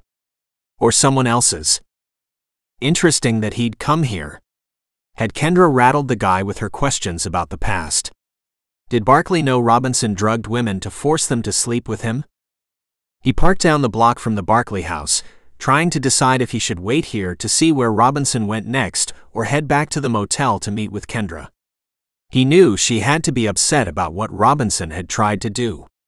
And he was curious as to what she may have found out during their brief conversation. He was about to put his Jeep into gear and leave when the door of Barkley's house opened and Robinson came back out. He looked angry as he stalked back to his sports car and slid inside. Moments later, the guy drove off, tires squealing as he hit the gas. No way was Hud going to let him find another victim. He needed to know where the guy was headed. He pulled away from the curb and followed. This time, Robinson headed toward downtown Boise. Feeling grim, he watched as Robinson pulled into the parking lot of Louise's lounge. Moments later, the guy disappeared inside. His current attire of baggy clothes, baseball cap, and gray hair would stick out like a sore thumb in a place like this. Yet he couldn't bear to stand by and do nothing while some poor woman fell victim to Robinson's vile assault. He needed a plan. A woman wearing what appeared to be a uniform paused outside the door to Louise's lounge to light a cigarette. Peering through the window, he could see the bartender inside was wearing a similar outfit white shirt, red vest, black pants. Perfect. He pushed open the door of the Jeep and hurried over. Excuse me, do you work in Louise's?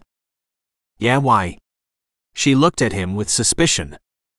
There's a man in there by the name of Corey Robinson. He's wearing an expensive suit, and I recently saw him slip a date rape drug into a woman's drink. I'm concerned he's going to do the same thing here. What? Why are you telling me? Why didn't you call the police? she demanded, her expression betraying her anger and disgust. I'm working undercover, or I would have. He knew he should have handled the situation at Flanagan's differently, but it was too late now. Please do me a favor and keep an eye on him. I don't want anyone to get hurt. If you see him drugging a drink, Call the police and let the woman know what's going on. The bartender squinted at him through a haze of smoke, then dropped her cigarette and ground it under her heel. Robinson. I think I know him. Older guy, paunchy, and thinks he's hot stuff because he's rich. That's him, Hud confirmed. Thank you. She nodded, brushed past him, and went back inside. Seconds later, she was behind the bar, smiling at Robinson. There was a young woman already seated beside him, and Hud hoped and prayed that he wasn't too late. That her drink wasn't already drugged. He slowly turned and climbed back into his Jeep. He decided to hang out and wait for a few minutes. He texted Kendra to let her know he'd be delayed. Followed Robinson to Louise's. Keeping an eye on him. Okay. Hud wished again he'd handled things differently. He could have confronted Robinson at Flanagan's, but he had been concerned that revealing himself would only result in his getting arrested for Jeannie's murder. Which was still a strong possibility. The minutes dragged by slowly. He wondered if Robinson had used up his allotment of whatever drug he had in Kendra's wine. Maybe the guy only carried enough for one drink, and when that was gone, he was done for the night. Somehow, he didn't think Robinson was the type to give up so easily. Thirty minutes went by before he heard the screech of a siren. A police cruiser came flying around the corner, red and blue lights flashing, and it abruptly stopped in front of Louise's. Two officers rushed inside. Through the long window, Hud noticed that the bartender he'd spoken to was arguing with Robinson, holding on to his arm to keep him from leaving. Hud blew out a sigh of relief. Perfect. Robinson had been caught in the act. He started the Jeep and drove back toward the motel. At least one problem was solved for the moment. But he kept a keen eye out for cops as he took the lesser traveled highways back to Eagle. He didn't doubt Barkley had put the neighboring suburbs on notice about his arrest warrant, which he felt certain had been issued. He could only hope that Robinson's arrest would put a dent in Barkley's plan. It would have been nice to know what the two men discussed back at Barkley's house. And he wished he could find Nevins to see what he thought of his former classmates. Hud parked in the back of the motel near the dumpster again and performed a quick reconnaissance of the property to make sure the two detectives weren't sitting nearby waiting for him. After finding the area clear, he headed inside. Kendra was sitting on the bed, her back against the headboard, her knees clutched to her chest. Before he could talk to her, though, Echo bounded through the connecting door to greet him. Hey boy, how are you? He gave the shepherd some well deserved attention before glancing again at Kendra. I need to take Echo outside, but you look pale. Are you okay? She grimaced and waved a hand at Echo. I'm sick, upset, and angry, but there's nothing you can do to change that. Go take care of your dog. Echo was already pushing past him to go out, leaving him little choice but to follow. After Echo took care of business, the animal was more than happy to come back inside. I'm sorry, Hud said, even though he wasn't entirely sure what he was apologizing for. She let out a harsh laugh. You shouldn't apologize for saving me, Hudson. But I wish I could have punched Corey in the stomach. Hard. He couldn't help but grin. I would have loved to see that, but I want you to know you don't need to worry about him anymore. She raked her fingers through her hair.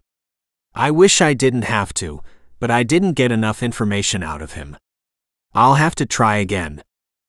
No, you don't because he's been arrested. His blunt statement had her jumping off the bed. What are you talking about? He explained how he followed Robinson first to Barkley's house, then to Louise's lounge. I told the bartender to be on alert, and I think she must have caught him spiking the drink because within 30 minutes a squad came barreling around the corner and the two officers went inside.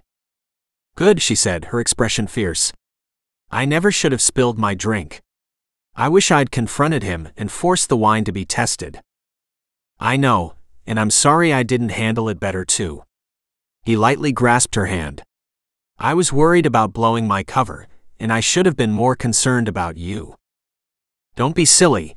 I'd be in more danger if you blew your cover and managed to get arrested for Jeannie's murder. She closed her eyes for a moment. I threw up, Hudson. I was so sick over what he intended to do to me that I puked at the side of the road. He hated knowing she'd been that upset. He tugged her toward him. I wanted to punch him too, he confided. But I was afraid that once I started in on him, I wouldn't be able to stop. A choked laugh emerged from her throat. Kendra rested her forehead on his chest, and he lightly held her in his arms, wishing there was something he could do to make her feel better. He's such an arrogant slimeball, she said, lifting her head to look at him. I never imagined I'd say this, but Corey is far worse than my ex husband, and he was pretty bad. But Don didn't have to drug women to sleep with him, they all trooped willingly into his bed. I'd say this is about Robinson needing to exert power over women. Forcing them to do what he wants is part of the thrill. A shiver rippled over her. He's disgusting. I hope he goes to jail for a really long time. Me too, but that may mean we're at a dead end when it comes to Zoey's murder, he pointed out. If he's behind bars, then I doubt we'll ever know the truth about what happened 20 years ago, much less who killed Jeannie Mayberry. I know. I've done nothing but think about that while I was waiting for you. She pulled out of his arms. I didn't learn much from Corey. I lied to him, mentioning how I saw David Nevins at the grocery store the night of Zoey's murder, and Corey went along with it. I can't figure out if that's because he wasn't really paying attention to who was there that night, or if it was because he was the one missing from the party because he killed Zoey. Her dark gaze bored into his. I want him to be guilty of murder, Hudson. I really do. I know. He glanced toward the connecting doorway. Did you talk to Jameson about that night? Not yet. She sighed. I took a shower and brushed my teeth. We should probably grill him more about that night. Corey made it sound as if Jameson was there with the rest of the team. And Nevins was the only one Corey claimed wasn't there. Hudson clarified. Yes. But only because I said I saw David at the grocery store. Hud nodded. He stared at her for a moment, then lightly kissed her cheek before heading into the next room. Echo followed, as if understanding he was still on guard duty. The hour was just past nine o'clock, and he caught Joe Jr. yawning when he came in. Hey, figured you guys would hit the sack by now, Hud said with a smile. We, I was waiting for you. Jameson looked at him nervously. Let's chat for a few minutes, okay? Joey, keep an eye on Echo for me, would you? Sure, the kid agreed. Tell us about the night Zoey was killed, Hud said the moment they were out of the boy's earshot. You guys were all at the party at Coach Donahue's house together, weren't you? I wasn't, Jameson insisted. Corey Robinson said you were. Kendra stared at him. Don't lie to me, Joe. Not about this. Look, I went to the party, sure. Why not? I was on the team too. But then Robinson showed up with two 12 packs of beer. I thought for sure Coach Donahue would kick everyone out, but he laughed and claimed he was cool with it, didn't even seem to care if his own kid drank. Coach basically allowed them to pass the beer around. I hate beer, and I knew they would try to force me to have some, so I slipped out the back and left. I wasn't one of the popular kids, so I don't think they even noticed. But after Zoey's body was found, you claimed you were at the party? Hud asked. Jameson hung his head. Yeah. We all did. So how do you know that the threats weren't about the underage drinking, rather than Zoey's murder? Kendra asked in exasperation. Because they wouldn't threaten me over something as stupid as drinking. Everyone did that back then. And Coach Donahue didn't care. It was no big deal, Jameson insisted. I'm telling you, they were covering for Zoey's murderer. Hud believed him, but that wasn't enough. They needed actual proof. Was David Nevins there? Kendra asked. Jameson thought about that for a moment. No, I don't remember seeing him there. But he could have showed up after I left. Okay, so you could have murdered Zoey. Or David could have, Kendra pointed out. I didn't. I had no reason to kill Zoey. She was always nice to me, Jameson protested. Hud shook his head with a frown. Everything about the night of Zoey's murder was shrouded in lies. At this point, he had no idea how they'd ever uncover the truth. Chapter 11 For some reason, Kendra believed Joe's claim that he hadn't hurt Zoey. Not only did he lack motive, but he had been worried enough about his son to agree to Hudson's offer of protection. His fear of retaliation had been all too real. Which brought them right back to Andrew and Corey. Specifically, Corey. The man deserved to rot in prison for the rest of his life, but she was very much afraid he'd find a way to weasel out of the charges.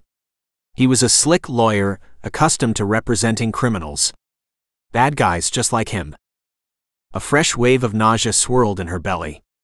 Realizing how close she was to being a date rape victim was frightening. Although she knew Hudson would never have let anything happen to her. Thank goodness he'd insisted on being there tonight. God had brought Hudson into her life for a reason. And she was immensely grateful for his strength and skill. He'd saved her life so many times over the past few days, she'd never be able to repay him. Not that he'd want anything in return. Hudson was honorable. He truly believed it was his job to keep her safe as they worked to uncover the truth. We need to get some sleep, Hudson said, breaking into her thoughts. We'll need a plan to find Dave Nevins in the morning. I, I'm okay. Joe looked between them.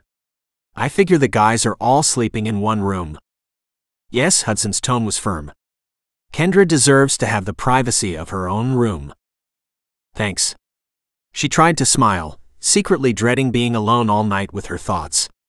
Tempting to ask Hudson to stay with her. Inappropriate, but still tempting.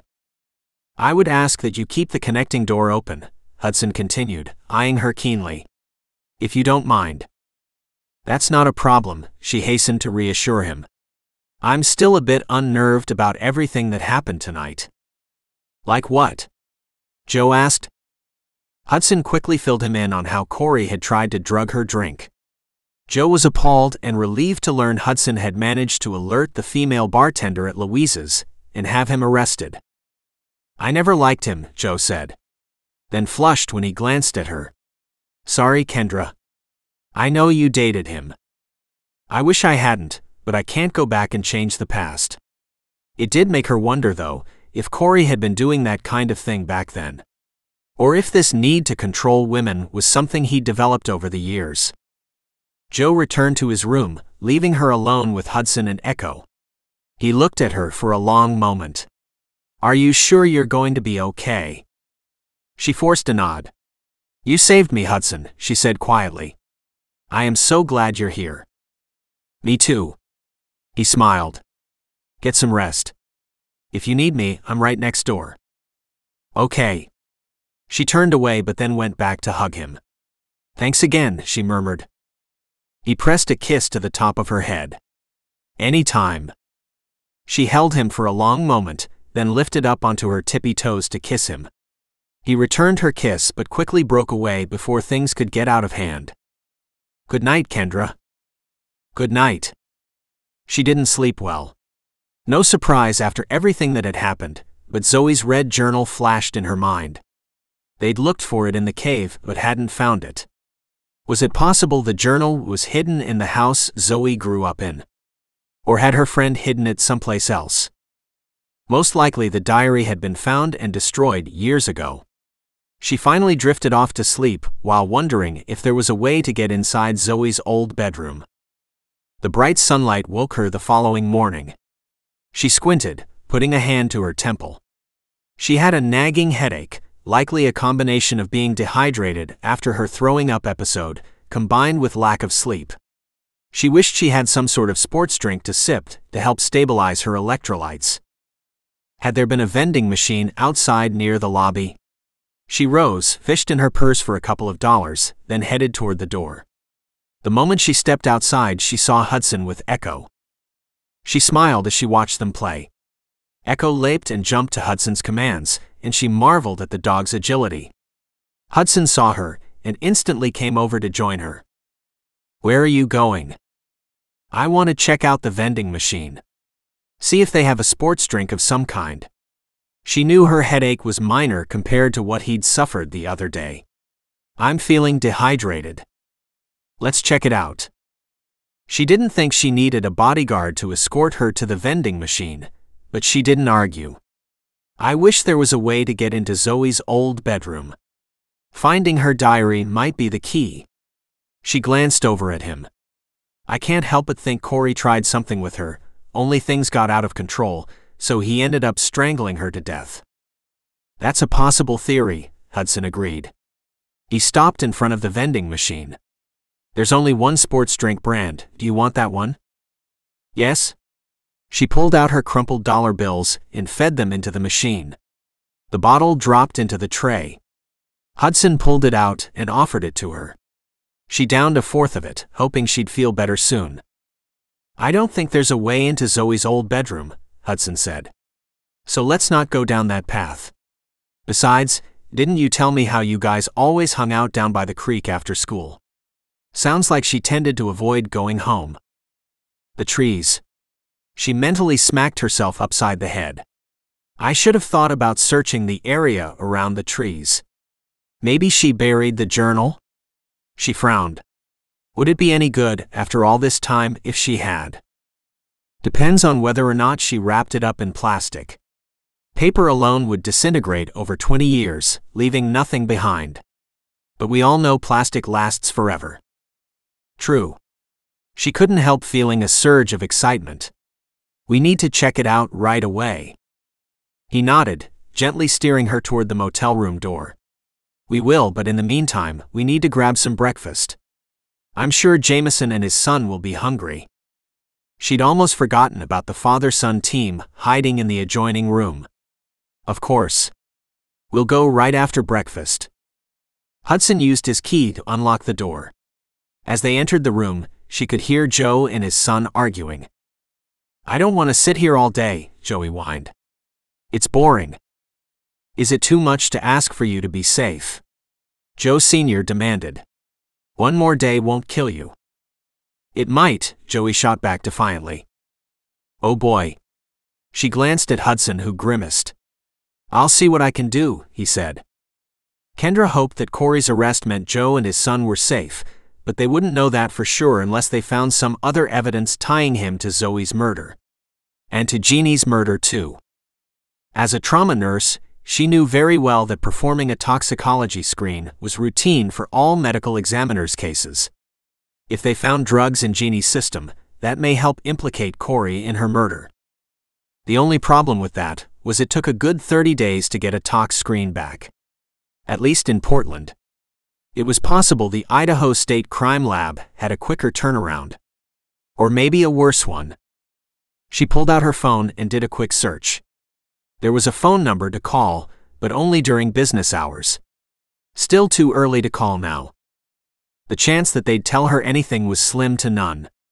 But maybe if she convinced them she was a concerned nurse who knew the victim, they'd at least give her a time frame for the tox screen to be completed. Kendra couldn't deny the sense of urgency that plagued her. The detectives hadn't come to arrest Hudson, but she worried they'd pop up any minute to do just that. They had to find something, and soon. The smashed bullet and cigarette butt weren't enough. If they didn't, she'd beg Hudson to leave town. She'd feel much better if he disappeared into the mist. As a former SEAL, she felt certain he knew how to hide in a way the police would never find him. Okay, I think I've smoothed things over for now, Hudson said as he came through the connecting doorway. Echo is going to stand guard while I head out to buy breakfast. No, let me go, she said. I don't want you to be seen by anyone. He arched a brow. I know how to keep a low profile. Besides, I'm planning to use the drive through. She sensed arguing wouldn't get her anywhere. I'll come with you then.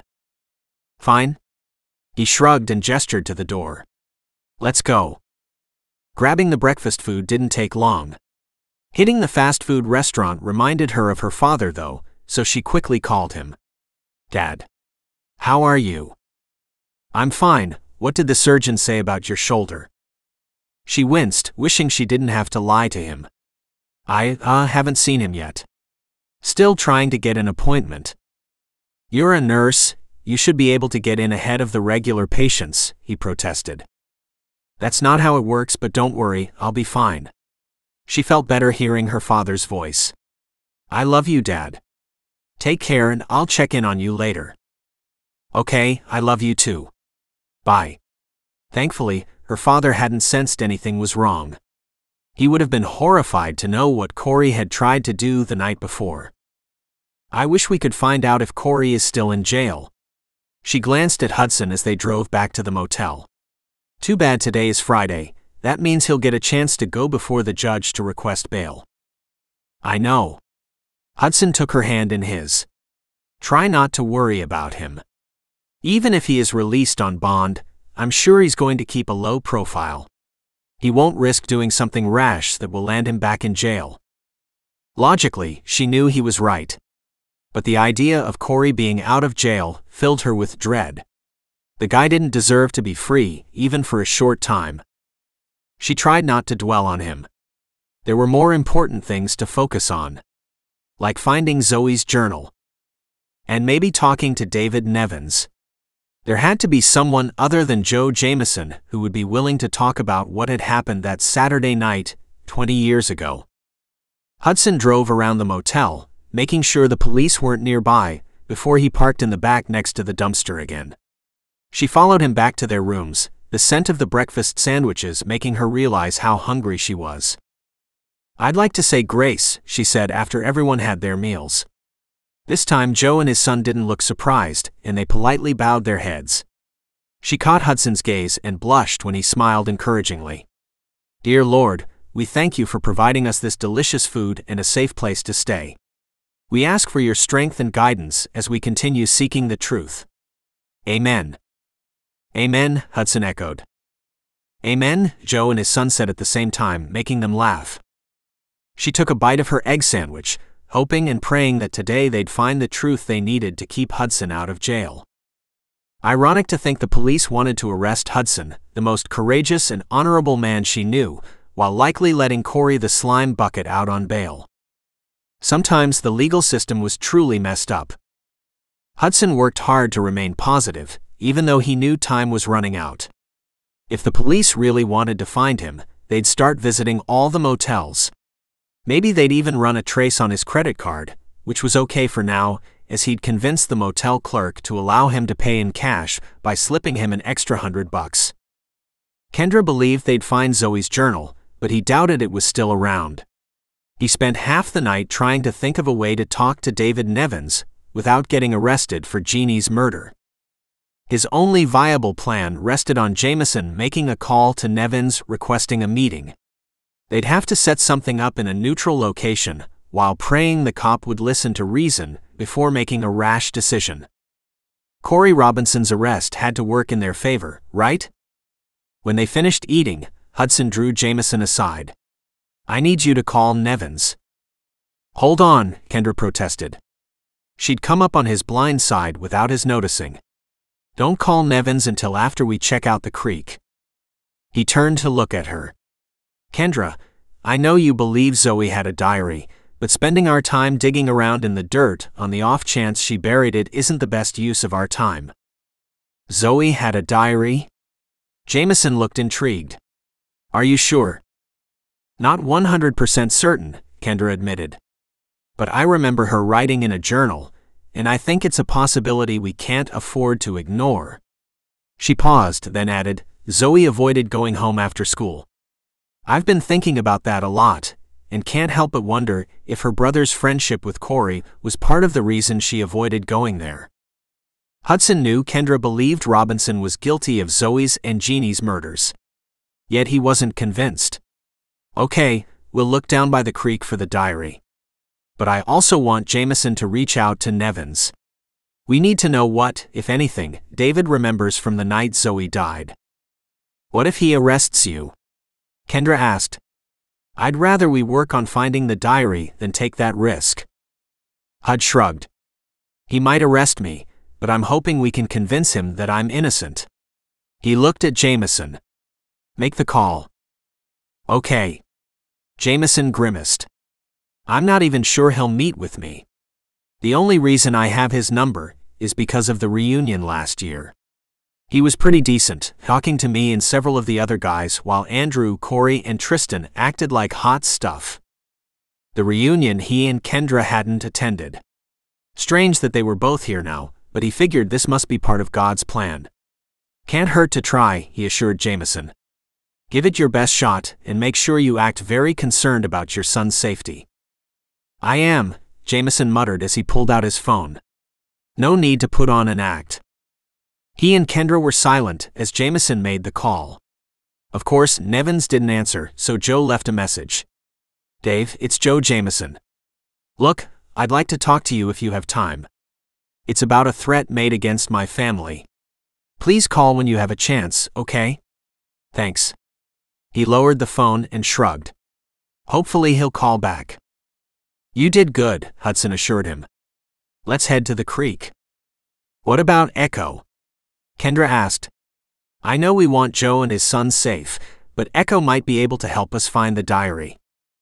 She was putting a lot of faith in Echo, but Hud couldn't blame her for wanting the additional protection. He looked at Jameson, who nodded. Go ahead, I think Joey and I are safe here. He hesitated, then slowly nodded. I think you should be fine here, especially with Corey's arrest and the fact that I paid for the room in cash. Call me if you need something, okay? Jameson glanced over his shoulder at Joey. We will. The toughest job I'll face is keeping my son content. Hud clapped him on the back. You'll be fine. And we won't be gone that long. He decided to give Kendra about an hour to find the diary before giving up on this idea and dragging her back here. He'd love to find a diary that exonerated him, but he wasn't holding his breath. He hoped Robinson's arrest forced the DA's office to consider him a suspect in Jeannie's murder. And from there, maybe even link him to Zoey's murder too. How long would Andrew Barkley cover for his buddy?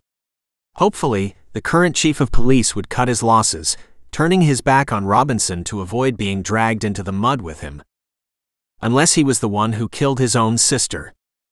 The possibilities were endless, and he needed to stop spinning his wheels. He far preferred running ops as a SEAL. They were tasked with a mission, provided the necessary intel, and it was up to them to execute. Far easier than trying to dig up 20 year old secrets. Are you ready? Kendra tugged on his arm. We need to get to the creek while it's early. I'm ready. Come Echo. He headed for the door. We'll need to stop and get a couple of small hand shovels. My dad has some in his garage, Kendra said. Easier to stop there to pick them up. He nodded, reluctantly agreeing with her plan. For one thing, they could get into the garage from the backyard. And secondly, they could avoid ending up on some store's security camera purchasing shovels. They hurried out to his Jeep. Hud put Echo in the back, glad to have his partner back. Then he drove toward Kendra's father's house, keeping a wary eye on the rearview mirror for an unwelcome tail. Like the police. He took the less traveled side streets and pulled up along the house located directly behind Kendra's father's place. He turned to look at her. Where are the shovels?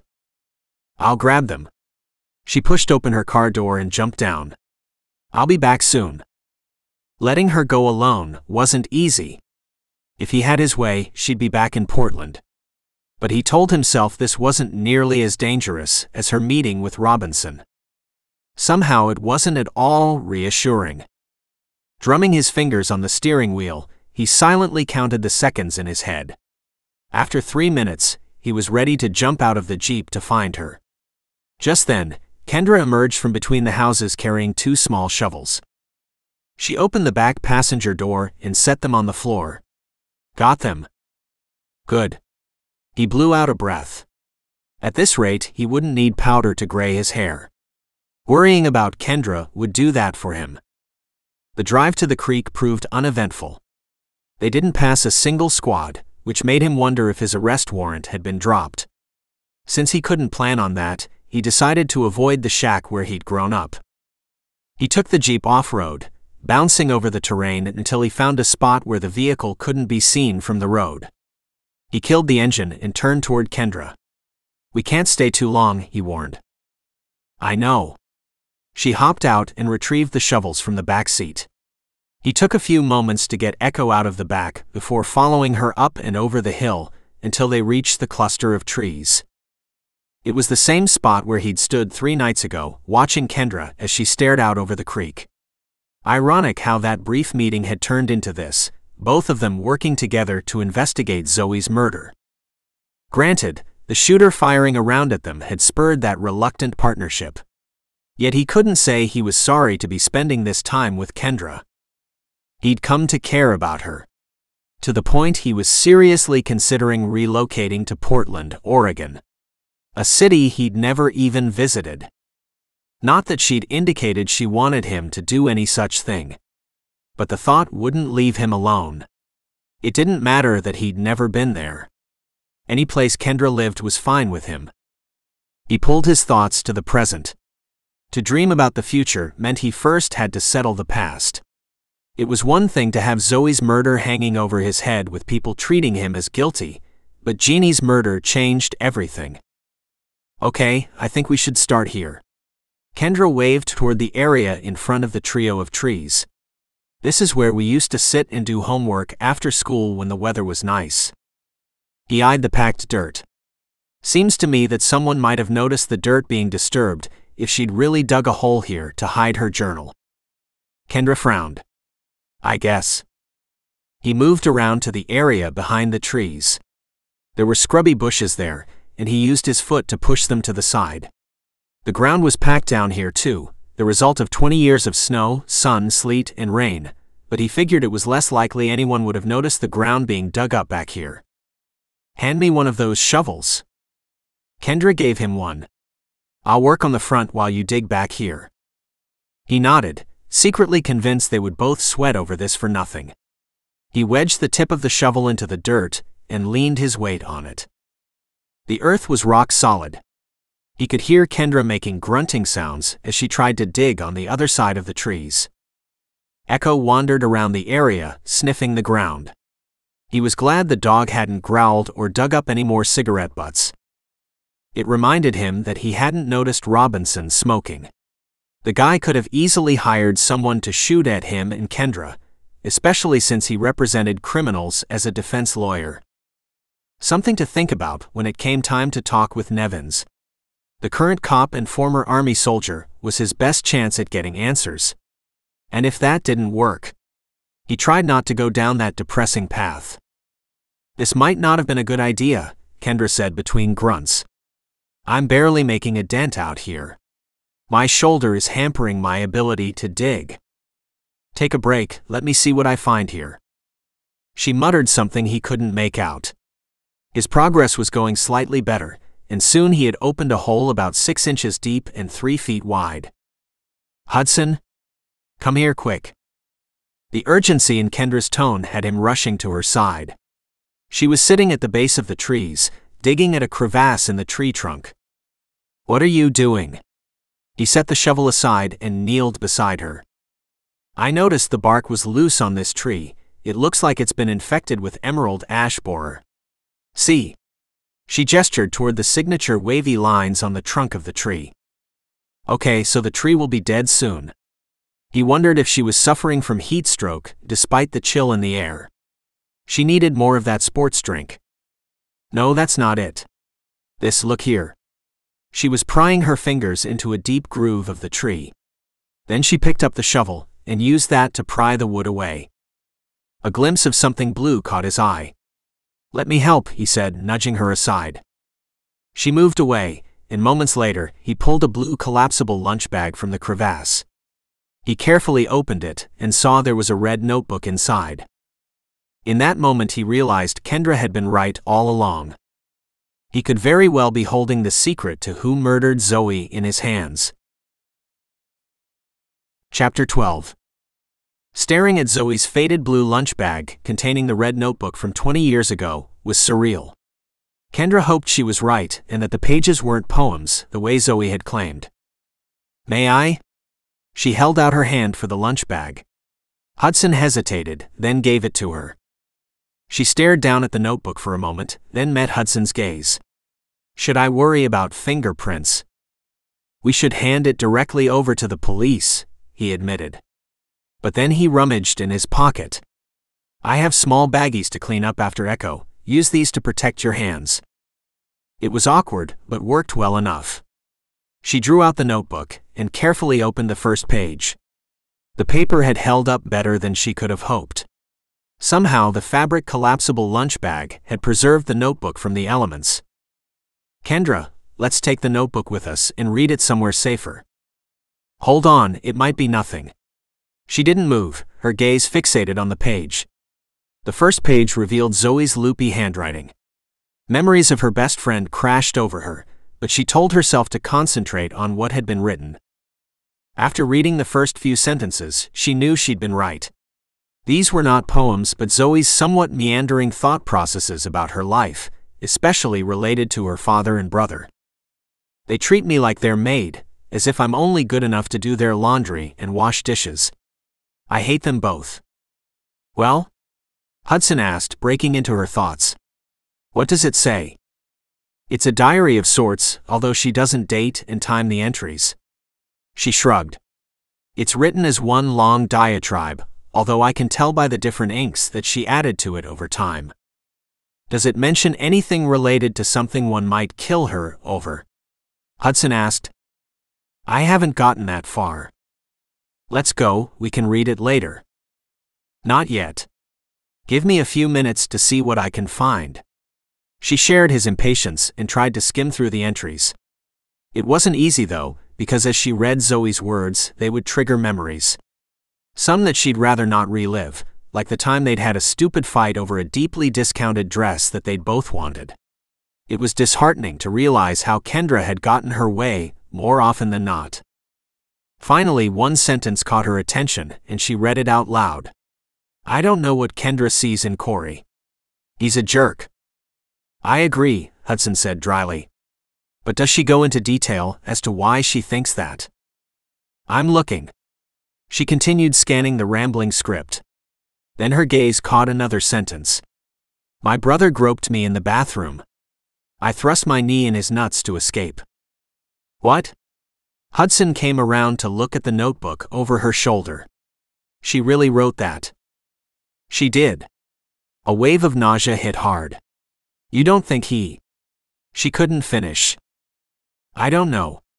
His tone was grim. Keep reading. She nodded, forcing herself to do just that. She found another statement related to Corey. He cornered me after the pep rally and tried to kiss me. I managed to shove him away, but haven't told Kendra yet. She probably wouldn't believe me anyway. Why would Corey be interested in me when he had her? She shook her head.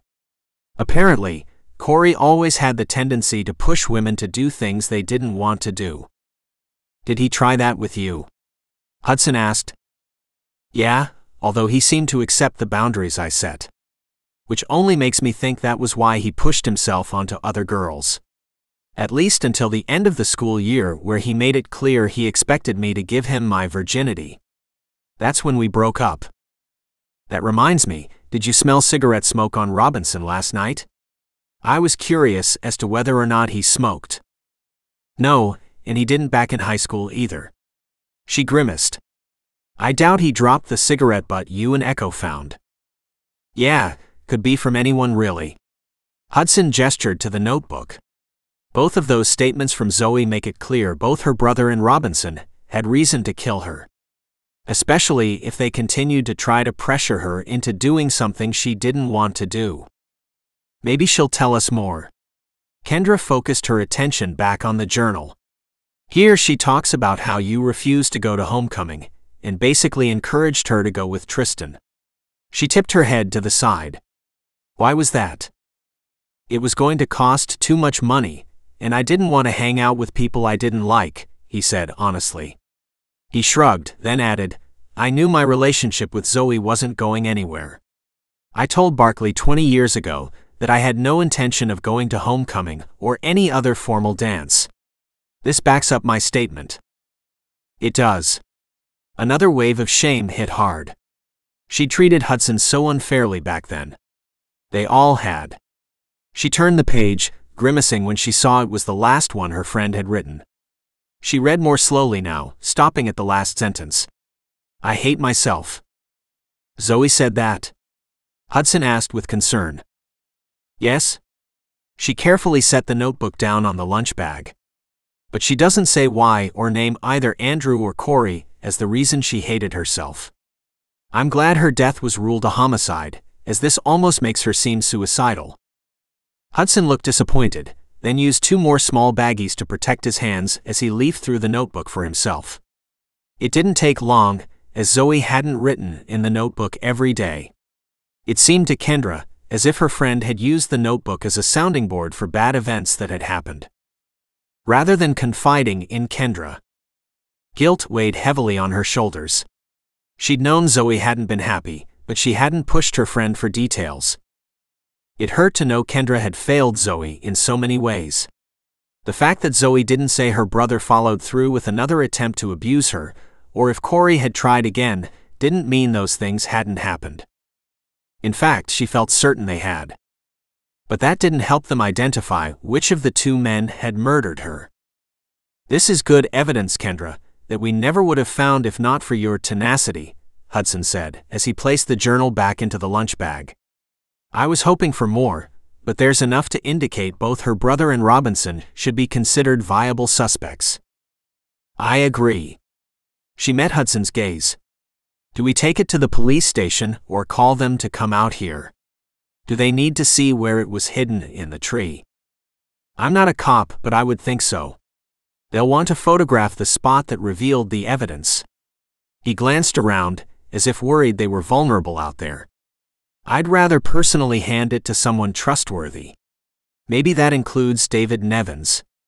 He pulled his phone from his pocket. Give me a minute to call Jameson. Maybe he's heard from Nevins by now. And if not, he should call him again. Especially now that we have this journal. She nodded and listened as he made the call. Even though they were mostly hidden by the trees, she couldn't help but remember how the shooter had found them there before. She glanced nervously over her shoulder, scanning their surroundings. The only comfort she had was that Echo didn't appear concerned. He followed Hudson as he moved a few feet away to get better phone reception, his ears perked and his dark eyes alert.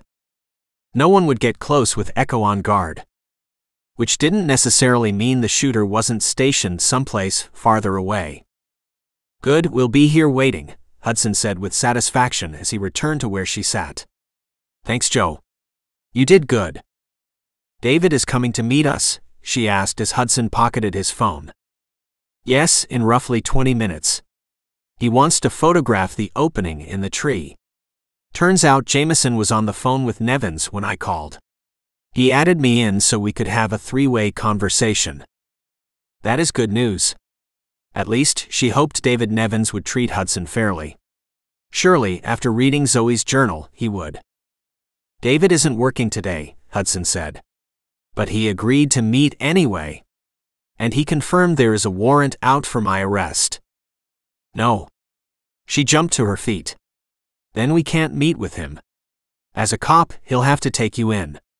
She glanced around wildly. You and Echo need to leave. Hide. I'll meet with David and give him Zoey's journal. Hudson raised a hand. I already told him I'd turn myself in. You can't. She stared at him in horror. Who is going to protect Joe and his son? And what about Echo? Please, Hudson, don't do this. They don't have enough evidence to hold me, he said but a frown puckered his brow. You're right about being safe, though. I'll need you to take Echo back to the motel and stay with Jameson until I'm released. Today is Friday, that may not be until Monday. She grabbed his arm and shook it. Please hide, Hudson. I'll stay here and meet with David Nevins. I'll explain to him about how I saw Zoey writing in the journal and then dug around here until I was able to find it. I'm begging you not to turn yourself. Not today. Maybe on Monday, when you know you'll get to sit in front of a judge the following morning. Indecision flashed across Hudson's features. I told him I would, and I don't want to lie to a cop. Not when I'm already a suspect in two murders. But the most recent arrest warrant is primarily based on something that happened 20 years ago, she protested. Don't you see, this is just Andrew Barkley's attempt to cover his tracks. We know now that he had a reason to kill his own sister. Maybe she threatened to go to their father, or some other cop with what happened. He blew out a heavy sigh and rubbed the back of his neck. She hoped another migraine wasn't brewing. Here's what I'll do I'll hide someplace nearby with Echo. Depending on how the conversation goes with Nevins, I'll either come out to talk to him personally or remain hidden until he leaves. She scowled. I'd rather you just stay hidden. I can't do that forever, Kendra. Besides, I told him I'd talk to him here. I don't like going back on my word. You have a good point about today being Friday, but the police could easily grab me later at the motel, too. It's a risk I'll have to take. I have a better idea. You go pick up Joe and his son and take them to a new location while I meet with Dave. She stared him down. That way you'll be safe until Monday. You are so beautiful when you're stubborn, Hudson said with a rueful smile. I'm not leaving you until we know for sure we can trust Nevins. I'll be nearby in case you need me. She was stubborn. He was the one being incredibly obtuse. Being arrested was no joke. Granted, Hudson was now a respected former Navy SEAL rather than the troubled teen he was back when they were in high school, but she didn't trust Andrew Barkley as far as she could throw him.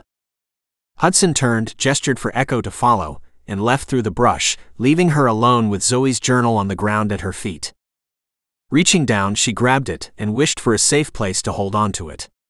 It was too large to fit in her purse. Stuffing it beneath her sweater wouldn't work either. Obviously, Nevins knew they had the journal, but she wasn't going to hand it over until she was good and ready. She listened for Hudson and Echo, but she didn't hear anything. The man was the very definition of stealth. She believed he'd hide well enough not to be found unless David showed up with an entire cadre of cops. Swallowing hard, she prayed that wouldn't happen. The minutes ticked by with excruciating slowness. Standing here with Zoey's journal made her feel vulnerable. As if Andrew Barkley or Corey Robinson could walk up and tear it from her grasp, destroying it before she had a chance to turn it over to the police. Please, Lord, protect me and the truth.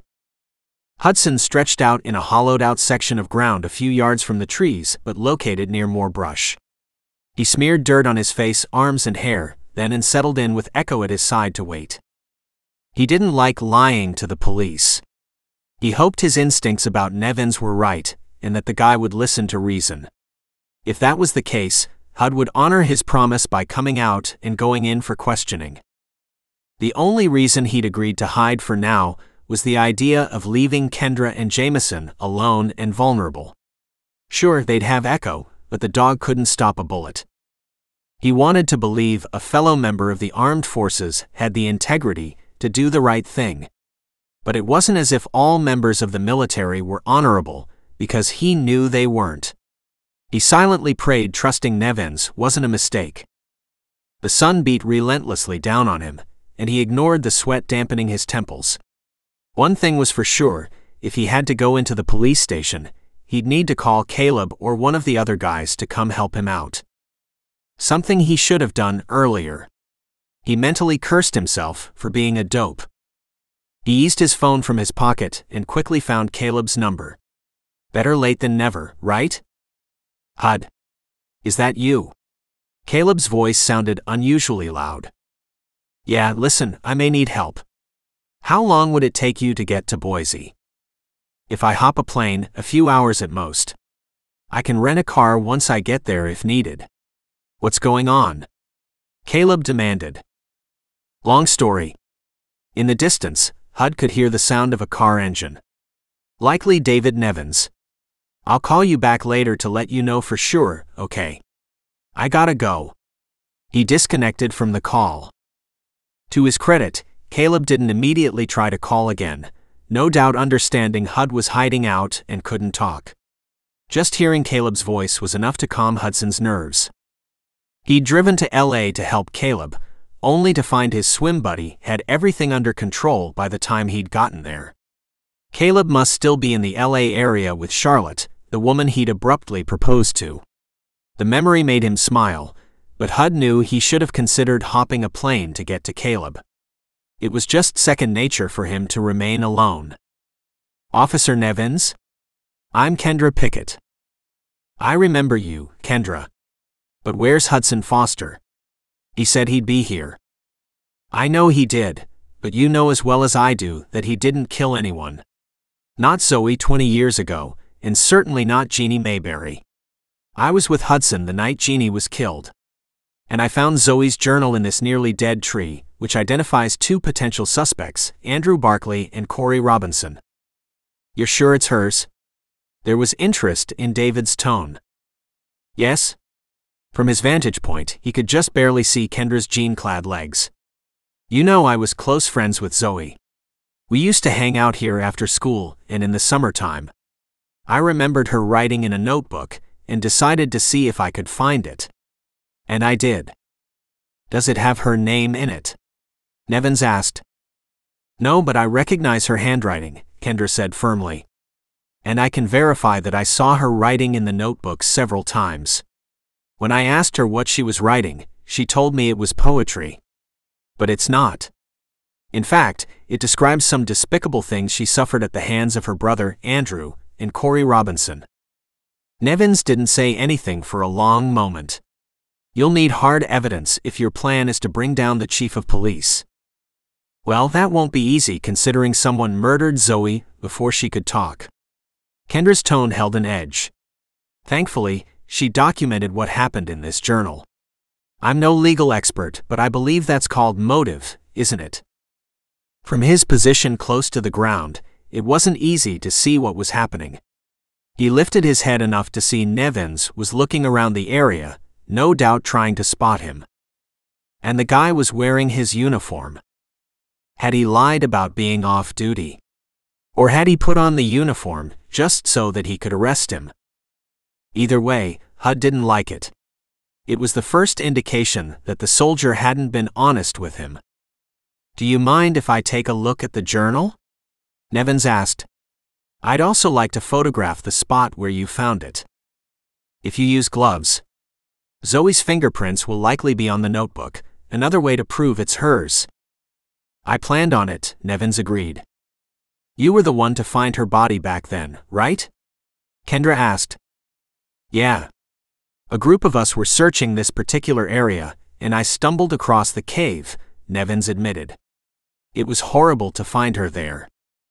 The bushes that protected Hud from view made it impossible for him to see anything other than their feet. He wished he could see Nevins's facial expressions to gauge his thoughts.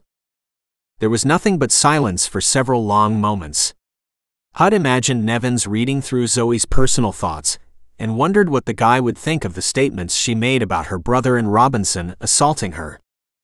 I know I was a lousy friend to Zoey, Kendra said in a low voice. I feel terrible discovering what she went through. I really wish she would have confided in me, but she didn't. I didn't know any of this until today. Wow, this is very interesting, Nevin said. It does raise a few questions about the investigation into Zoey's murder. Hud watched as Nevins went over to the dead tree, likely to photograph the spot where they'd found the journal. Then the legs moved back toward Kendra. I totally agree. Do you mind if I ask you about the party Coach Donahue threw the night of her murder? Were you there? No, unfortunately, I was in the ER getting stitches in my hand from a dog bite, Nevin said. I don't know if you remember, but we had a pit bull that we rescued. The dog went a little nuts and bit me one day. We ended up having to put him down. Oh, I think I do remember that. Kendra paused for a moment then asked, From what I hear, Coach Donahue allowed beer drinking that night. I heard about that the next day, Nevin said wryly. Believe it or not, I was really upset to have missed it. I mean, hey, being allowed to drink beer at a party was a big deal back then. I guess. Kendra's voice held doubt. I know Andrew and Corey were there, along with some of their teammates. I think it's possible they're covering for each other. Maybe. Nevin's feet moved as if he were turning and scouring the area. I'd really like to talk to Hudson. Why? Can't you see that Andrew and Corey set him up on purpose? Do you know Corey was arrested last night in Boise? What? Nevin sounded surprised by that. No, I didn't know he was arrested. For what?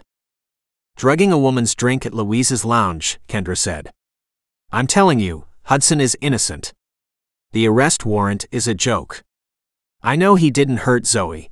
Her journal confirms his claim that he had no intention of going to homecoming, so he didn't kill her in a fit of rage that she'd decided to go with Tristan. Either Andrew or Corey killed her, and they're covering for each other. Joe Jameson will confirm that part. There was another long silence as Nevin seemed to digest what Kendra was telling him. Hud found himself holding his breath. If Nevins agreed with her, he'd risk coming out to talk to the guy. But if he didn't, maybe he'd hold off for a bit. It couldn't hurt to wait until Monday to turn himself in. Hud heard the rustle of plastic, then the click of a lighter. His entire body tensed when he was hit by the scent of cigarette smoke. He quickly reached over to close his hand around Echo's snout and gave the hand signal for quiet so the dog didn't begin to growl, giving away their location. In that moment, he feared the worst. That David Nevins was the shooter, hired by either Barkley or Robinson to shut them both up. Permanently. Chapter 13 Kendra took a hasty step back when David pulled out a pack of cigarettes, shook one loose, and lit up. All she could think of was the butt that Hudson and Echo had found not far from the shack. Had they gotten it wrong? Was Nevins involved in this? Are you going to call your boss about the journal? She strove to sound calm and casual. It's important evidence in an open homicide case. David nodded. Yeah, for sure this has to be logged in as evidence. But where is Hudson? He said he was turning himself in. She prayed that Hudson would remain hidden, although being alone with David made her feel vulnerable. David hadn't reached for his weapon, which was good, but the moment he did, she was toast. There's no way she'd be able to escape. Still, she took another subtle step backward, putting more distance between her and David. Hudson was armed with a gun and a knife. A fact that had frightened her the first time they'd met right here in this spot, but was now extremely reassuring. Look, Hudson didn't kill Zoey or Jeannie. If he turns himself in today, he'll end up sitting in jail all weekend. He told me to let you know he'd turn himself in on Monday. David squinted at her through a cloud of smoke. That wasn't the deal. What would you do if you were falsely accused of murder? She shot back. Zoey's journal proves her brother and Corey Robinson both had more reason to harm her than Hudson did. Don't you see? He's being set up to take the fall. David sighed and shook his head. I hear what you're saying, Kendra. I do. But I can't go against the chief of police.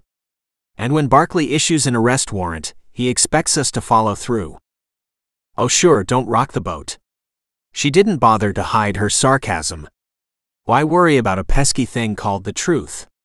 Is that how you functioned in the army, too? He looked surprised. How did you know I served? Research, she responded. Did you know Hudson served 20 years as a Navy SEAL? David dropped the cigarette and ground it beneath his boot heel. His hand went to his weapon. Out of nowhere, Hudson rushed toward the cop, his face and hair covered with dirt, his expression fierce. Echo let out a series of loud, sharp staccato barks that reverberated through the air. Kendra instinctively ducked behind the trio of trees as Hudson took David to the ground. You're assaulting a cop, David said in a hoarse voice. His face turned red as Hudson leaned his forearm against the guy's windpipe. You went for your gun. Hudson glared at him. Who's paying you? Barkley or Robinson? I don't know what you mean. David bucked beneath Hudson, trying to break free. I'll arrest you for this, Foster. Not if no one finds your body. Hudson glanced at Echo, who was still barking like a maniac. Sit, Echo. Stay. Guard. Echo sat, panting over David's face. Kendra came out from behind the trees, bending down to look at the cigarette butt David had crushed beneath his heel. Hudson? I'm not sure this is the same brand you and Echo found the other day. Hudson removed David's weapon from its holster, then divested the cop of his taser, baton, and cuffs. Come get these, Kendra. Keep them far out of his reach. She hurried over to gather the items, being extra careful with the gun. She knew nothing about firearms, other than how to treat the end result when bullets rip through tissue, muscle, and bone. Got them, she said breathlessly. Good. Hudson leaned back and then hauled David to his feet. Give me the handcuffs, then put the rest of his stuff behind the trees. You'll pay for this, Foster. David's face was red with anger as Hudson cuffed his hands behind his back. Why did you reach for your gun, Nevins? Hudson asked calmly. And don't try to hurt me, Echo is very protective. David looked nervously at the shepherd. I didn't. It's just a habit to rest my hand on my gun. And maybe it's just a habit to shoot at innocent people, like Kendra. David glanced at her, then back at Hudson. I didn't shoot anyone. Why would you think I did? You left a cigarette butt in your hidey hole the other day, Hudson drawled. You tried to bury it, but Echo found it. What hidey hole? David was clearly getting frustrated. I don't know what you're talking about. Kendra stepped forward and picked up the cigarette butt he'd dropped. Hudson, look. The butt on this one is white, not tan like the one you found. I'm trying to quit, David muttered. Then he narrowed his gaze. You really attacked me because of a cigarette butt. Because you went for your weapon, Hudson corrected calmly. And because I don't trust you. Maybe you buy whatever cigarette brand that happens to be on sale. The different colored butt doesn't sway me from believing you may have shot at Kendra not once but twice. And tried to run her off the road. You're losing it, Foster, David said wearily. I'm not the bad guy here. Kendra stepped up to put a hand on Hudson's arm. You need to take Echo and get away. Clearly, this isn't the time to turn yourself in. We'll both go, Hudson said. The only question is what to do with Zoey's journal. I'm not sure who we can trust with it. She wasn't sure what to do with the notebook either. She'd hoped David would prove to be one of the good guys. And maybe he was. But there was a chance he wasn't. Hold on, Foster. You can't leave me here cuffed and unable to defend myself, David complained. Hudson stared at him. Where's your partner? Why did you come here alone, in uniform on a day you said you were off duty? David flushed. Okay, I lied. I'm not off duty today, I'm working. I figured you'd be more comfortable hearing I was off duty than on. But that doesn't mean I'm guilty of shooting at Kendra. That's crazy. Why would she be in danger anyway? Because I've been asking questions about Zoey's murder. She glared at him. I told the police officer on duty shortly after I came home that I planned to find evidence to put the real killer away. David's gaze dropped to the notebook in her arms. And you did. He seemed to realize what had been happening. You're really in danger. You think? Kendra gestured toward Hudson. He's the only reason I'm still alive. There have been several attempts to kill me, and an attempt to drug me. I thought for sure you were going to shoot me. David blew out a long breath. Okay, I get it. I swear I'm not the bad guy here. I like my job, but to be honest, Chief Barkley is a jerk. No way would I risk breaking the law for him, no matter how much money he offered. Kendra wanted to believe him. She glanced at Hudson, who was staring at David intently. You always ride alone? We do, yes, David confirmed. Thanks to the budget cutbacks put in place by Barkley. This isn't New York City or Los Angeles. The recent murder of Jeannie Mayberry is the first homicide in three years. According to the chief, we're not in danger the way cops are in big cities. Stupid, Hudson muttered. Hey, I agree. Although, to be honest, I feel much safer here than I did in the army. David's expression turned grim. Until now. You came out of nowhere and flattened me before I knew what was happening. Time to take the cuffs off, Foster. I won't press assault charges if you release me. Hudson ignored him and turned toward her. I have an idea about where to take the journal. Where? She glanced nervously at David. Another cop? No, the newspapers. We'll meet with a reporter and get the contents of the journal out in the open. From there, we can talk to the FBI. That's a good idea, David agreed. The feds have gone in to clean up corrupt police stations. They'll take Zoey's journal seriously. Okay, I like the idea of going to the FBI, she admitted. But we need to let David go. I don't want you facing any more charges. The current arrest warrant is bad enough. Hudson looked thoughtful for a moment. Okay, I have a plan. Echo guard. He turned to Kendra. Stay here while I get the Jeep. Okay. She wasn't afraid to stay with David now that he wasn't armed, and with Echo on guard. Yet she was feeling a bit guilty. I'm sorry if you're truly innocent, David. But you have to understand how much danger we're in. It's difficult to trust anyone right now, and that unfortunately includes you. So much for cops getting the respect they deserve, David said bitterly.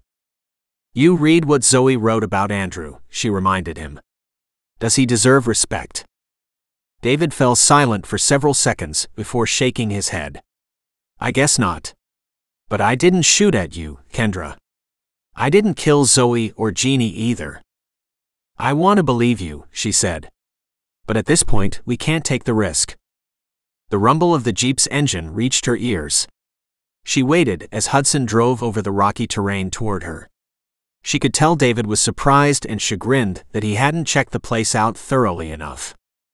She'd trust Hudson's instincts over anyone else's every day of the week.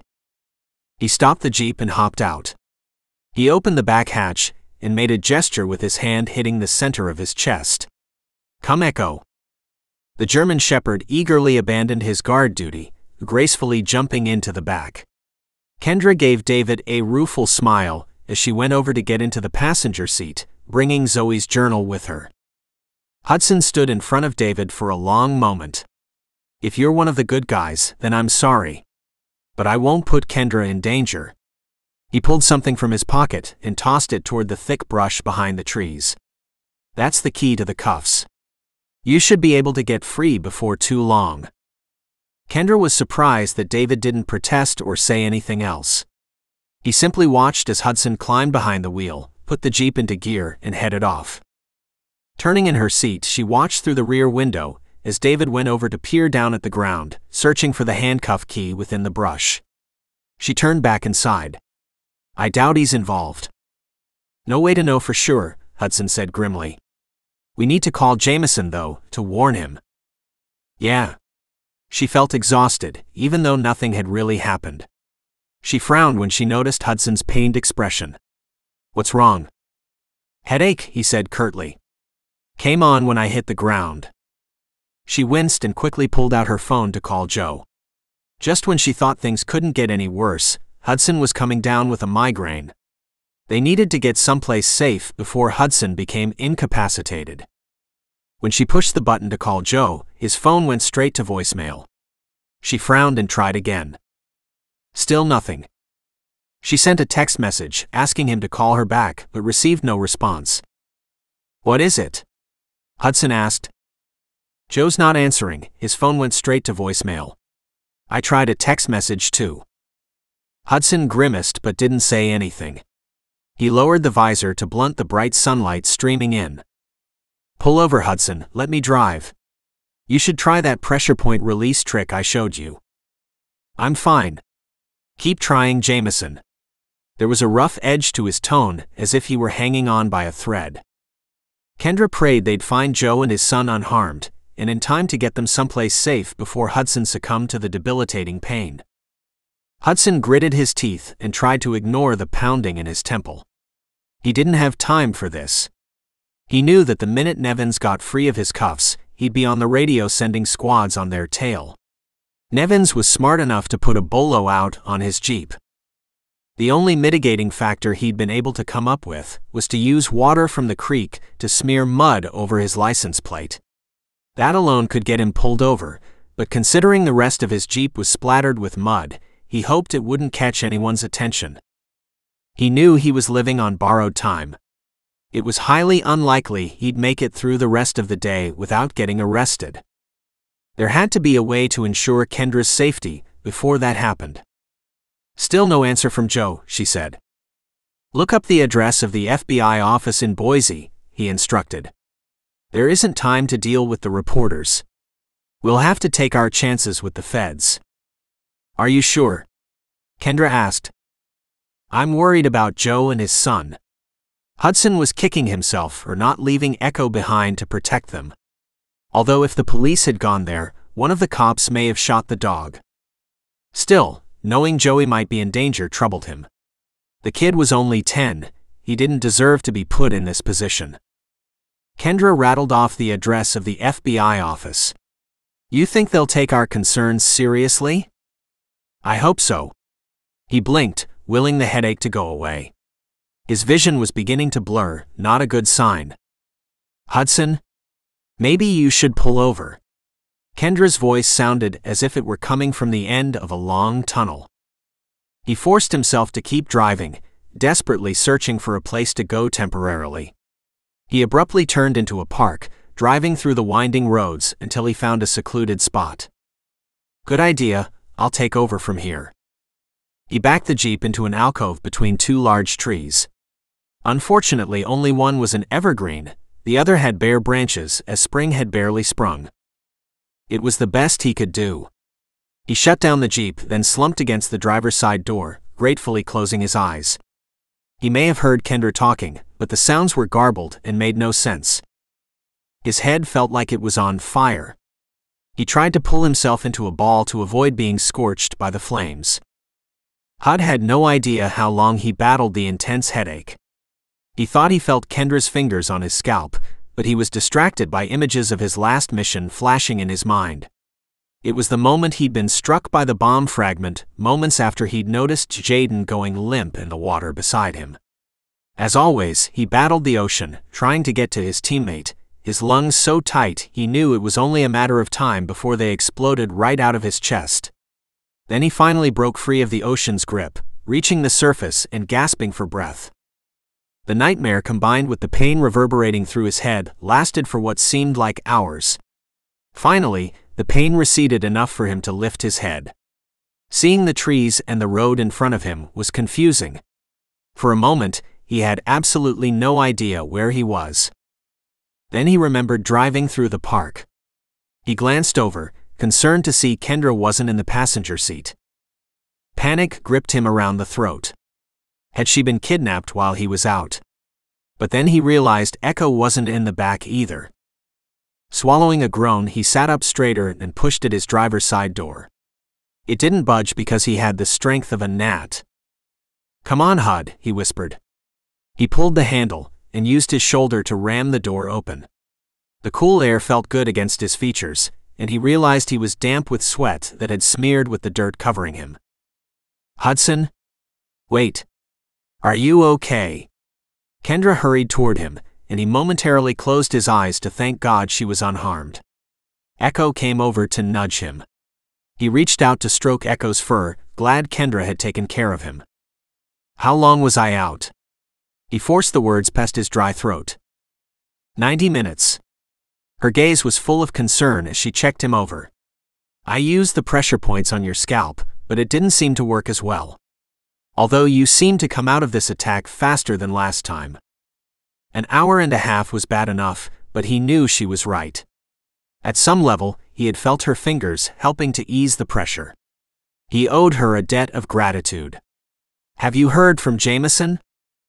No, I made a quick call to the ME's office, but they wouldn't tell me anything about Jeannie's murder or the contents of her tox screen. Then I turned my phone off because I wanted to preserve the battery. She pulled the device from her pocket. I also didn't want to bother you. I doubt I'd have noticed, he said wryly. We need to get to the FBI office ASAP. The moment Kendra turned her phone on, it rang. She quickly hit the speaker button. Joe? Are you and Joey okay? Ah, uh, yeah, but the cops are here. They want to talk to you and Hudson. Jameson's tone was strained. Hudson shook his head, wincing as the motion made tiny stars float into his line of vision. No, he whispered in a voice he hoped only she could hear. Sorry, Joe, but I have to go. She disconnected from the call.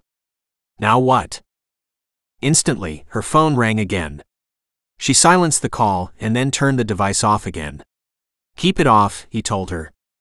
Do you remember the address of the FBI office? I do. It's on Main Street, but maybe we should head over to the restrooms first. She waved a hand. You might want to clean up a bit. She was right. Besides, he needed some water. His mouth was gritty with dirt. Are they close? Yes, I just came from there. She waved at a barely there path. Just head through the woods and you'll find them on the other side of the small hill. Stay here with Echo. He staggered in the direction she'd indicated. Another 30 minutes of downtime would have been nice, but he told himself to get over it. He'd already wasted 90 minutes, and the police had found Jameson and his son at the motel.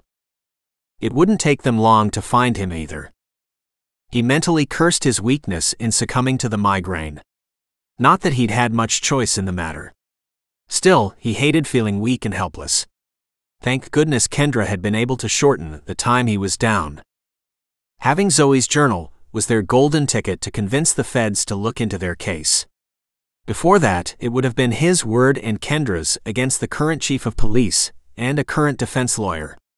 They may have been more believable after Robinson's arrest if the charges managed to stick to the guy, but at this point, Barkley had his career and that of his father to back him up.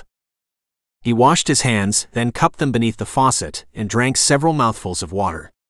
Hud knew he was dehydrated, but there wasn't a vending machine here the way there had been at the motel. After drinking his fill, he washed up his face and arms the best he could. There was still dirt embedded in his hair, but staring at his image in the mirror, he decided it was the best he could do. A keen sense of urgency had him hurrying back to the Jeep. He relaxed when he noticed Echo was in the back crate area and Kendra was behind the wheel.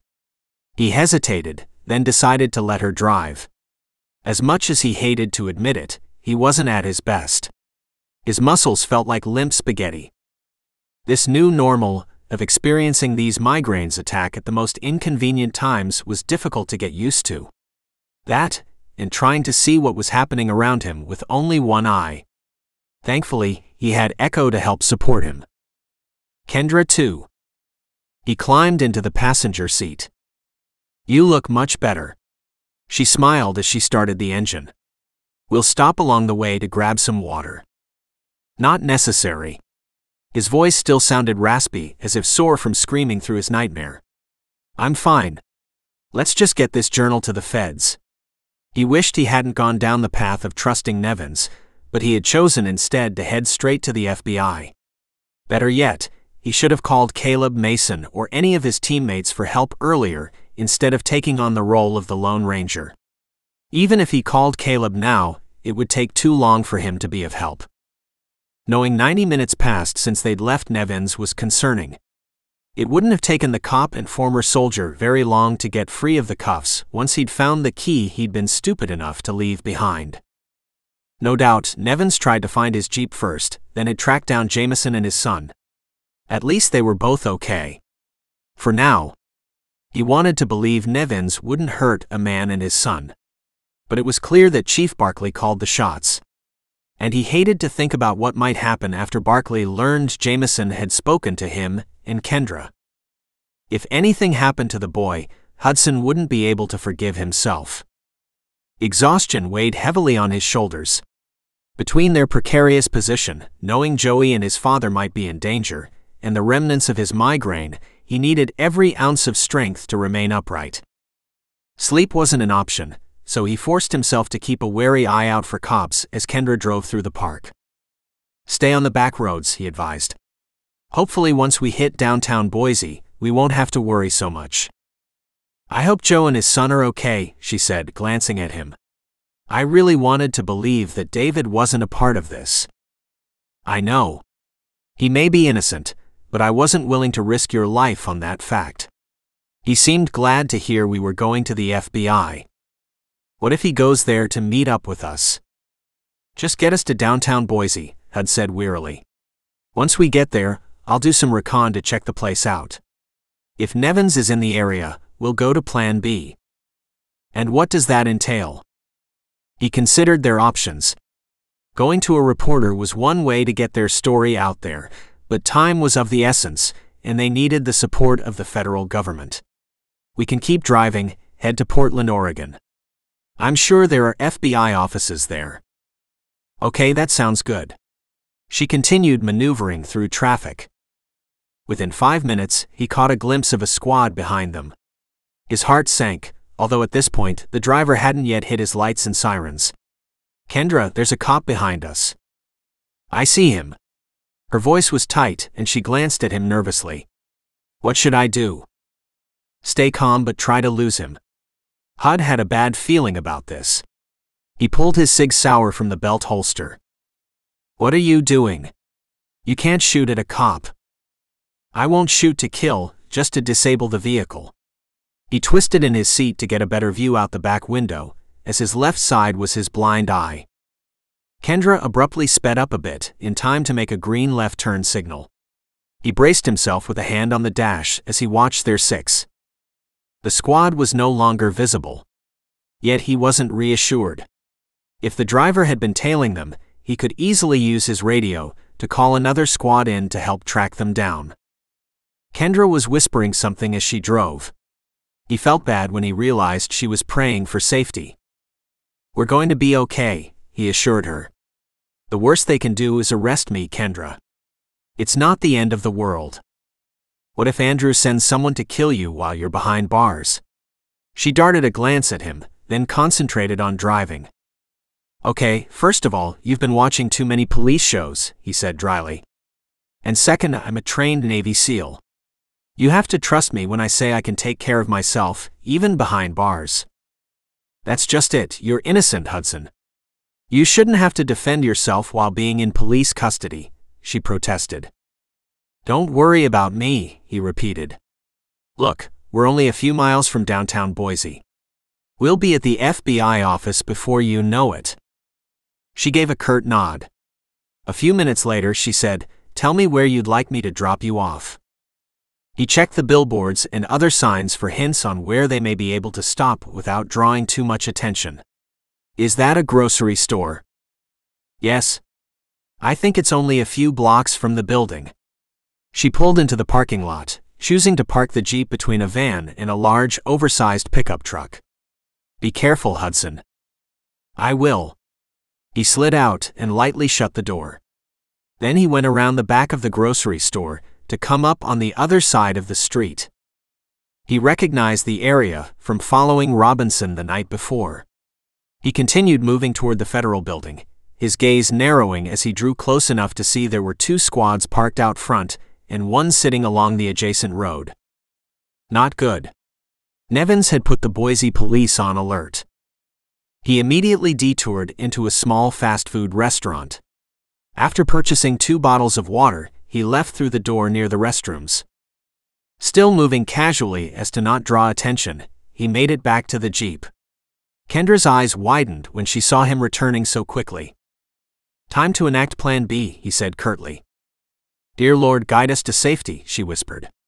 Then she backed the Jeep out of the parking lot and headed off in the opposite direction of the FBI offices. Hud hoped this worked because if it didn't, he was fresh out of ideas.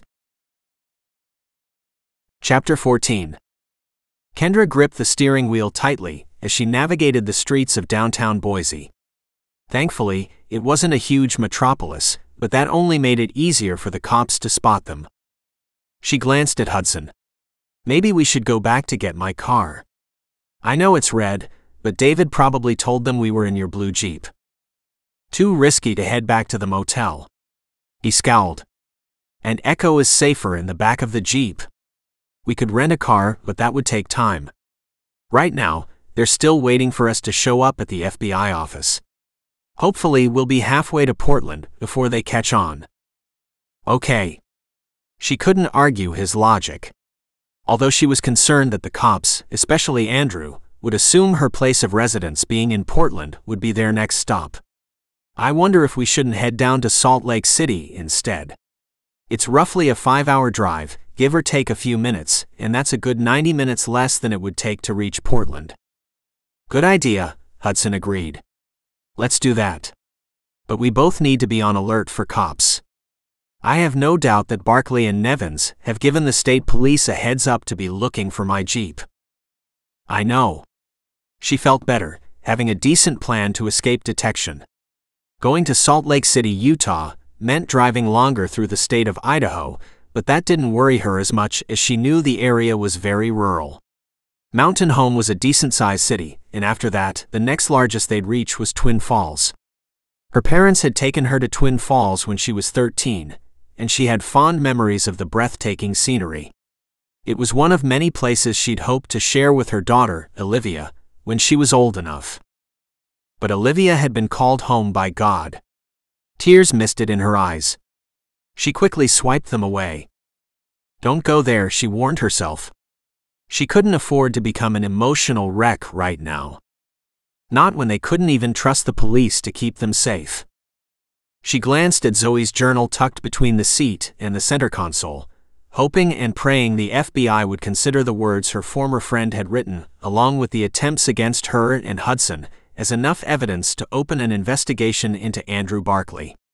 If there was ever a cop who deserved to be scrutinized, it was Andrew. Do you think Corey has gotten out of jail? Probably. He knows how to work the legal system, and I'm sure he also knows the judges by name. I wonder if Zoey's journal would help the DA's office in pressing charges against him. The way he drugged her drink still bothered her. Knowing he was sick enough to have done that to other women was enough to make her want to kick him, the way Zoey had kicked her brother all those years ago. I'm not an expert, but I don't think the judge will allow prior bad acts to come in as evidence, especially when the action took place 20 years ago. He lightly touched her arm. However, you and I can testify against him for what he tried to do back at Flanagan's. Once we know we're safe, he added. I know. I just wish I'd saved some of the wine he'd drugged. She shook her head. I should have made sure some of the liquid landed on me. Maybe they still could have tested the contents. Doubtful, Hudson said. Try not to stress about Robinson. He'll get what he deserves.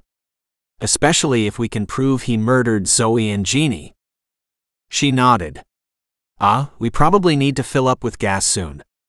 We have less than a quarter tank, and the lower part of the state is fairly desolate. Okay, I just saw a sign for a gas station up ahead. It's right off the interstate. Let's fill up now so we don't have to worry. I'd like to let Echo out too. We should stock up on some food and water. The next gas station is likely a couple of hours away. She made it sound like they were taking a recreational road trip when it was anything but. If they weren't trying to avoid the local cops long enough to speak to the FBI, this foray across the state might be enjoyable. Instead, she was tense and jittery, expecting a squad to pop out of nowhere with lights flashing and sirens blaring to pull them over. Two miles later, she exited the interstate to pull into the gas station. There was a small convenience store attached, stocked with overpriced items. Hudson took care of letting Echo out to do his business while he filled the Jeep with gas. She headed inside to use the restroom, then to search for something to eat. Their day had started early, and it was going on 11:30. They really needed to grab something while they had the chance. Her gaze landed on the Idaho Statesman newspaper. She picked it up and scanned the headlines, hoping there may be something about Corey's arrest. Hey, are you planning to buy that? A crotchety man behind the counter scowled at her. Can't just read it for free. Costs a dollar fifty. I understand, and yes, I'll buy it. She tucked the folded up newspaper under her arm, and went back to pursuing the shelves and coolers for food. Hudson joined her a few minutes later with Echo at his side. Thankfully, the crabby old man didn't seem to care about the dog being inside the store. We should hurry, he said in a low voice. The faster we get to Salt Lake City, the better. This constantly dodging the police was exhausting. She grabbed a pre made sandwich from the cooler, along with a large bottle of water. Hudson did the same and insisted on paying as they checked out. When he pulled cash from his pocket, it made her realize that he was trying to avoid using his credit card. Let's go. He ushered her toward the Jeep, going around back to let Echo in. I'll drive for a while. I can do it, she protested, but he ignored her. With a sigh, she climbed into the passenger seat. Having him drive would give her time to read the newspaper. Hudson started the engine, then muttered something harsh under his breath. What happened? As soon as the words left her mouth, she saw the state police cruiser slowly coming down the interstate exit ramp. Her heart pounded painfully in her chest as Hudson wrenched the wheel and drove around to the back of the gas station. He didn't hesitate to go up and over the curb to find a better hiding spot. He killed the engine. Stay here while I check things out. Wait. Don't leave. There's no reason for him to look back here, is there? She hated the idea of sitting there alone while he put himself in danger. Especially since he was the one with the outstanding arrest warrant. Trust me, Hudson said simply. I do. She trusted him more than she'd ever trusted any other man, except maybe for her father. Certainly, her taste in men was sorely lacking, proven by how she'd dated a horrible man like Corey in high school, then by marrying her cheating ex husband. It was humbling to realize that she knew deep in her soul Hudson would never do either of those things. She released his arm. Just be careful. He smiled, then slid out from behind the wheel. She watched as he moved stealthily along the side of the building. Then he disappeared around the corner. He's going to be fine, Echo, she said when the dog pawed at the side of the Jeep. The shepherd clearly wanted to go with Hudson. He'll be back soon. After a solid 15 minutes, Hudson returned. He opened the driver's side door and slid in behind the wheel. All clear. He's gone. So he wasn't looking for us. Hudson shrugged. It didn't appear that way. He filled up with gas, disappeared inside the store. He took his sweet time using the restroom and whatnot, then left. But I think we should stay here for a few more minutes, just to make sure we don't run into him on the interstate. Okay. She managed a weak smile. I bought the paper to see if there's anything about Corey's arrest. You would think a well known lawyer being accused of drugging women with date rape drugs would make the front page. You would, he agreed.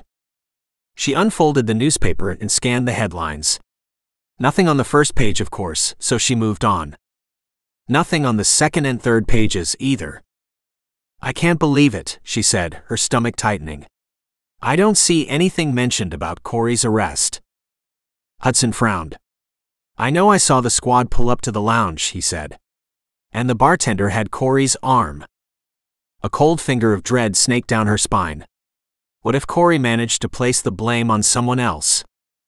Does the newspaper mention any other arrests?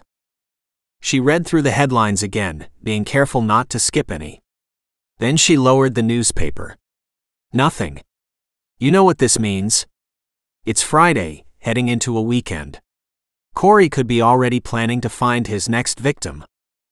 Or it could be that the news of his arrest didn't make the paper yet, Hudson said calmly. Don't panic. Let's stay focused on talking with the FBI. Once we have them on alert to what's going on, we'll find out what happened with Robinson. Okay. She tried to relax her tense muscles, but it wasn't easy. Every cell in her body was repulsed by the idea of Corey hitting the bar later that night. Or tomorrow night. Or next week and the week after. Which brought up a good question. Why hadn't any of the previous women he'd done this to filed charges against him? Surely if they had, Corey wouldn't be walking around unscathed to keep doing it. Hudson started the Jeep and drove over the curb and around the gas station. The area around the gas pumps was empty, and the traffic on the interstate was light. As they left the gas station convenience store behind, she alternated between twisting in her seat to look out the back window and watching her side window for signs of the state police. It was hard to remain optimistic between knowing they were being hunted by the cops and Corey likely being out of jail. I think we're clear, why don't you eat? Hudson suggested. And hand me my sandwich too. She unwrapped his ham and cheese sandwich before giving it to him. Then she unwrapped her own. Staring down at it for a moment, she decided to pray. Dear Lord, we thank you for this food we are about to eat. We pray that you continue to watch over us and keep us safe.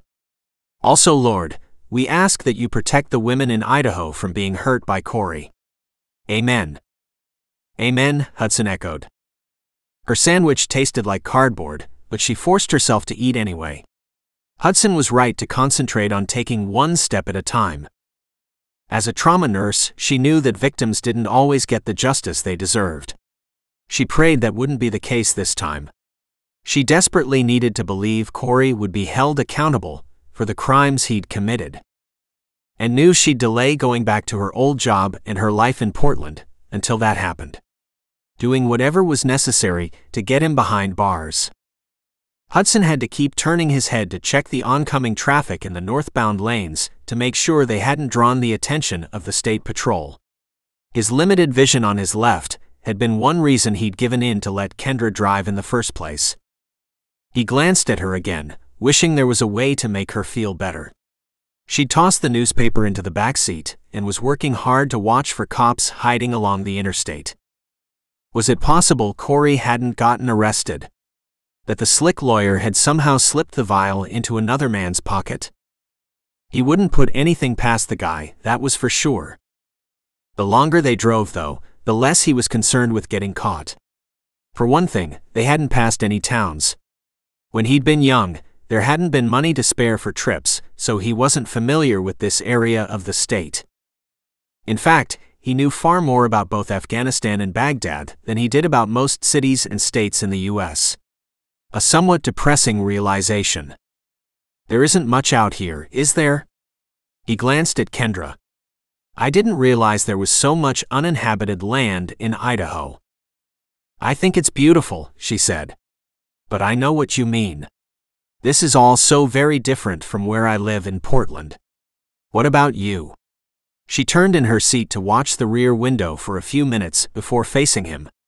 Where do you live now that you're not in the Navy any longer? He shrugged. I haven't found a place yet. What do you mean? She frowned. You can't just drift from city to city. Why not? Jack Reacher does. He's not real, she shot back. He's a character in a book series. And you have Echo to consider. I know, I was teasing. His teammates would be shocked to know how much he'd lightened up since meeting Kendra. I was thinking of heading back to San Diego, that's where we were stationed. Oh, yeah, I guess I knew that. Was it his imagination, or was there a hint of disappointment in her voice? I've never been to Portland, what's it like? Crowded, busy, but there's lots of really nice scenery there too. I guess it's not that close to the ocean though. Not like San Diego.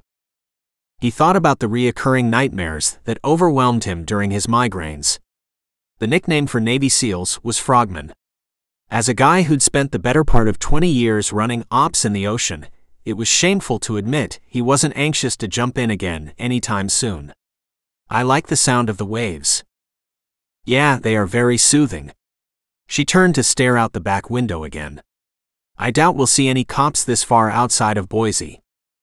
That could be, although they are called state police for a reason.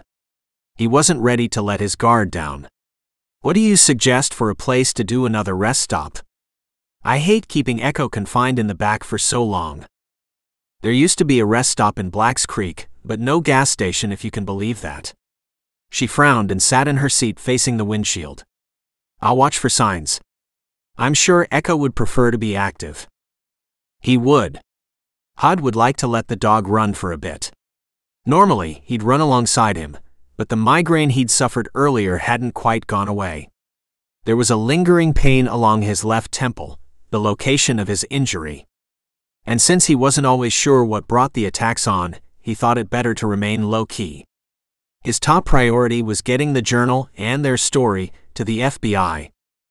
Once they'd gotten the feds involved, he needed to convince Kendra to head back to Portland. He wanted her far away from Robinson and Barkley. Can you check local news on your phone? Yes, good idea. She pulled out her phone, then hesitated.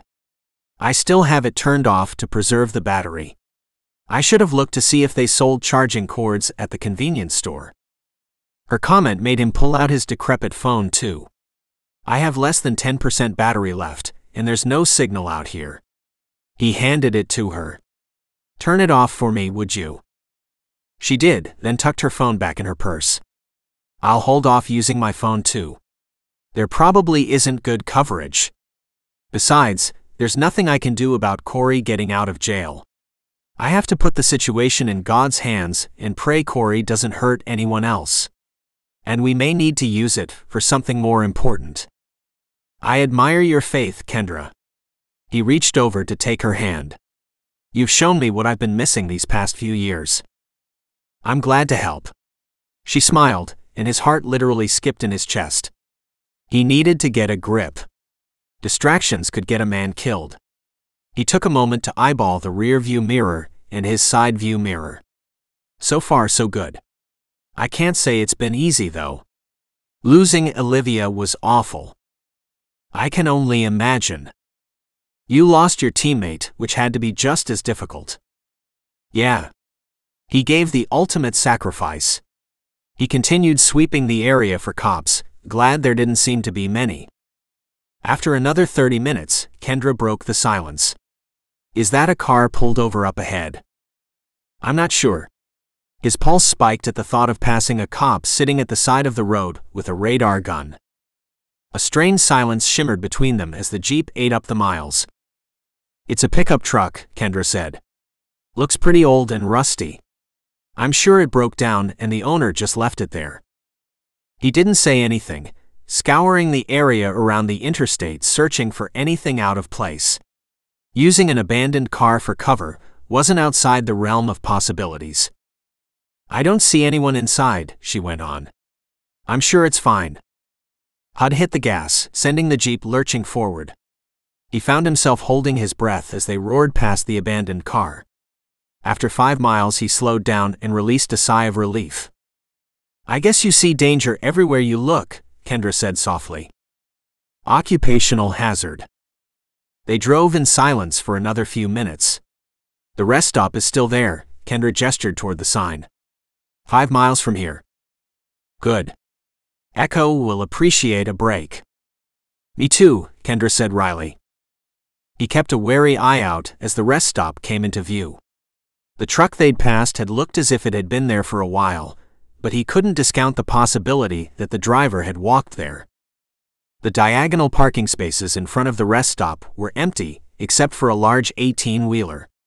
Even as they got off on the ramp, the driver of the truck emerged from the bathrooms, hitched his jeans, and hopped into the driver's seat.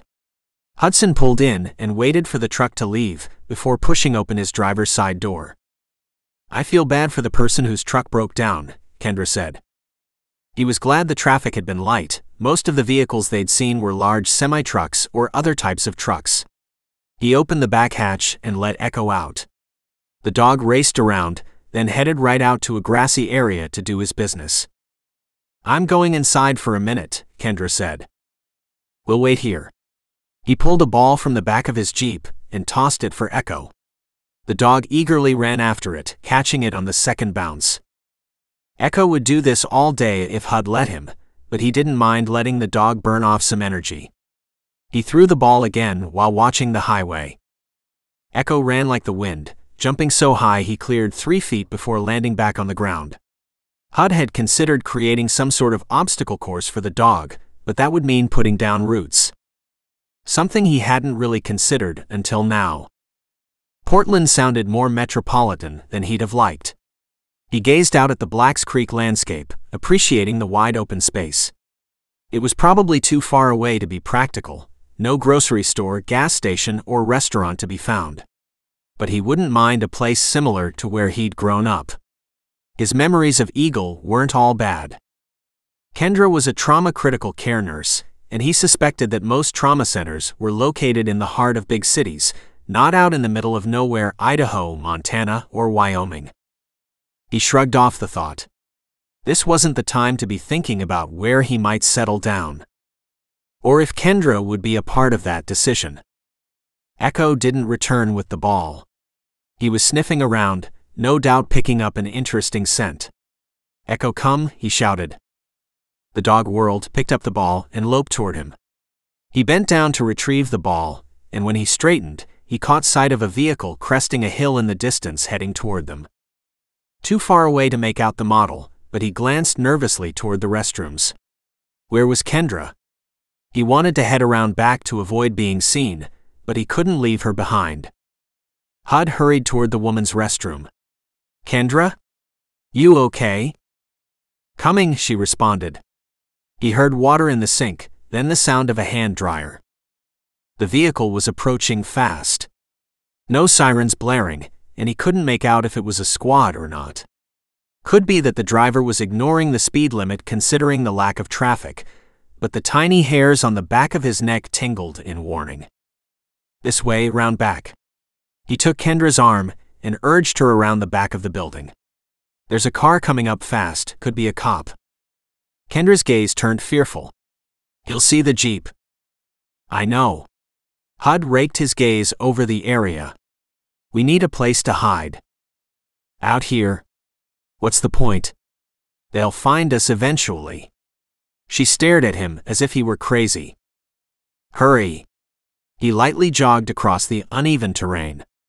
They were on a hill overlooking the creek, and they could go down along the edge to get out of sight. Kendra ran to keep up with him, while Echo treated this as another game. The moment he reached the edge, he pulled Kendra down to the ground. The creek bed was down below, and the rocky landscape was somewhat precarious. I need you to go down as low as you can. I'll watch from here. What are you going to do? Kendra asked. He pulled his weapon. Hold them off. See if your phone works. If you can get through to the feds, let them know what's happening. Okay. She pulled out her phone and turned it on. Then she gingerly moved down the rocky hill toward the creek below. Guard Echo, Hudson said to the dog. Echo wheeled around to follow Kendra. Hud hoped he was wrong about the vehicle that had been speeding toward the rest station, but he didn't think so. He found a place along the ridge where he could stretch out on his stomach while still being able to see the area around the rest station. It didn't take long for the vehicle to pull in and park next to his Jeep. It wasn't a squad, but a large 4x4 Ram truck, silver in color. It looked familiar. Then it clicked. The truck had been in the driveway of Barkley's house. A man emerged from the truck, carrying a rifle. He stood for a moment until another older man joined him, also carrying a weapon. The pair was father and son, but not Andrew and George Barkley as he'd expected. No, the two men were Tristan and Coach Donahue. Chapter 15 Flanked by Echo, Kendra slipped over the rocky terrain while holding up her phone to get a signal. Unfortunately, she had only one bar. One stinking bar. She swallowed hard, trying to hold back a flash of panic. Maybe it would be enough. Kendra? Hudson's low whisper had her turning to head back toward him. Tristan and Coach Donahue are here, each armed with rifles. Your phone? Tristan and Coach Donahue. She could hardly believe it. The pair had never seemed like viable suspects. Then again, Tristan was probably the one who'd killed Zoey, and his father was just bailing him out. Still, she was keenly disappointed the killer wasn't Corey or Andrew. She punched in the numbers 911 and prayed the signal would go through. Her pulse quickened when she heard ringing on the other end of the line, then the sound of a dispatcher asking, What's your emergency? We're at the Blacks Creek rest area. There are two men carrying guns. Please send help. Ma'am? I'm sorry, I couldn't hear what you said. Where are you? Blacks Creek. She enunciated as clearly as possible, while trying to be quiet enough so Tristan and his father couldn't hear. Men with guns. Hurry. Ma'am? Are you there? Kendra closed her eyes and hit the end button on the phone. She met Hudson's gaze and shook her head. She can't hear me. Follow the creek farther from me, Hudson whispered. Take Echo and stay safe. What about you? She didn't like the idea of leaving him here. Especially not when Tristan and his father had rifles.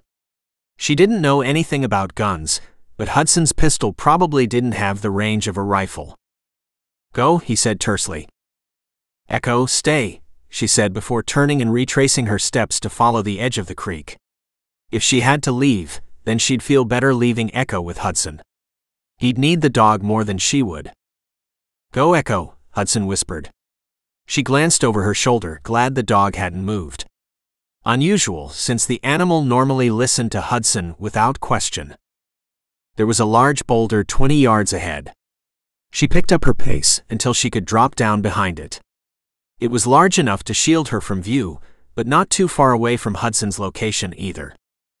If anything happened to Hudson or Echo, she didn't think her chances of escaping through the wilderness were very good.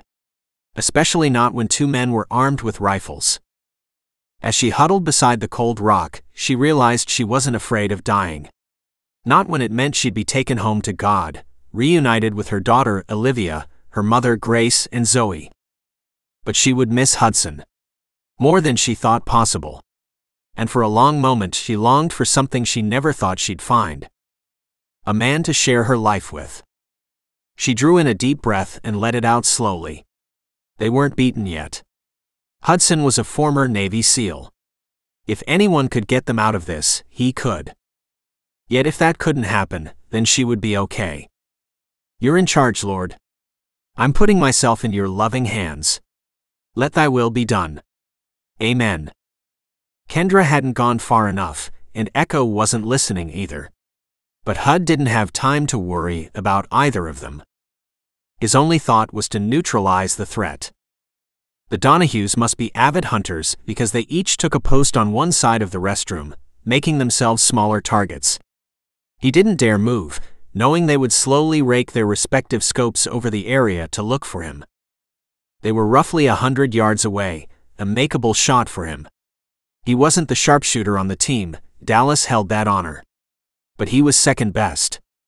He'd make the shot. The problem would be that he could only take out one target at a time and doing so would likely reveal his position. The rocky edge was too unpredictable to shoot, then run to a new location. He'd just have to trust his aim and hope that taking them by surprise would work to his advantage. He kept his head low and patiently waited, watching for them to make their move. He had no idea how much hunting Tristan and his father had done over the years, but he had to assume they were good enough to take him out. Having a rifle and a scope would be to their advantage. A hint of movement caught his eye. Another man was creeping up to the building housing the restrooms, having come out from behind Hud's Jeep. His gut clenched as he worried it would be another shooter he'd be forced to contend with. Yet the stealthy nature of the guy seemed to indicate otherwise. It wasn't long until Hudson recognized Nevins. Friend or foe? He couldn't be sure. The glimpse of sunlight reflected off the scope of the rifle on the farthest side of the building. Hudson ducked his head as a shot rang out. Thankfully, it missed, but Hudson didn't waste a second. He eased back up and fired at the spot where the shooter was standing. A loud cry indicated he'd hit his target. One down, two to go. Drop your weapons and put your hands where I can see them. The voice sounded like Nevin's, but Hudson didn't move from his location. Hey, he shot at us, a whiny voice protested. Now. Nevins barked. Hudson frowned, wondering if this was a ploy to get him to reveal himself. He remained still, listening intently. There was a thudding noise as something heavy hit the dirt. I'm hurt, another voice said. He shot me. You shot first, Nevins said. Throw down your weapon. There were muffled sounds as if Coach had complied too but Hudson still didn't move. From his vantage point, he could see Kendra poking her head up, looking at him curiously. He scowled and shook his head. Hudson, I have Tristan and Eric Donahue in custody, Nevins called. It's safe to come out. Hud didn't move for a long moment. Then he risked a quick glance over the edge of the bluff. Both Donahue men were handcuffed, their rifles tossed on the ground. Nevins seemed to catch his eye, and for a long moment, Hud expected the worst. I know you don't trust me, Foster. But I am one of the good guys, Nevins called. Hud knew he could take out Nevins from here if necessary. One target was easier than two. But he hesitated, unwilling to blithely shoot a cop. Why were the police staked out at the Boise FBI office? Hudson asked in a voice loud enough to carry across the terrain. You're the only one who knew that was where we were headed. I know, that was my fault. I felt obligated to report up through the chain of command about Zoey's journal. Next thing I know, Barkley knew all about it and sent several guys there.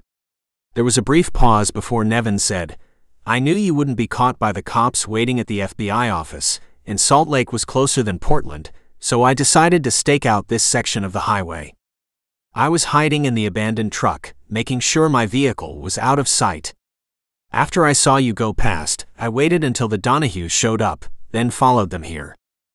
Hudson wasn't convinced. He glanced one more time at Kendra, who was watching him warily, then asked, Why did you suspect Tristan and his dad? You weren't at the party that night. That's true, but after you left me searching for the handcuff key, I remembered that all the guys were hungover the next day. All except for Tristan.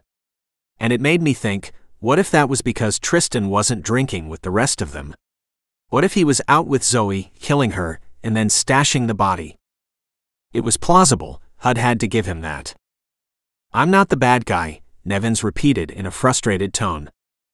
Prove it by holstering your gun, Hudson said. To his surprise, Nevins did. He holstered his weapon and pushed the two men up against the wall of the restrooms. Then he stood with his hands facing palm outward. I'm not here to arrest you, Foster. Hud quickly scrambled up over the rim of the ledge. Nevins didn't move, simply watching as he approached. FYI, Tristan here smokes. Nevins nodded toward the younger Donahue. If you still have that cigarette butt, we can try to lift his prints. I do. And I have a smashed bullet fragment that I dug out of the cave wall. Hud eyed Nevins warily. Did you call for backup? Yeah, but understand they're not going to be here for a few minutes yet. Nevins glanced over his shoulder. Where's Kendra? She's safe. Hud, you need to put your weapon away. The guys coming to back me up will not look kindly on you holding a gun on me. That was true. He turned to look at Coach Donahue and his son. The older man looked pale, blood seeping from a wound in his shoulder. Tristan looked panicked. Neither man had spoken since being handcuffed. Hud decided to bluff them a bit. We have Zoey's journal and the cigarette butt Tristan left behind at the scene of the shooting, along with the slug that I'm sure will be matched to one of those rifles. Oh, and the make and model of the car that you used to try to run us down. He managed to smile. You're both going down for first degree murder. I didn't mean to kill her, Tristan blurted. It was an accident. We were arguing and I lost my temper. I didn't mean to do it. Hud glanced back at Nevins, who was listening to this confession with interest.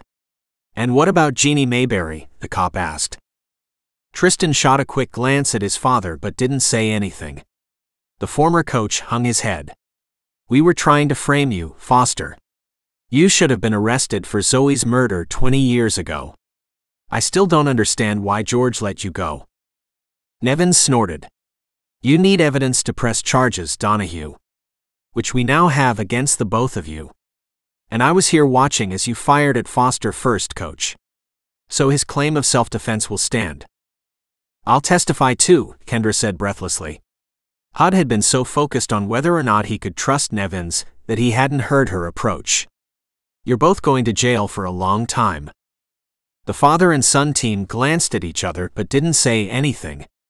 Until Tristan finally muttered, My dad needs medical care. Yeah, we'll get right on that, Nevin said dryly. Hud finally slid his Sig Sauer back into its holster.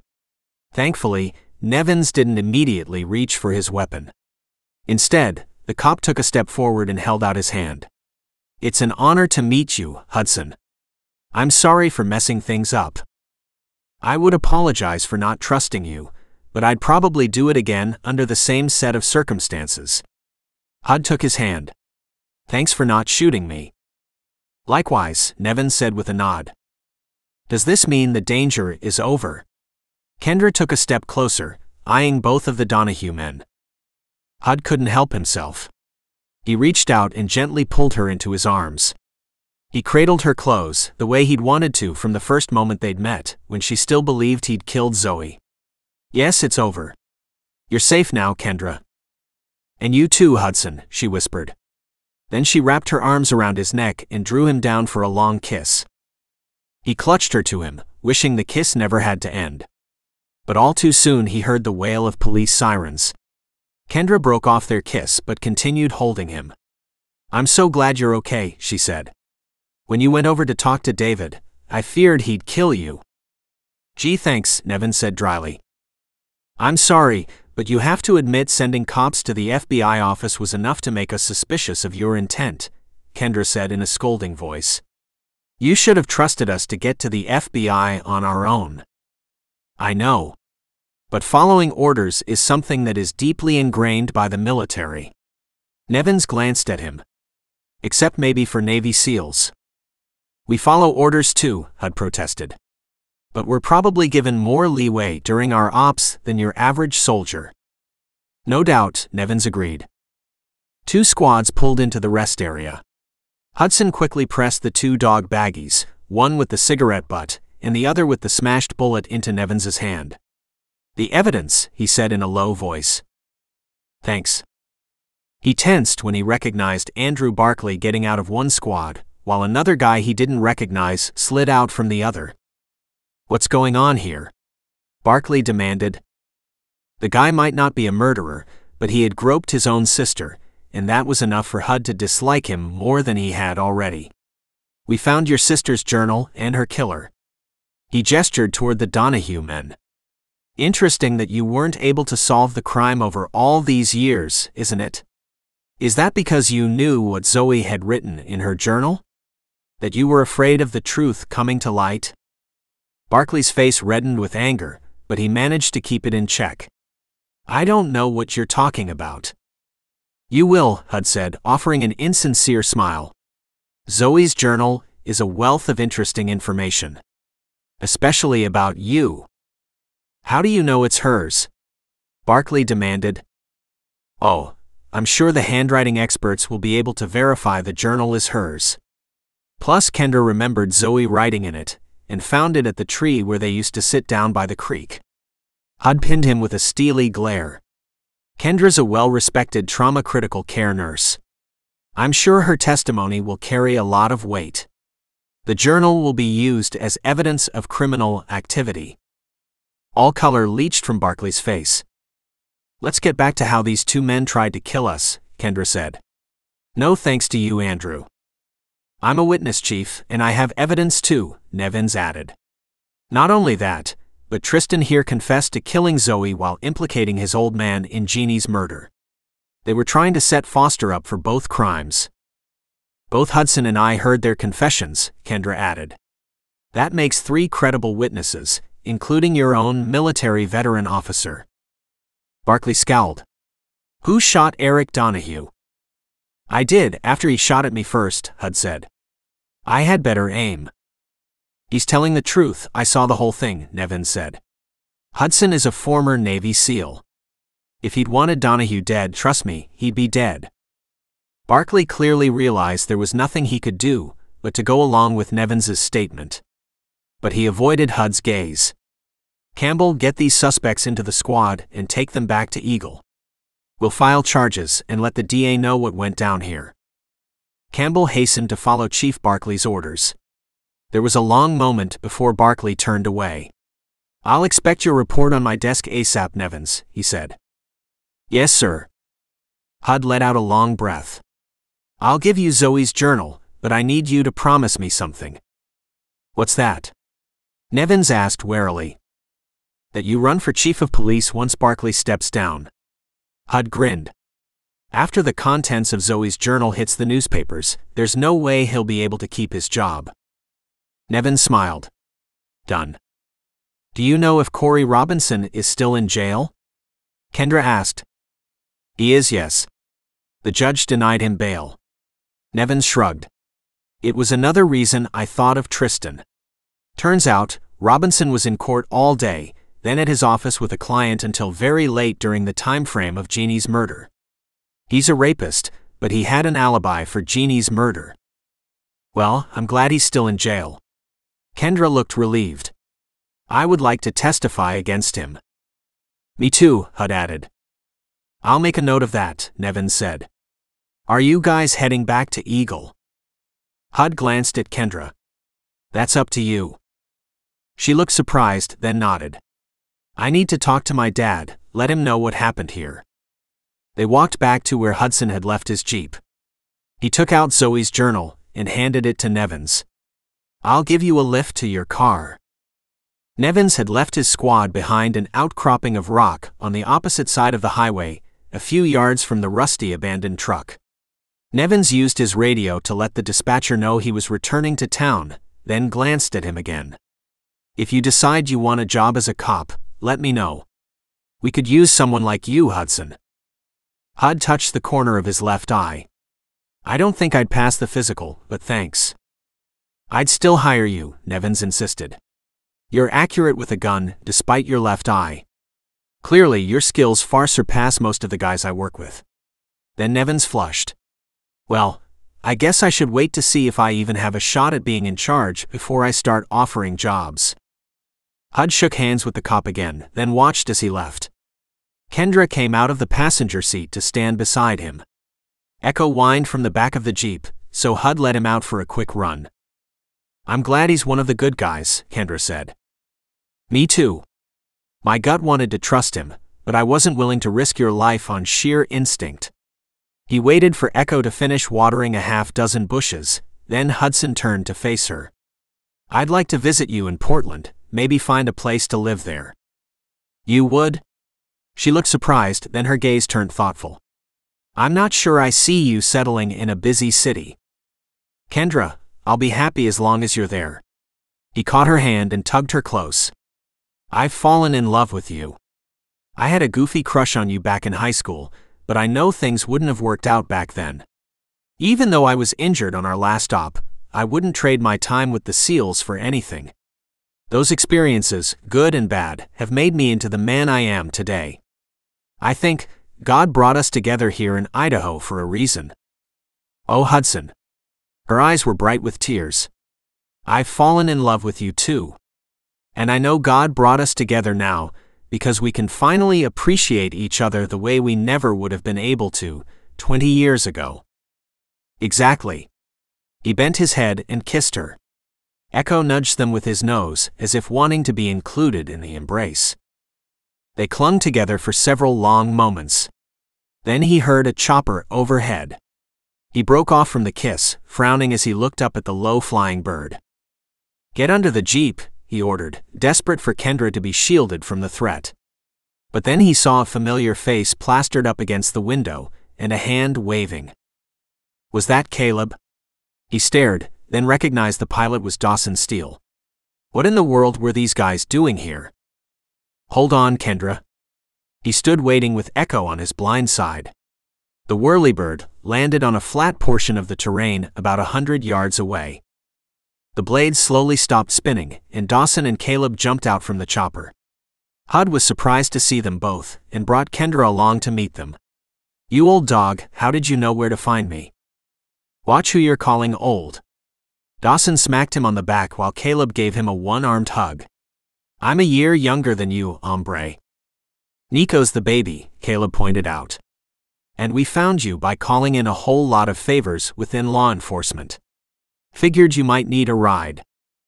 Hud shook his head in amazement. Who owns the bird? A neighbor, Dawson answered somewhat evasively. The guy looked thinner than Hud remembered, and hoped his abdominal surgery after taking shrapnel in the gut wasn't the reason.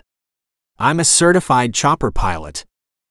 We came ASAP because I was worried about you. Caleb eyed Kendra curiously. Ma'am, I'm Caleb Tyson, and this is Dog aka Dawson Steele. We're a couple of Hud SEAL teammates. This is Kendra Pickett, Hud quickly introduced her. And I'm sure you both remember Echo. Sorry, I guess I'm still dazed by Dawson and Caleb showing up in a freaking helicopter. And where are your dogs? Dillon, Montana isn't that far, Dawson pointed out. I left Kilo with my dad and met up with Caleb up in Boise. Charlotte is with Sierra, Caleb added. I found a flight right after your phone call, Hud. Glad I did. Hud was touched that the guys had gone all out for him. But it wasn't necessary. I'm fine and so is Kendra. It was a little dicey an hour or so ago, but we're good now. Glad to hear it. But you could have called us in earlier, Caleb said with a hint of exasperation in his tone. We would have been here to cover your six. For sure, Dawson agreed. Next time, you need to let us in on the fun. Hud's grin faded. Hopefully, there won't be a next time. Nico has a lead on Simon Normandy's aka Simon Marx's whereabouts. The guy was last seen in Irvine, California. He's going to let us know if he needs us to back him up. At Kendra's confused look, Hud explained. Nico is another member of the team. He's been searching for Jaden's younger sister, Ava, who has been missing for what, almost two months now. Caleb and Dawson nodded. And Jaden is the teammate who didn't make it home? Kendra asked. Yes, ma'am. Dawson hooked his thumbs on his jeans, which hung a little on his much leaner frame, thanks to his recent weight loss. It wouldn't have surprised Hud if the former frogman had taken to wearing a cowboy hat to go with his cowboy boots. Jaden would expect us to find Ava, and Nico is determined to do just that. Well, then, it sounds to me like all of you should go join Nico in Irvine, Kendra said. That girl needs your help. And who better to find her than a group of Navy SEALs? Hud wanted to hug and kiss her for that, but he managed to restrain himself to simply taking her hand. Trust me, we will the moment Nico gives us the word. Right now, he's still fishing for intel. So what happened here? Caleb asked, his gaze bouncing curiously between Kendra and Hud. What kind of trouble have you been getting into? We managed to solve a 20 year old murder, Hud said. Thanks to Kendra's persistence. You kept us safe long enough to find what we needed. Her smile faded, a serious expression darkening her amber eyes. And thanks to Hudson, we took a sexual predator off the streets. Wow, you've been busy, Dawson said with admiration. We have. Kendra turned to face him. I love you, Hudson Foster. And I love you too. He didn't care that both his teammates gaped in shock at this proclamation. Guys, Looks like I'll be relocating to Portland, Oregon. No, I was thinking I'd look for a new job at a hospital in San Diego, Kendra argued. The more I think about it, the more I like the idea of living closer to the ocean. Well, it looks to me like Hud's got his hair in the butter, Dawson drawled. What? Kendra asked in confusion. He means I'm in a sticky situation, but he's wrong, Hud explained. Don't listen to his goofy cowboy phrases. The dog swims better than he rides a horse. Not true, Dawson drawled. I excel at both activities. Caleb rolled his eyes. Whatever. Do you guys want to ride back to civilization or not? Not, Hud and Kendra said at the same time. Then they both laughed. Now that's great to hear, Dawson said. He clapped Hud on the back. You need to laugh more often, bro. Come on, Caleb. I'll need to get the bird back to its owner. Sylvie will rip me a new one if I don't. Who is Sylvie? Caleb asked as they turned away. My neighbor, he said on a sigh. And a royal pain in the back end of a horse. Kendra giggled, and Hud hugged her again. Once the chopper lifted off, carrying Dawson and Caleb away, he asked, You'd really move to San Diego? I'd move anywhere for you, Hudson because love is all that matters. Ditto Kendra.